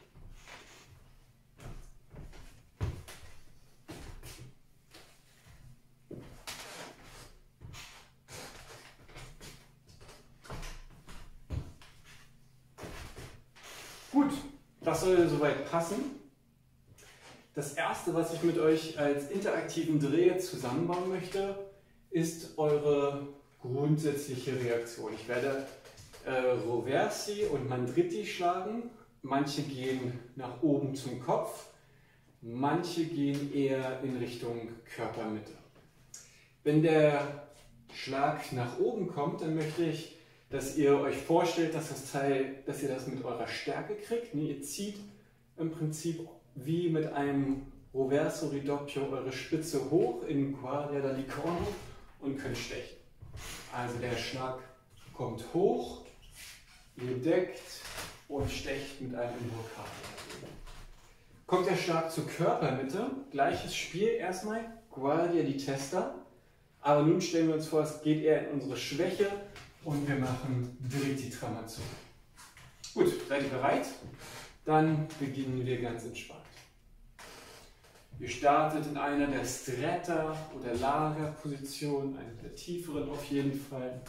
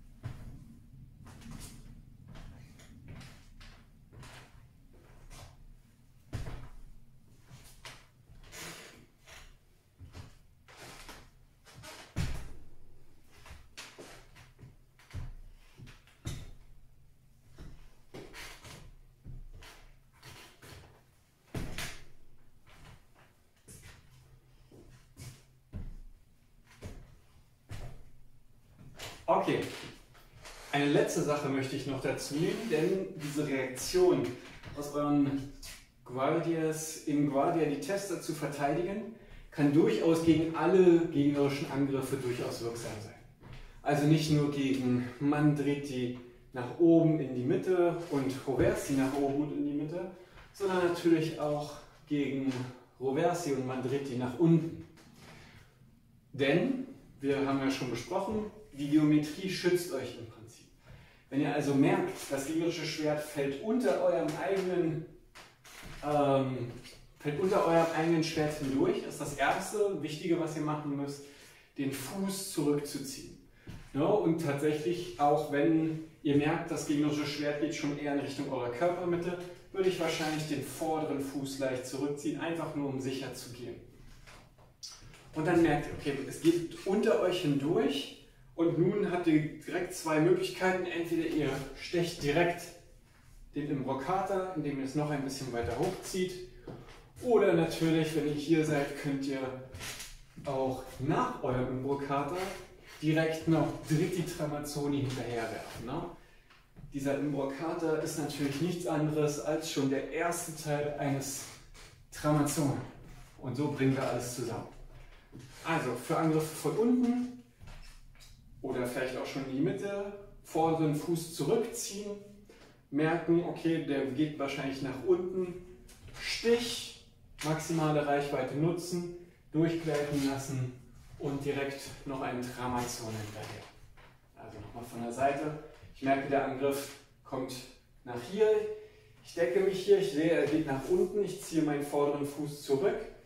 Ich steche direkt, steche direkt gegen und decke mich danach direkt wieder mit einem Tramat. Okay, seid ihr bereit? Es kommen Mandriti und Roversi auf jede beliebige Höhe. Oben im Brocata, Mitte Tramazzone und nach unten wieder ein, im Prinzip im Brocata, aber schön mit auch maximalen Reichweite und den Fuß vor allem nach hinten ziehen. Auf geht's!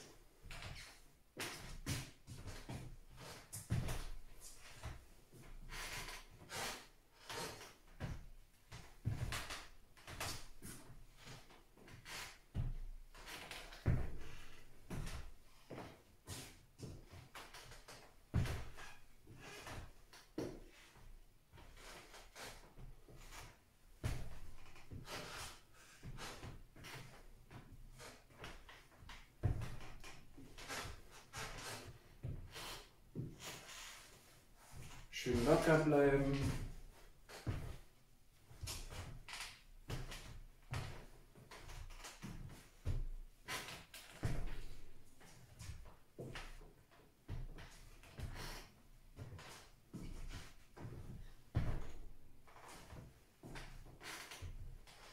geht immer im Prinzip in Guardia di Testa und kommt der Angriff nach unten oder zur Mitte, zieht ihr den Fuß zurück.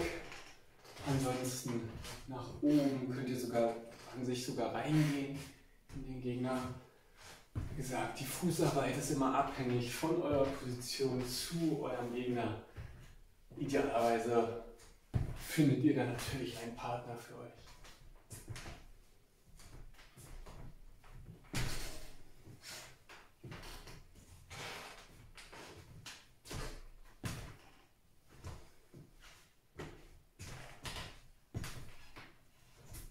Gut, das soll es soweit gewesen sein. Wie gesagt, macht gerne die Übung direkt nochmal, dann wird es euch bestimmt schon leichter fallen. Ansonsten sehe ich euch nächste Woche dann zur letzten Lektion.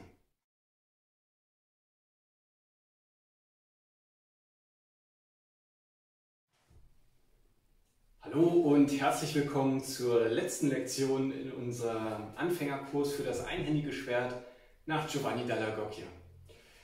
Wir nehmen heute nur noch ein paar Angriffe dazu und dann soll diese heutige Lektion ja dazu lernen, alles, was wir bisher gemacht haben, nochmal so ein bisschen zusammenzubringen. Also wir kennen unsere verschiedenen Schläge, Fendenti, Squalimbri, Tondi und Ridocchi. Diese werden alle mit der Warenschneide ausgeführt. Wir kennen unseren Falso Dritto und Falso Manco, die mit der falschen Schneide ausgeführt werden. Natürlich kann auch jeder Schlag aus, der von oben oder horizontal kommt, auch mit der falschen Schneide ausgeführt werden. Und das sind dann dementsprechend, ob sie von rechts oder von links kommen, Mandritti in Falsi oder Roversi in Falsi. Wie sieht so ein Mandrito in Falso aus?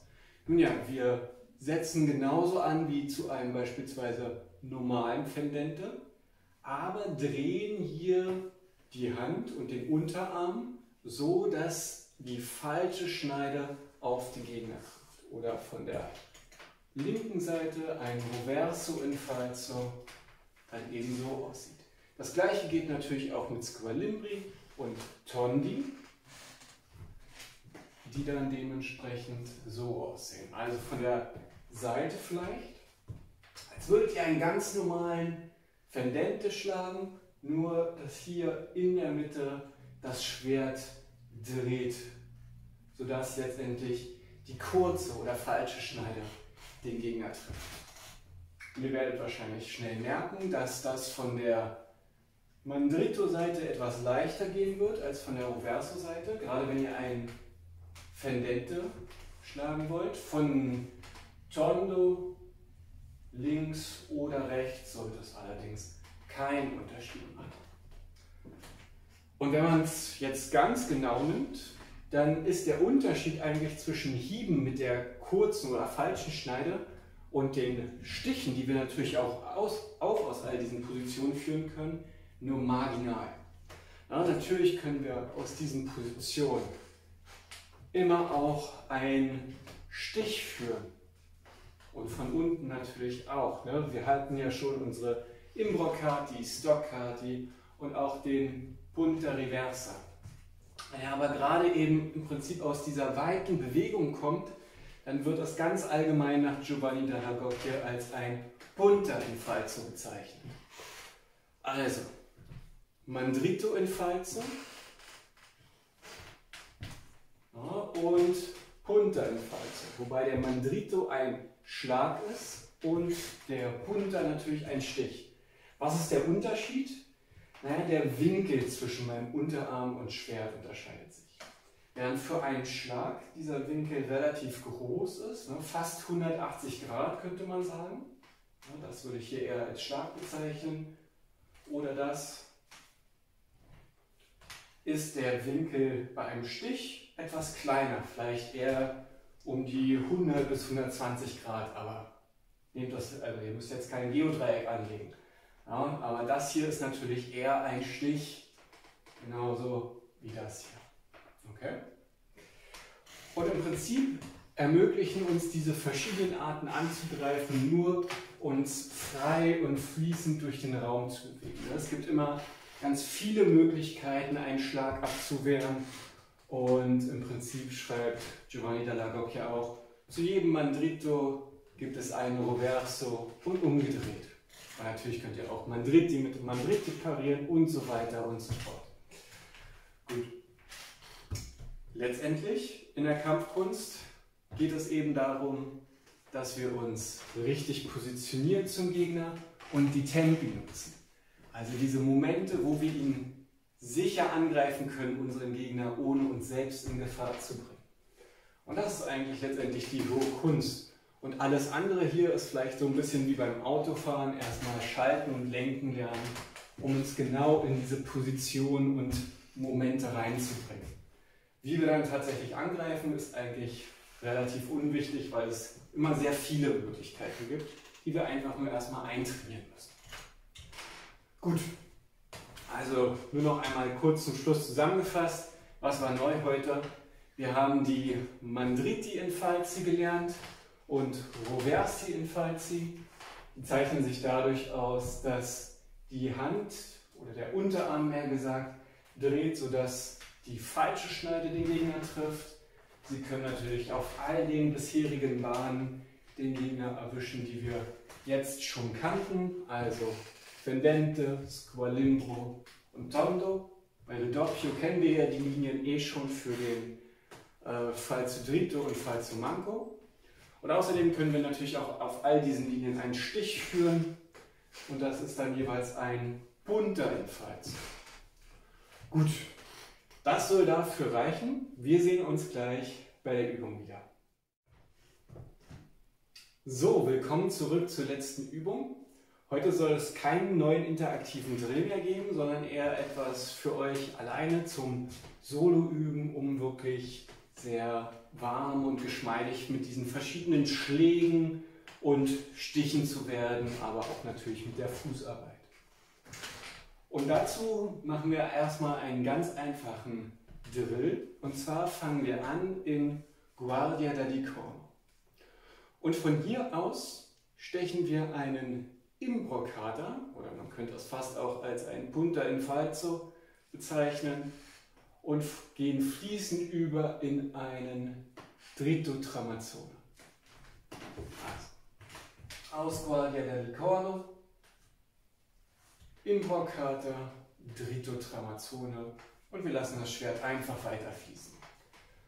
Von hier aus gehen wir durch Guardia di Sopra e Braccio und schlagen einen Riverso in Falso oder führen hier auch ein Punta in Falso, aber von der Reverso-Seite und schlagen ein Roverso Tramazzone. Also im Prinzip Stich von oben rechts, Schlag von oben rechts, Stich von oben links, Schlag von oben links. Okay, nochmal von vorne. Stich, Schlag, Stich, Schlag.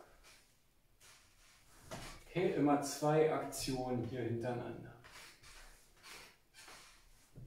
Und wir fließen zwischen diesen beiden Positionen. Wenn ihr euch wohlfühlt, könnt ihr jetzt ein bisschen Fußarbeit mit dazu nehmen und einfach euch frei durch den Raum zu bewegen. Das Einzige, worauf ihr vielleicht achten könnt, ist immer, wenn der Schlag oder Stich von rechts kommt, geht eure rechte Hüfte nach vorne. Wenn der Schlag von links kommt, geht die linke Seite eurer Hüfte nach vorne. Gut, nachdem ihr das jetzt ein paar Mal gemacht habt, geht das gleiche natürlich auch von unten. Wir beginnen in einer der Lagerpositionen, ich jetzt hier in Porta di Ferro Lager. Und jetzt führen wir einen Stoccata von unten ja, von unten links und danach einen Roverso Ridoppio.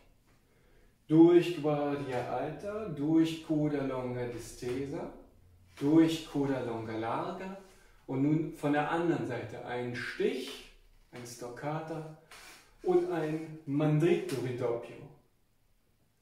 Okay, also Stich von links, Schlag von links, Stich von rechts, Schlag von rechts.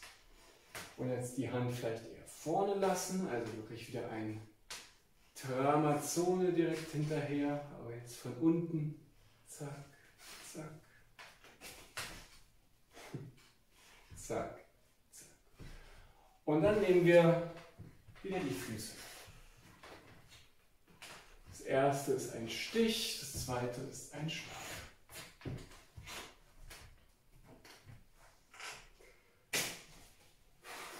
Schaut, dass ihr genug Platz habt, wenn ihr so ausholende Bewegungen macht und lasst eure Pflanzen am.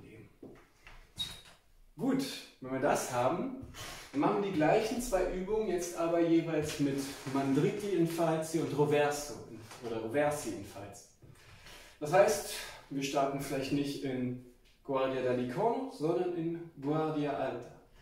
Und wir fangen an mit einem Mandrito in Falso und dann ein Dritto Tramazzone. Roverso in Falso, Roverso Tramazzone.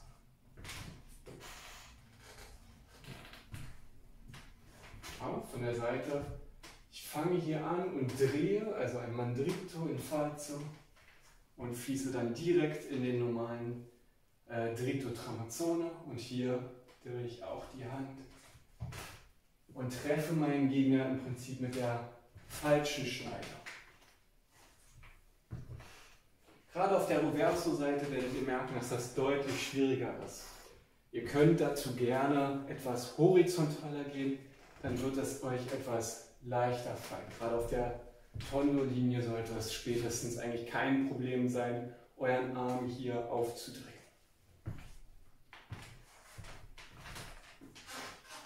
Und ihr könnt natürlich die Linien hier jeweils auch mal wechseln. Also beispielsweise Mandrito in Falso und Roverso in Falso auf der Tondo-Linie. Und die Tramazzoni auf der Fendente-Linie. Gut, dann können wir natürlich auch direkt zwischen Schlägen von oben und Stichen von unten hin und her wechseln. Fangen wir vielleicht wieder mit, fangen wir diesmal mit Schlägen an. Und zwar in Guardia Alta, ein Mandrito in Falso und Tramazzone. Jetzt nicht weiter durchlaufen, sondern hier in Porta di Ferrolaga anhalten und direkt zurück.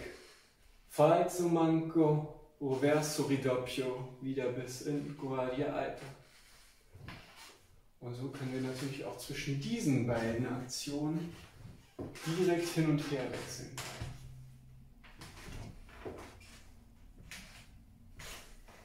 Und das kann man natürlich auch mit Stich machen, dann aus Guardia da Nicorno ein Imbroccata und von hier unten ein Stoccata und Roverso Ridoppio.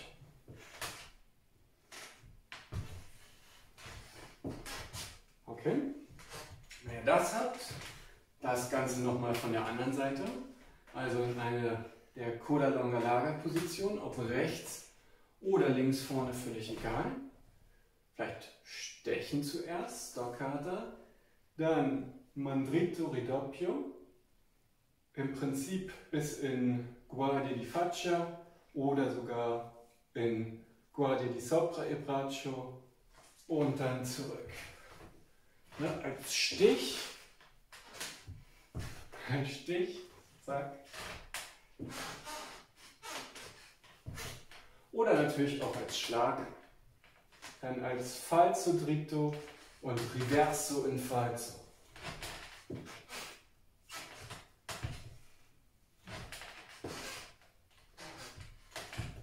Und dann kann man alles zusammenlegen. Versucht einfach die verschiedenen Angriffe ineinander übergehen zu lassen und euch vielleicht dabei schon durch den Raum zu bewegen. Ihr könnt auf einzelnen Sachen stoppen aber grundsätzlich einfach soll das Schwert fließen. Versucht auch die Richtung zu ändern. Schaut mal in eine andere. Und schaut einfach, dass ihr euch frei mit dem Schwert durch euren Raum bewegen könnt. Am besten geht ihr dazu natürlich nach draußen. Wechselt ab zwischen Mandriti und Roversi in Falsi und natürlich den Stichen. Ja, dass ihr nicht nur habt, ihr könnt auch mal mehrere Stramazzoni hintereinander schlagen. Also ihr müsst nicht immer falsche Schneide, wahre Schneide gehen. Aber einfach, dass ihr hier euren Arm ordentlich bewegt. Und wenn ihr das habt, dann versucht das auch mit der anderen Hand zu machen. Okay? Versucht einfach quasi ähm, komfortabel damit zu werden. Und ihr merkt schon, es fällt mir direkt schwerer zu sprechen, wenn ich diese Sache mit meiner linken Hand mache. Und wie gesagt, das Ziel ist letztendlich, all diese Aktionen natürlich machen zu können zum richtigen Zeitpunkt und am richtigen Ort. Ich wechsle lieber auf rechts wieder. Okay, und dazu muss das hier halt in Fleisch und Blut erstmal übergehen. Nehmt immer schön die Hüfte mit, denkt dann ne, bei allen Bewegungen, wo die falsche Schneide leitet, ist es besonders wichtig, euren Körper hinter das Schwert zu bringen. Ansonsten seid ihr hier im Aufhänger. Das ist natürlich eine Bewegung hier, die nicht zur Verteidigung dient, weil offensichtlich hier alles offen ist. Dagegen das schon deutlich besser. Okay? Gut, dann, ich hoffe, ihr hattet ganz viel Spaß in diesem Anfängerkurs, mindestens genauso sehr wie ich. Ähm, nehmt euch ruhig noch ein bisschen Zeit, um diese Übungen durchzugehen. Ihr könnt natürlich jederzeit äh, die Übungen der letzten Male und die interaktiven wieder durchgehen mit anderen Zielen. Ne? Ihr habt ja da verschiedene Arten, wo ich Roversi und Mandriti nach oben und unten schlage. Also eine riesen Auswahl eigentlich. Idealerweise schnappt euch einen Partner und dann trainiert gemeinsam, trainiert fleißig und kommt uns vielleicht mal in Potsdam besuchen. Vielen lieben Dank für die Aufmerksamkeit und wenn ihr bis hierhin durchgehalten habt, herzlichen Glückwunsch. Ich bin stolz auf.